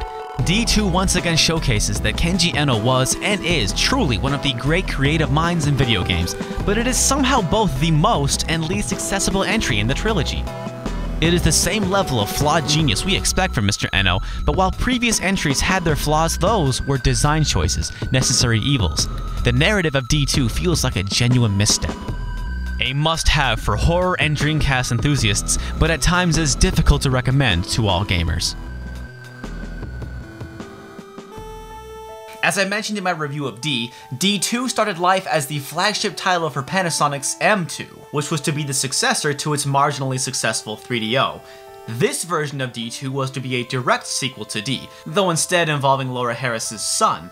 It was allegedly 50% finished when Panasonic canceled plans to release its next system. Luckily, Warp Games had established a solid relationship with Sega, who at the time was developing their next system, the Dreamcast. Kenji Eno decided to completely scrap the previous game and start from scratch with Sega's new system. So, along with Shenmue and Sonic Adventure, D2 was among the first games developed for the Dreamcast. However, it wasn't released until late August of 2000, almost one year after the system had been released. Laura Parton, no, not Laura Harris or Lewis, Parton, is traveling on a plane fighting to stay awake. Laura goofs around with the kid sitting in the seat in front of her and strikes up a conversation with the man across aisle when the plane is suddenly taken over by terrorists who seem to be working for a mysterious old man performing what looks like a seance. Oh, and if you watch closely, the in flight movie is actually footage from the scrapped version of D2. Things go from bad to worse when a meteor strikes the plane, sending it crashing down into a desolate Canadian mountain. Laura wakes up in a cabin, miraculously unharmed, makeup still intact, thanks to the help of Hey, it's Kimberly from Enemy Zero! She starts to explain what's happened since the plane crash when a man bursts in and starts violently sprouting plant like tentacles that attack Kimberly and. Yep, stay classy, Japan. But our heroines are saved by, hey, it's Parker! And he's kicking some ass instead of dying off in the opening cinema like he did in Enemy Zero. This is where we find out that Kimberly is a pretty conflicted woman, and the game and its story officially begin. It's a rather long opening that kicks off a promising story, both deep and fascinating, that unfortunately ends up being the game's most glaring flaw. Here's how I imagined it went down. Kenji Eno released D in Enemy Zero and was fittingly applauded by critics for his storytelling abilities. Then a little game called Metal Gear Solid came out, and Mr. Eno said, Hey, I can do that too! Ditching a more minimalist structure like Boo, Haunted Castle, or Boo, Space Aliens, D2 was much more than just a plane crash and green plant like aliens. It attempts to make broad statements about the errors of mankind and the flaws of human nature, illustrate the effects of substance abuse, demonstrate the stages and struggles of an existential crisis, and ask sobering questions about the concepts of identity and destiny. The story is very deep, going places philosophically few games have ever gone before. In typical Kenji Eno style, he has taken the road less traveled. I have no doubt that hidden in this mess of a story is a profound message, but I couldn't be bothered to search for one. The story lacks cohesion and at times can't decide which message it's trying to enlighten you with. It's simply too much. Though when discussing a story of this depth and ambition, there's no accounting for taste, so it's fair to argue these claims. But even if you did enjoy the story, you gotta admit, it could have been trimmed way down. I mean, a bad story I can forgive, but when it starts to overstay its welcome, it hurts the game. Kojima makes this shit look easy. As far as the problems with the narrative, the biggest culprit is our heroine, Laura. She is once again a silent protagonist, and though that worked fine in D and Enemy Zero, it's no longer working here. The story has just far too much shit going on this time, and if Laura were able to talk to the other people, it would have helped things immeasurably. Hey, you're awake. What happened to you? I don't know. I can't remember anything. Hi, my name is Laura. Oh, hi, Laura. I'm Kimberly. I need your help to get the fuck out of here. No problem. Thanks for giving me shelter. I'm with you, friend. Let's get the fuck out of here. Oh, shit. Ah! Instead, we have long sequences where characters rattle on and on and on, and these sequences aren't engaging because usually Laura's just sitting there listening. She hardly contributes to anything, and as far as story progression goes, she's like a stowaway. She might as well be Wilson. Actually, Laura does finally break her silence, but it's literally four words. I think during these moments I was supposed to be moved and shocked. I was neither. This mute lead character approach worked especially well in Enemy Zero because Laura was actively pushing the story forward, contributing to the plot. Here, people talk, she listens, things happen, and they say, What do you say, Laura? Can you help? These lengthy dialogue scenes try really hard to get me to care about what's happening, and it did for a while, but by the time the credits started to roll, I had checked out hours ago. If they had caved and finally given Laura a voice, maybe it would have sped things along. To be fair, the amount of dialogue sequences never changed through the four discs, but things start to pick up after disc 1.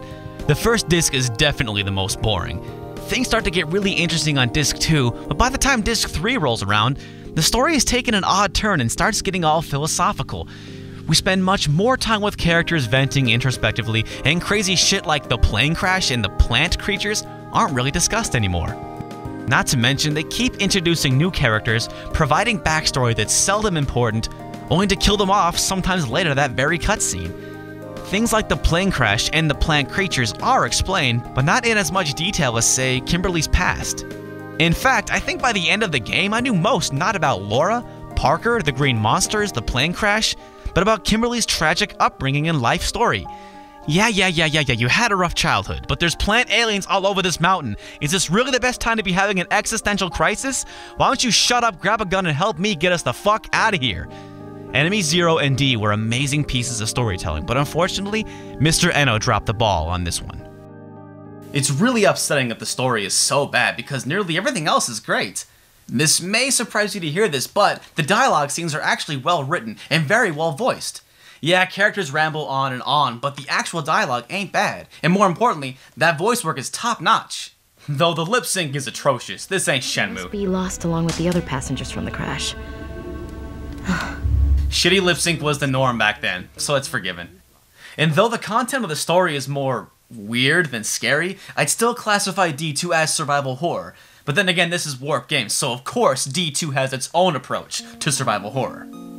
For people who enjoyed Resident Evil 4 but can't stand the controls of older Resident Evil games, might squirm in their seats to discover that Laura controls in that familiar tank style, where up always moves you forward and left and right always rotates you.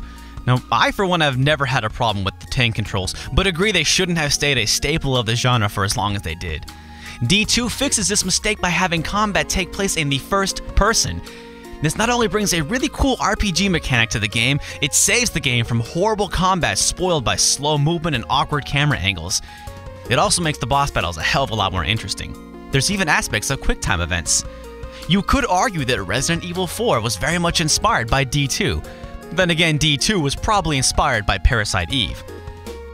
This does give the game random battle syndrome, but moments are typically brief and fun. It works more than it doesn't. But this is survival horror, and if you're gonna survive, you'll need an ample amount of ammo and health supplies. But since combat is all random battles, things are balanced with weapons that have both limited and unlimited ammo. You start the game with an Uzi that you just find in a cupboard, and though it's the weakest weapon, it has unlimited ammo.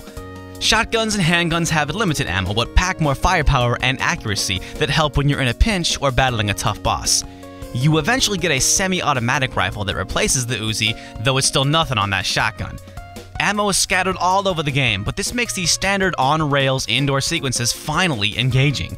If you spot a box of ammo or some first aid spray, hold down the Y button, look at it, and you'll automatically pick it up and add it to your inventory. Keep a sharp eye, because there's stuff hidden everywhere. And while you're at it, check out the detail of the world around you. It's a damn pretty game. So you have a few guns with unlimited ammo, but you have to depend on first aid sprays to keep your health up? Nah, there's another way to replenish your health. Hunting. Your first weapon is actually a hunting rifle, though you never use it in battle. Instead, as you explore the mountain, you'll come across game to kill, like caribou and hare.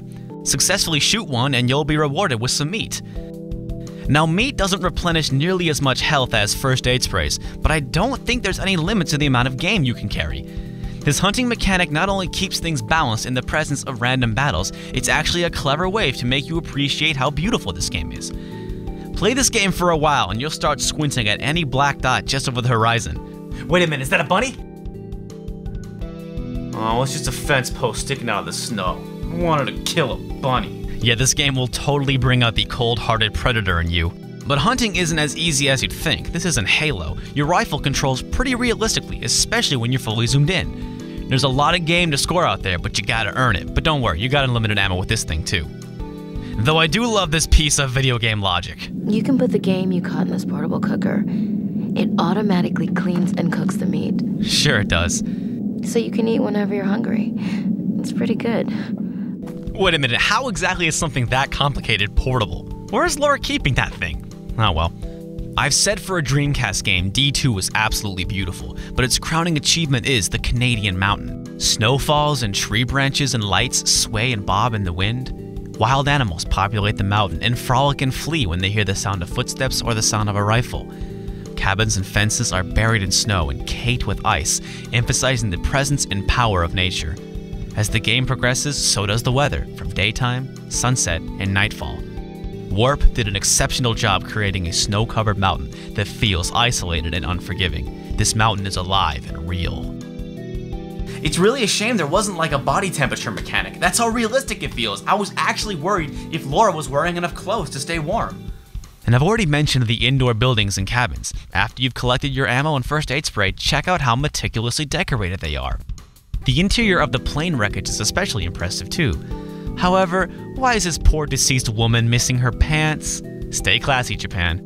There's one sequence where you use a flashlight in a mine shaft, and the lighting effects are great. The characters and enemies are all amazingly detailed, but again, the creatures are more weird looking than scary. D2 doesn't just look good, but at times feels real. I played my share of survival horror games, so I know the importance of being conservative with your ammo and health supplies. So by the time I got to the end boss of D2, I had so much firepower and first aid sprays, he didn't stand a chance. And I was ready to declare this a disappointment. And then it occurred to me, I've had the exact same problem with Silent Hill and Resident Evil.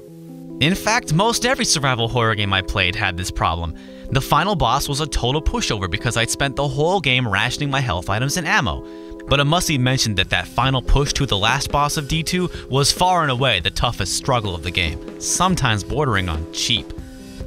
Item management is also something missing, but it's something I can't hold against D2 because of the random battles.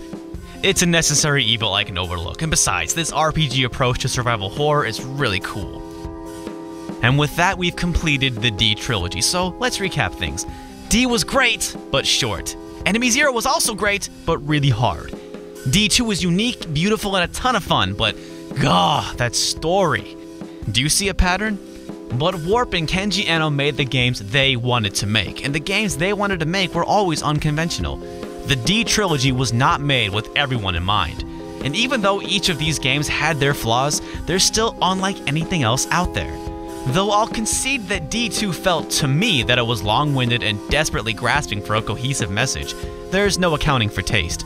Some people thought No Country for Old Men was boring. I thought it was brilliant. On the other hand, I think 2001 is awful, while others see it as a perfect piece of cinema. Maybe you'll enjoy the story to D2 more than I did, especially now that you know what to expect. Regardless, my point is this. The D trilogy may be an imperfect one, but it is still one that demands your attention. They will challenge your perception of storytelling, and they will challenge your perception of how a video game ought to be structured. And in the end, this is the trilogy's greatest achievement. Well, I'm done with the D trilogy, but I'm not done with Halloween. Up next, I got a Halloween game for the ages. See you soon. Cheers.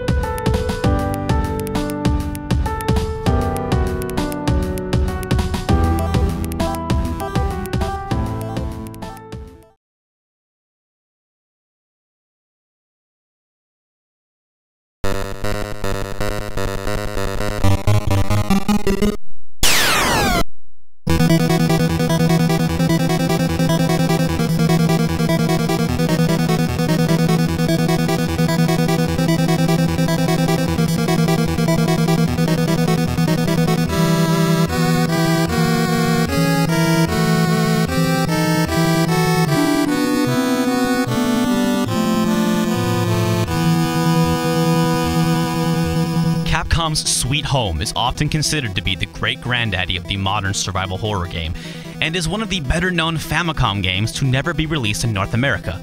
But it's not just that one game that was too gory or violent for North America, it's also an absolute masterpiece.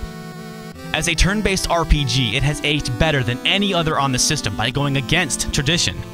As a survival horror game, many of the common conventions of the genre were birthed and nearly perfected in Sweet Home. As a piece of horror fiction, it is genuinely dark and scary, with probably the most shocking and unsettling moments in an NES game. Yeah, Chiller and Wanpaku Graffiti, you ain't got nothing. In short, Sweet Home is as brilliant as it was trailblazing. You may have heard of this game, but you never thought it was this good. Because I thought I'd seen it all. I thought I knew the NES, but I hadn't seen anything. I hadn't played Capcom's horror masterpiece, Sweet Home.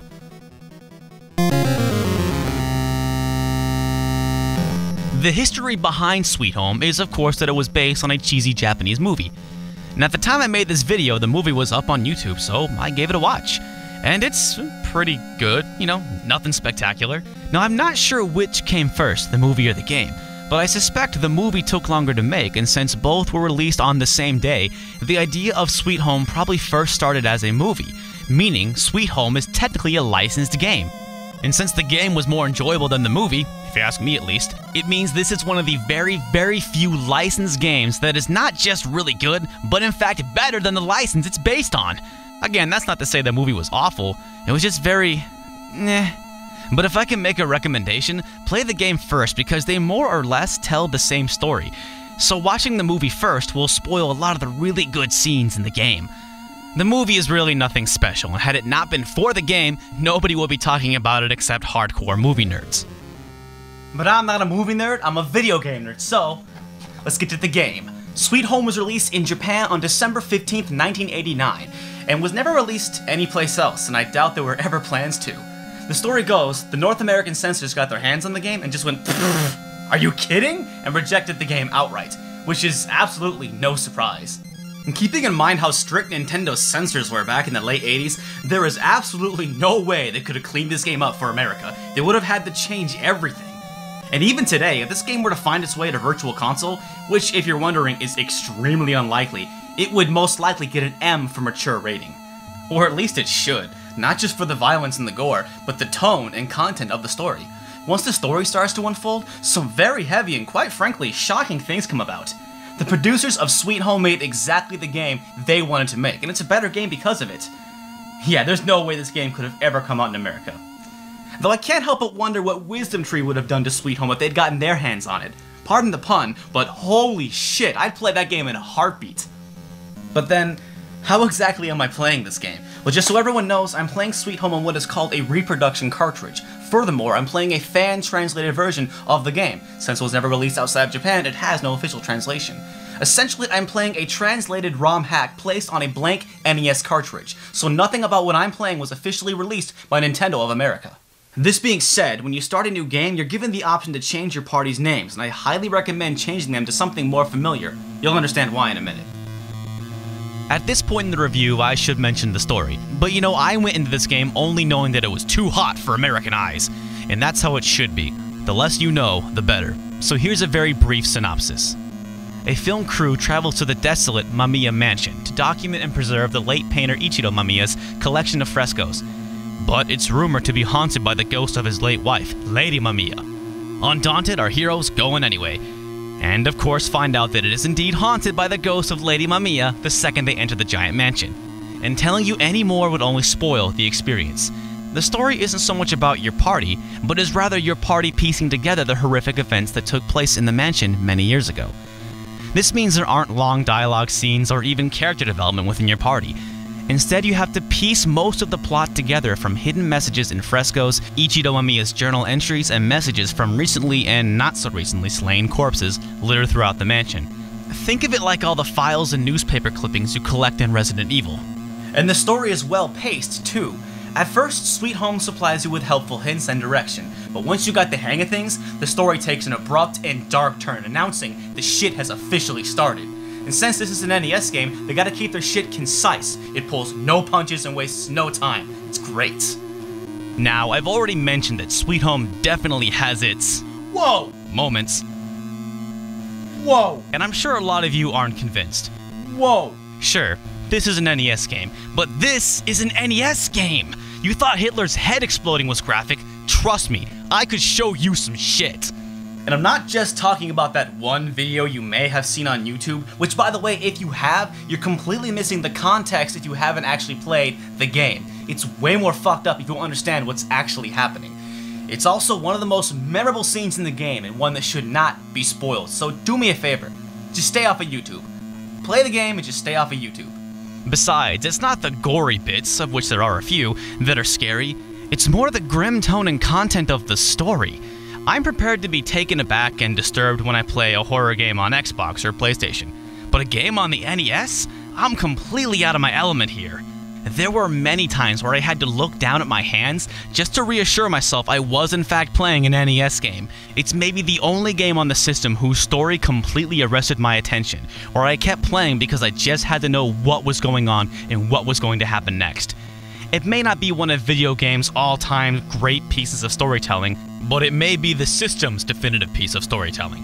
Clash at Demon Head, Golgo 13, Crystalis, Deja Vu all have great stories, sure, but they never reach the impressive level of cohesiveness and allure of Sweet Home. The story is great, but I wouldn't dare spoil any of it. Just take my word for it. It's a fun, scary, good time. But we all know that story and setting don't make a game. If a game ain't fun to play, is it gonna be any fun at all? So is Sweet Home fun to play? Get comfortable. Sweet Home is an experience unlike anything else on the system. In Sweet Home, you have five people in your party, each with their own special item. I think some are stronger than others, but I went through the whole game without ever really worrying about it. What's far more important are the special items, because the mansion is littered top to bottom with hazards and puzzles. Locked doors need keys, debris needs to be cleared, and of course, frescoes need to be preserved. Furthermore, there's a ton of extra items that anyone can pick up and swap. Planks of wood to cross over chasms with, oh buddy, watch your step. Candles to aid you in the dark, gloves that help you crawl through thorny bushes, and so on. But as I'm sure you've noticed, you can't travel with all five members at once. The most your party can hold is three. You not only need to manage your items, but also two separate parties. Which means you've got to decide which two are traveling alone. And there's no real right combination either. Should the photographer stick with the key holder since many of the frescoes are behind locked doors? Or since there's so many locked doors, should the key holder stick with the medic just in case they get poisoned or cursed? But sometimes the frescoes are covered in dust and can't be photographed. So should the photographer stick with the vacuum guy? If you change your mind, you can change your party just as easy as you swap items. Ah, crap, I need a rope. Now, who did I leave that with? Ah, damn it, I left it with those guys, and they're downstairs. It's a remarkable amount of strategy for an NES game. But let's not forget that Sweet Home is primarily an RPG. But damn it, it nails that too. It's sad to say that even though Final Fantasy and Dragon Warrior are two of the most important RPGs ever made, they sure as hell are boring, aren't they? All that grinding? I don't know how the hell I played these games as a kid. Yes, they're classics, but man, did these games age poorly. But just like with Earthbound, Sweet Home deviates from many typical RPG conventions, making it the best aged turn based RPG on the system. Sweet Home takes place in a haunted mansion. This, of course, means there are no towns. Progress is never impeded because you need to tread back to town to rest up at the inn. And don't expect any safe rooms or magical warps either. You are stuck in that mansion. But this means a number of things. One, no talking to the king to record your progress. You can save anytime, anywhere. Two, the game is therefore pretty much always moving forward, which makes it addicting. Three, no weapon shops. All weapons are found lying around the mansion. And since there's no shopping to be done, 4. Enemies don't give you money, just experience. So 5. If you're going to grind, it's just to raise your levels. Now it is important you keep on that grind, but with no inns, how are you supposed to heal? Tonics are found throughout the mansion, and they instantly heal everyone in your party 100% regardless of your levels. That may sound a little too convenient, but remember, you can't buy tonics. You have to ration the handful littered throughout the mansion. There's that item management again. But if this sounds like a deal breaker, don't worry. To be honest, I was never sweating over tonics. Another great thing about Sweet Home is how it streamlines the random battles. Battles are typically quick because you never fight more than one enemy. Another subtle thing is there's no death animation or fanfare for winning a battle. Once your foe has been vanquished, the text announces you've earned this much experience and boom, you're back on the overworld. Like all old school RPGs, Sweet Home suffers from random battle syndrome, but it does a damn good job of making this staple of the genre as painless as possible. Now, just because you never fight more than one enemy at a time doesn't mean you should ever have a party member travel alone. Throughout the game, increasing more so as you progress, enemies love to poison and curse party members. Early on, enemies will stun a party member, and though this doesn't affect them after battle, during battle their health quickly depletes. Later enemies will curse and poison, which, depending on the creature, will either paralyze you during or sometimes after battle. Either way, if you don't treat their illness quickly, they'll be dead in no time. Nah, but what's the big deal? If they die, just bring them back with a phoenix down or something, right? No problem, right? Wrong. If a party member dies, they're dead. For good. You cannot bring them back. And their special item, also gone. Sweet Home doesn't fuck around. Hope you got an empty slot to carry the replacement item. It is very important you stick together and keep your medic nearby. Also, if your medic becomes cursed, any character can run up and use her med pack on her, which is some smart programming by Capcom. So watch your party's HP closely, but remember there's only so many tonics to go around. But this tendency to curse and poison can work in your favor. Let's say you get into a fight and the enemy is only able to attack once before you clobber them. And if all they do is curse you, it's no big deal if you got your medic around. Just heal them as soon as the curse sets in and everything goes back to good. Nobody loses any HP and it's like the fight never happened. So stay sharp and you should be ready for when the unexpected happens. Because there's more than just random battles to contend with. Oh yes, this house is alive and it's hungry. Collapsing floors? Check. Sticky floors? Check. Ice pits? Check. Water traps? Check. Fire traps? Check. Possessed chairs? Knives? Statues? Chandeliers? Check.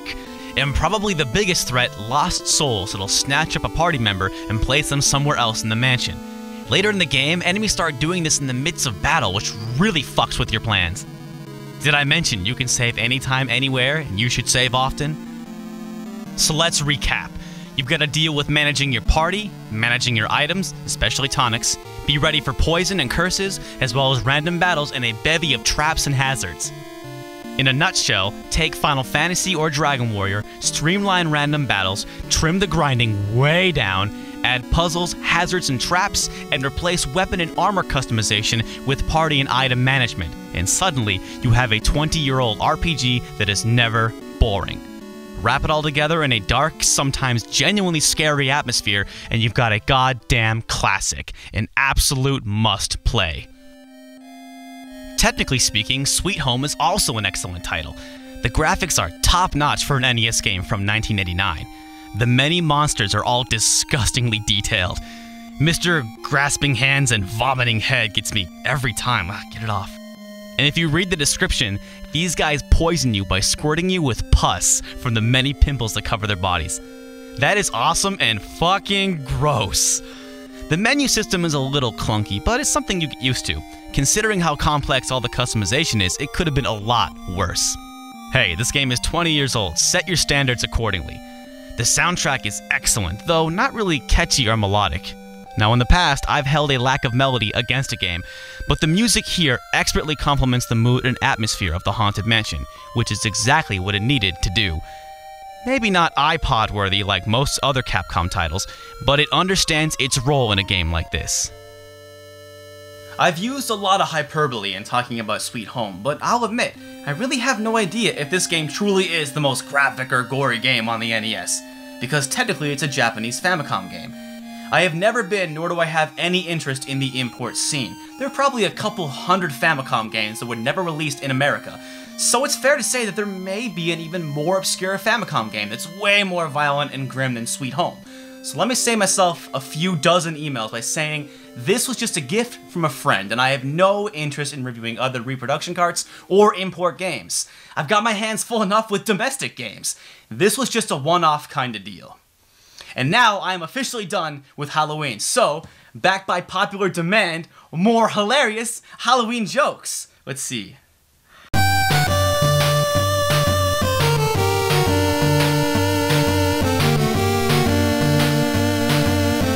And yes, I am going to review the Splatterhouse remake, as if there was any doubt.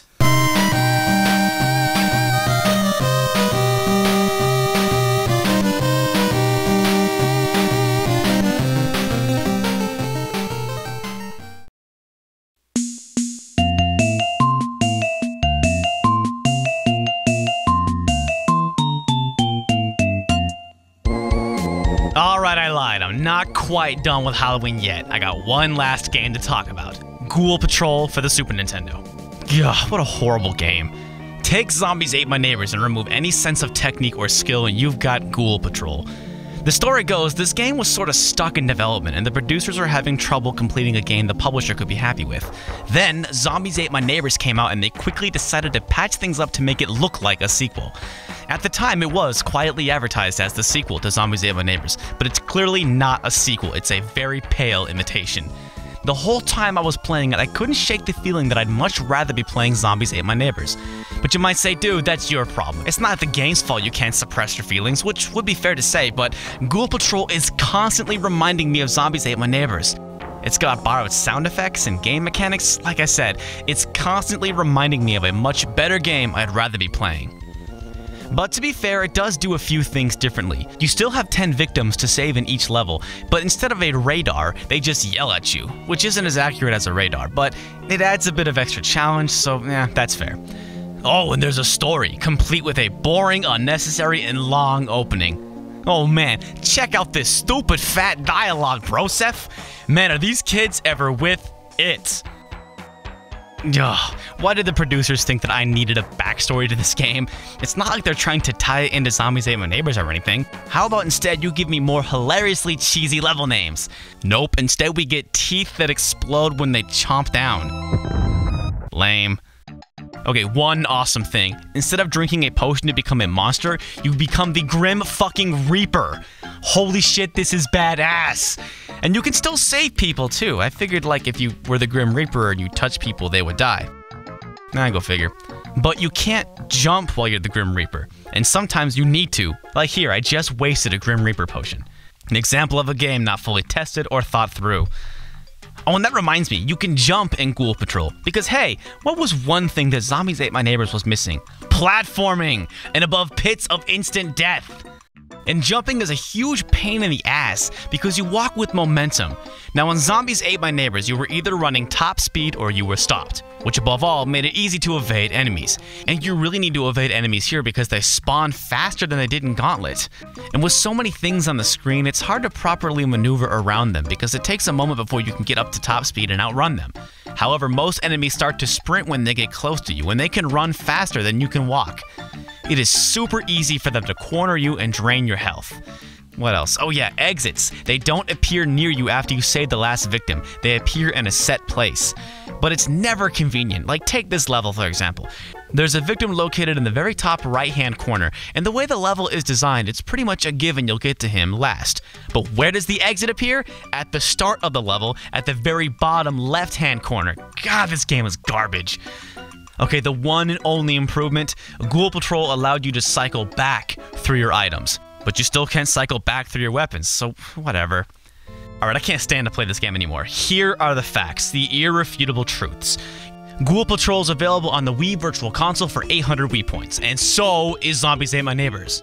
Furthermore, if you want to track down a physical copy of Zombies Ate My Neighbors, it'll net you around 20 30 bucks.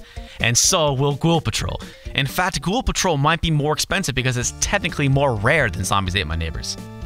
No matter how you slice it, Ghoul Patrol is the same price or sometimes more expensive than Zombies Ate My Neighbors, a game that is better in every possible way.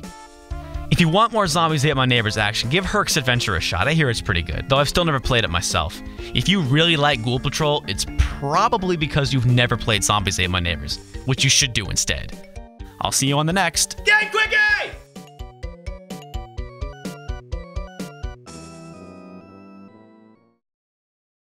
It's a fun, scary, good time, but we all know that story and setting don't make a good game. If a game ain't fun to play, isn't gonna be any fun at all.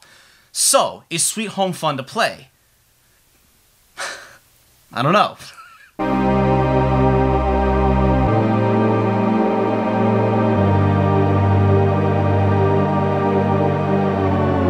Oh, fuck you and your stupid worthless gun, Kenji.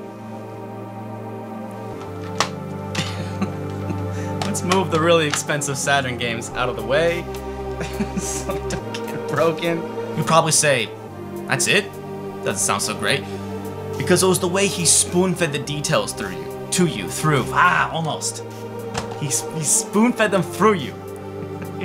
murdered you with a spoon, filled with the hot porridge of the story. Why aren't you focusing?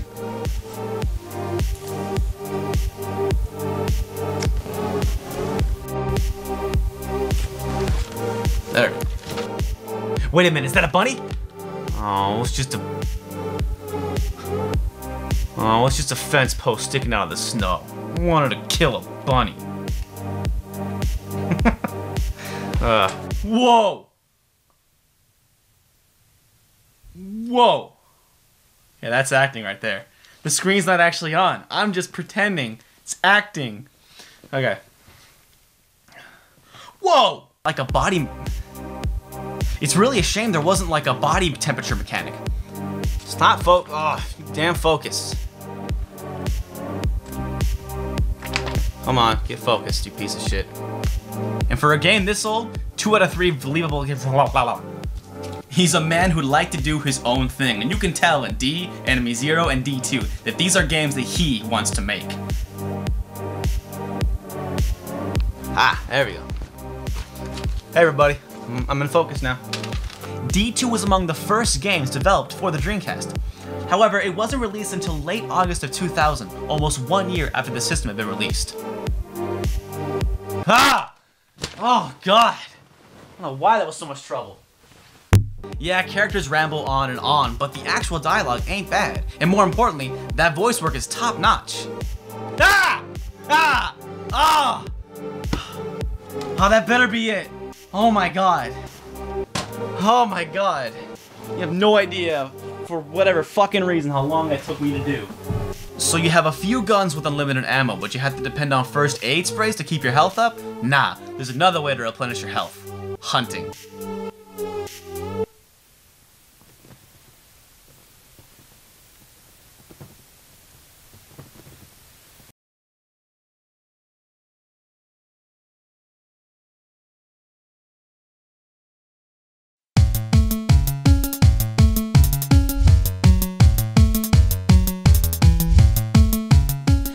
NPC dialogue in Earthbound is so good. Take my word for it.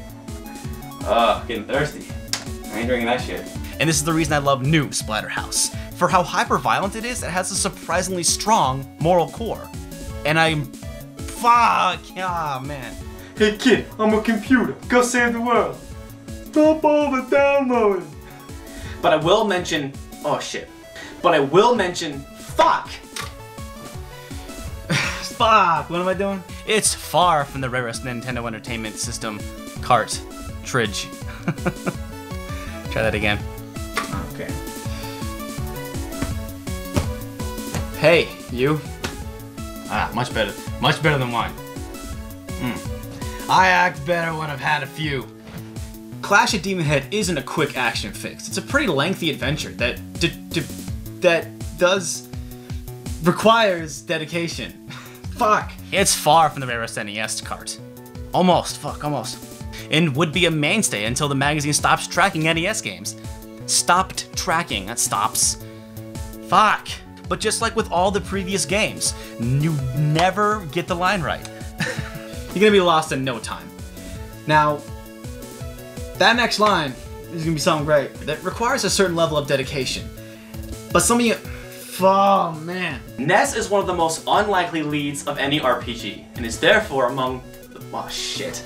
What the fuck is the line? He's also not some punk who on his 16th birthday must purge the land of corrupt tyrants and evil kings. Fuck. Now some of you might be s- no, wow. But trust me, when you finish a game, especially when you know the line, fuck. Oh god damn it. Where the hell am I supposed to go? The weak weapons, weak bosses, and a weak soundtrack. It's oh no, come up. Oh, there it is. That's a good thing. Wine doesn't make you burp. Oh shit! Oh shit! Oh shit! Oh shit! Oh shit! Oh shit! Oh shit! Oh shit! Oh shit! Oh shit! Did, did that just happen? You probably therefore became a fan. Let's do it again. For RPGs, one of the most important rules of thumb is to whenever you get to badabadoo. That's fucking rad. So I'm gonna be talking about a new video game that. okay. okay. It's not a new video game. So you name a baby. I'd see a baby on the street to call him Chrono.